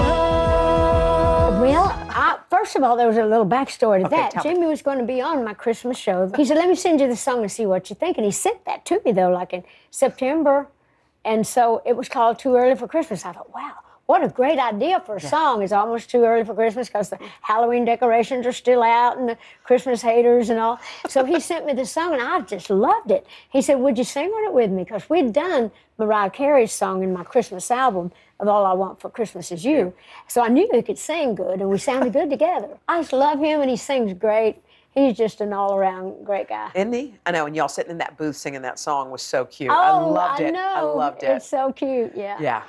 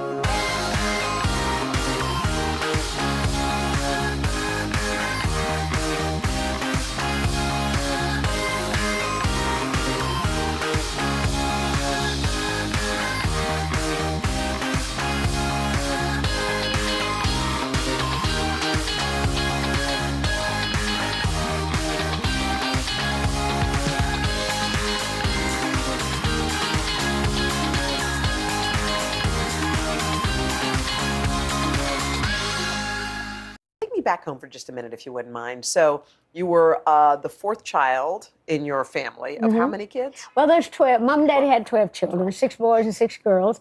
And so we had a big, big family and we lived back in the woods, but we had a good time. And, you know, we just loved each other. And Christmas, we made Christmas whatever. We made it. Mama was always great to make everything seem fun and happy and made things more exciting than they were. And so we just did what all country people do. We made the most of it. One of my favorite questions to ask somebody, because I feel it's it's such a window into their life, is close your eyes for a second. Okay. And then imagine your childhood bedroom. Look around. See Looking around in, with my eyes closed. I'm With your- looking. what Okay, am I look, looking for, You're, you're just looking at your room, and or oh, who who was with you in your room? Were there anything on the walls? Were there multiple kids? What? Where did you sleep? Like, what was that childhood Actually, bedroom? I don't have to close my eyes Okay. to see that room Tell me. because we, you know, in the early days, you know, we, we lived a few different places, but in the early days, you know, we our house was really small, and Mom and Daddy had a little separate area where they slept, but we mostly just piled up. We had two or three beds, and we had three or four kids sleeping in in bed. And some of them peed in the bed, and we just dealt with that too. And it was cold in the winter. We'd fan the cover, get cold with that. But anyway, I just we just loved. We, Daddy get up building the fire in the mornings. You know, Daddy is the fire hot. You know, is the fire hot? That's what y'all get up- said? Yeah, and so we didn't. He wouldn't let us get up till the house was warm because it was cold in our old houses. But anyway, I just remember things hanging on the wall would be like a picture of Jesus or those little two little kids, two little orphans crossing a bridge, and you know those famous little pictures you see, the Lord's Supper in the kitchen, hanging on the wall, and or coats and hats and whatever. But we just lived a simple rural life, like so many country people do. But but it was a house full of love and, and warmth, and so even though it was cold outside, it was warm mm. in our hearts. Who who taught you about generosity? Oh, that was I. That I'm from a faith-based family. My grandpa was a preacher, so when you grow up like that, you, you're supposed to. It's better to give than receive. Although as kids, we we loved getting the presents, you know, whatever we got. But I think you, I just always had a, a giving spirit, the same as my mom and my dad were just good-hearted country people. Did you remember witnessing it, or was it just part of life? It was part of Yeah, life. sure. Yeah, it was. It was the way you survived in the country. Everybody had to help everybody else. If it was hog killing time, the neighbors knew who, who whose day that was, or if they would go help somebody in the crops. If it was, you know, if you were if your tobacco crop was money, which ours was, Yeah. different neighbors would come to help, and they worked at different times. So it was just what how you survive in the country, and I think you just kind of learn to do that, and that just follows you all the days of your life. Faith is such a big part of your life. When would you say that your faith was tested the most? Well, I think we all go through things in Yeah. our lives, and I don't know for certain. There's been several times people always, and, and I talk about that in the special. People always act like I'm sort of an angel. I say I'm no angel. I just play one on TV. it's tough out there. I just try hard, and I try no matter what I'm going through, and we all go through all sorts of things. But I just try to rely on that faith and Mm. believe that through God all things are possible, and that I'm going to survive, and that I can survive because I have faith to do it. And a lot of people depend on me. And there's a saying in Scripture, I believe, that says, "To whom much is given, much is required, or much is expected." So anytime I get to, you know, feeling too far down or feeling too sorry for myself, I just think about that and think, well, God has blessed me in so many ways. So why am I going to wallow around in my little dab of Mhm. sorrow? Mhm. Yeah. When uh, uh, the holidays are festive, and I want to talk about all that, but it also does bring back memories for a lot of people. And in the country music world, Loretta Lynn and Naomi Judd passed Oh, wow. this just just over these past months. And loss is something that people deal with differently. And I just was curious how you deal with loss, like of them. Well, those things are very special. Like with Loretta, I, she was very dear to me, like a sister. Same with uh, Naomi. Mm-hmm. Uh, we were we, we were same age, and we loved the same things. And I loved her. And then I also lost Kenny Rogers, mm-hmm. three of my mm-hmm. dearest people in the business in a very short period of time. And I grieve over them almost like you do a family member and I think of them, and but you try to keep the good memories. You don't try to try to dwell. You're sorrowful, of course, of the loss and when it happens, but then you allow yourself to just think of all the things that you remember about them that has added to your life, mm-hmm. and remember what they did for all the millions of people that the lives that they touched, and so you just think you're just thankful that you got to know them and that you got to share that time. Like you said, there's that old song you talked about memories. There's that old Mm. song of precious memories, how they linger, how they ever flood my soul, how they linger ever near me. You know, it's like, and then Mm. it's like the line I love in that song is precious memories, unseen angels sent from somewhere to my soul. And I think about that, you know, like those precious memories they're like they just flow in and out of you, and you Mm. remember special things about them. And so I I love that line in that song. Oh my God, that's so beautiful. I feel very weepy. Yeah. I don't know why. I think Oh, well, just that's just listening. like that's just a beautiful touches. line. Yeah. And that's how it feels, you know, like uh, unseen angels. And you feel like they're still all around you. You feel and you that? feel them, yeah. Mm, boy, that's so beautiful. I feel like the other, there's so many magical parts about you, but it's that you keep, um, you are evolving through life. And I've listened to Miley Cyrus, your goddaughter, say, I learned this from Dolly, I learned that from Dolly, I learned this from Dolly. But then I was wondering, what is she teaching you? What are you learning about life from Miley? Well, I'm just learning Miley as we go. Yeah. Well, I love Miley, and I, you know, even when Miley goes through Miley's things, when back when she was making her transition from the Hannah Montana little thing, trying to get to grow up, and Mm-hmm. Yeah. people were not allowing her that, and and I would, they were telling me, you got to talk to Miley. I said, look. You will never have me saying nothing bad about Miley because Miley is so gifted, so talented, so smart. Sure. I love her like you love your child. You watch them grow and you love to see them blossom. And so I just, I've watched her and I'm, I really admire her her talent and how she conducts herself. She knows who she is. She And does, she's doing it her she? way. I've always done it my way. And I hope she learned a little bit of that from me. Yeah. That be you. It's like I say to her, you be you and I'll be me. And together, you know, we'll be us and that'll be a beautiful thing. And uh, she was on my Christmas show, as Sure, we mentioned. And then I'm also uh, hosting I know. the uh, yeah her New Year's Eve party from Miami, and so we're so excited about that because Lord What knows what's going to happen then. I was going to say, you and Miley hosting a New Year's Eve special Yeah. is like the perfect combination. I so think so, what is going to go down? Give me a little. We don't know. You don't know. We're going to do a couple of skits, and we're going to do uh, a song, a couple of songs. May do something with Def Leppard, uh, Wait, a rock song. Well, you know, I'm now a rock star. so I'm going to sing a little something with them, and we're going to do a couple of duets, some, some medleys, and we might even sing Jolene, you know, toward the end. But uh, we're, I don't know how much I should tell without Miley kicking my butt, because I don't know how much is going to be a surprise. I do basically know what we're doing. Okay. But there's so much of us that's hosting that will just be us, being us, and no scripts, no nothing. I'm sure we'll have some guidelines that we'll have to follow Yeah. for the timing. But Yeah, sure.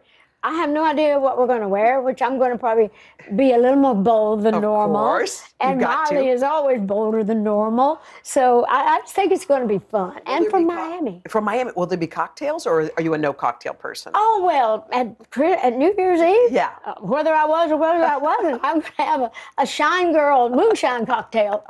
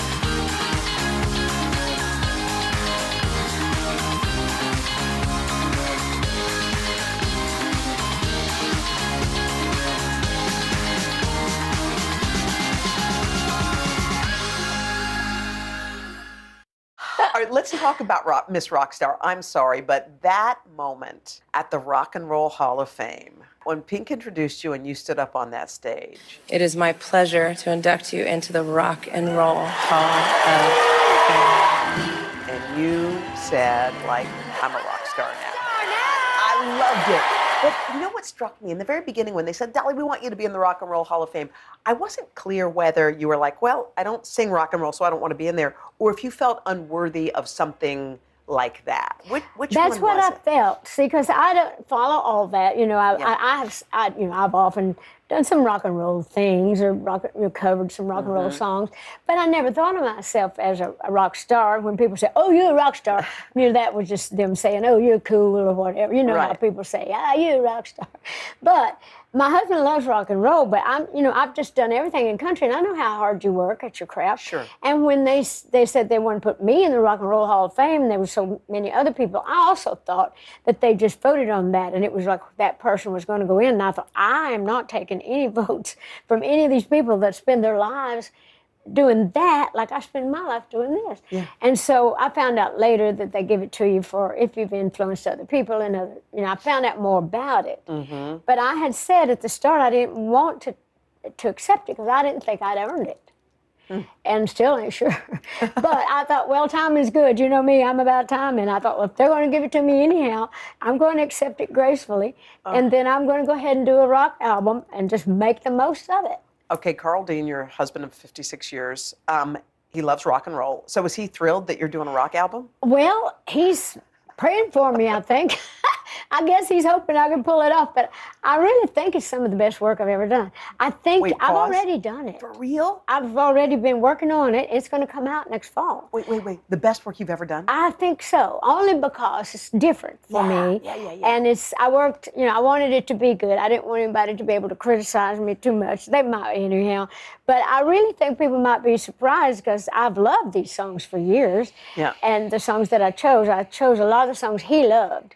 And then some that I loved, and I wrote a few things too. And Kent Wells, my longtime uh, musical director, band leader, guitar player, uh, he produced it. I just knew he was right because he's always kind of he's got that inner rock rock and roll in him. Sure. So he did a wonderful job, and we used all these great rock musicians. And I'm going to have a lot of the uh, iconic singers join me on several of the songs.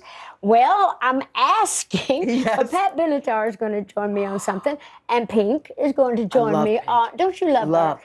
I did great songs like. Uh, uh, Purple Rain did my version of a lot of songs that I love that people love. So I've got a lot of word out to a lot of people. So we'll see who winds up on it. You know what? This is so cool. I'm sitting here listening to you, and you're doing something for the first time. People don't often do something for the for the first time, but you, I feel like you get out of your comfort zone. You're like, I do this, and now I'm going to do that. Like, will you tell me about that part of your life? Well, I just work whatever feels right. You know, I've always kind of just rolled like a river. You know, I just let the let it flow. I just kind of Yeah. let God lead me, so to speak. And it just seems to be the right time to do certain things. And here I am at 77 years old. On, Next girl. year, when I come out, I'm gonna be a rock star for a minute. But I really, I gave it, I give it all I got, whatever it is. And so I did not want to be embarrassed by doing a rock album. So I really gave it all I had, and I'm just hopeful that people are going to, well, hopefully they'll just accept it because they put me in the Rock and Roll Hall of Fame. So if I'm going to be there, I'm going, I will feel like, you know, I feel like I need to earn it. So uh-huh. this is my contribution back to say thank you for putting me in there. So now maybe, you know, I can rest, rest easy that I might have earned it.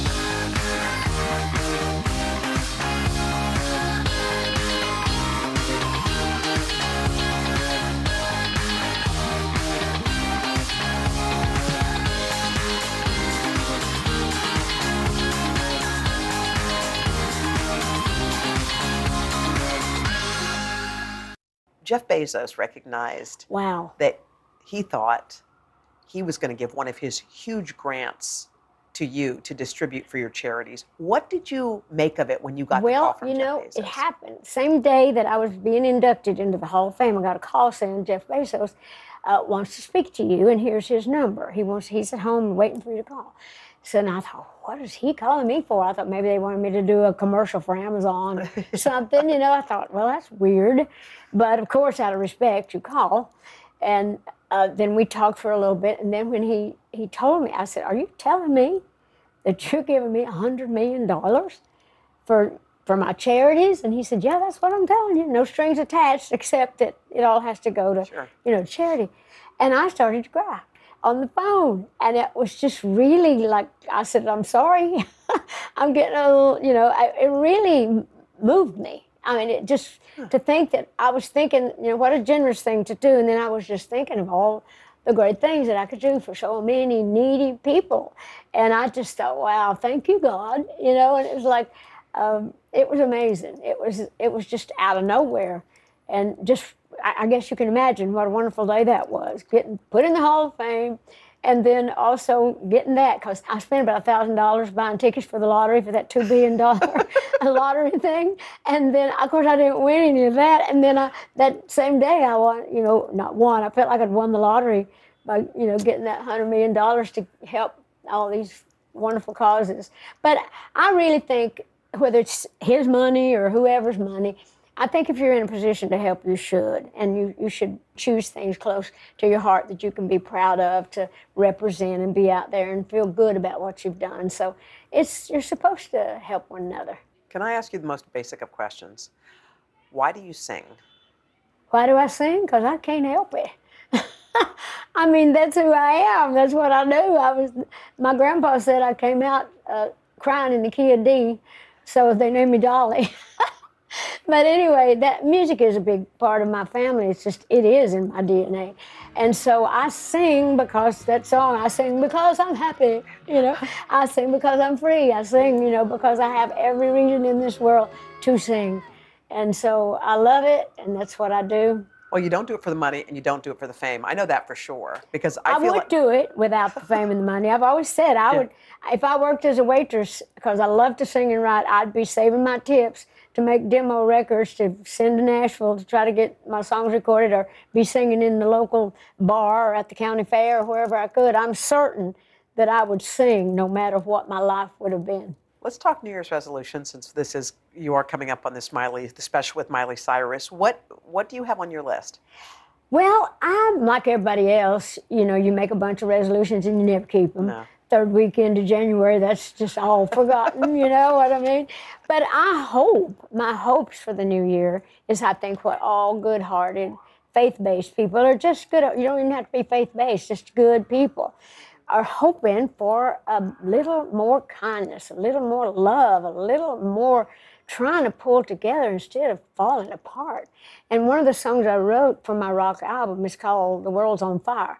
And it's about that whole, you know, liar, liar, the world's on fire. What you gonna do when it all burns down? Liar, liar, the world's on fire. But we still got time to turn it all around. It's like an anthem, and it's all about what's going on. And it's uh, and so that's what I'm hoping and praying for that in the new year that we can try a little harder. We've been through so much with the pandemic all over the world though, with just the weather and all the you know, just the scary stuff, the Scary stuff. earthquakes and things. It's just you just think, well, you got to think positive, and that's one of the reasons I wanted to do this Christmas show Mhm. because I felt like I needed to help if I could to bring some brightness and lift people's hearts up a little bit, and and really just uh, you know sing some songs that are meaningful, tell some stories that are fun, and just take people's minds off of that. But I'm just hoping that next year and the year after and the years to come that we can we've learned a little bit about what's going on and how long can we go, you know, like that. Can't we rise above? Can't we show some love? Can't we just lift up and, you know, just help help each other out? You know, it's like one of those things, can't we just, you know, move on? And we we all feel the same. We cry, we hurt, we bleed, we suffer. You Yeah. know, we all want, Yeah. you know, we all want to, you know, things for ourselves, but Lord, why can't we just pray about it, think about it. And even if you're not even, a, like I say, a faith based person, you've got to believe in good. And just like in my show, when I said, you know, a lot of people don't believe, you know, in in heaven, I would say, well, I do. And if I, if there is a heaven, I hope to hell I go. And I'm going to be working at it, you know, trying to get there because I'm going to try my best to try to bring as much joy as I can and lift people up as much as I can in my way. And I just think we all need to try a little harder. I don't care what our politics or our religion or our color or anything else. We need to try a little harder. So that's that's my personal New Year's resolution to try a little harder myself, to try to make as much of that happen as I can through songs or through giving or through whatever it may be. Dolly, you're such a delight and such an awesome human being. I mean, Well, so are you, and thank you. Like I say, I ain't all I ain't all that, but I appreciate the compliment, and I've got a lot of wonderful people in my life that help me look really good. So I always like to thank them for it. So I just get to get out here and take a lot of credit for a lot of hard work that a lot of other people do. But we're getting it done, and that's the main thing. love you. Yeah, thank you.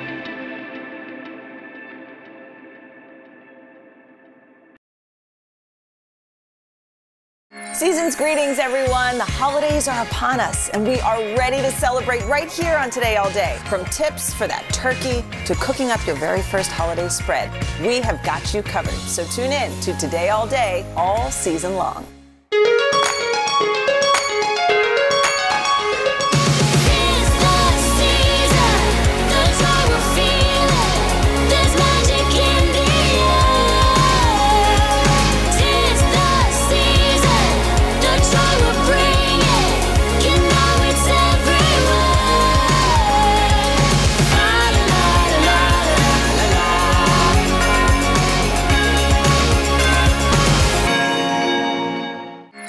Greetings, everyone. The holidays are upon us, and we are ready to celebrate right here on Today All Day. From tips for that turkey to cooking up your very first holiday spread, we have got you covered. So tune in to Today All Day all season long.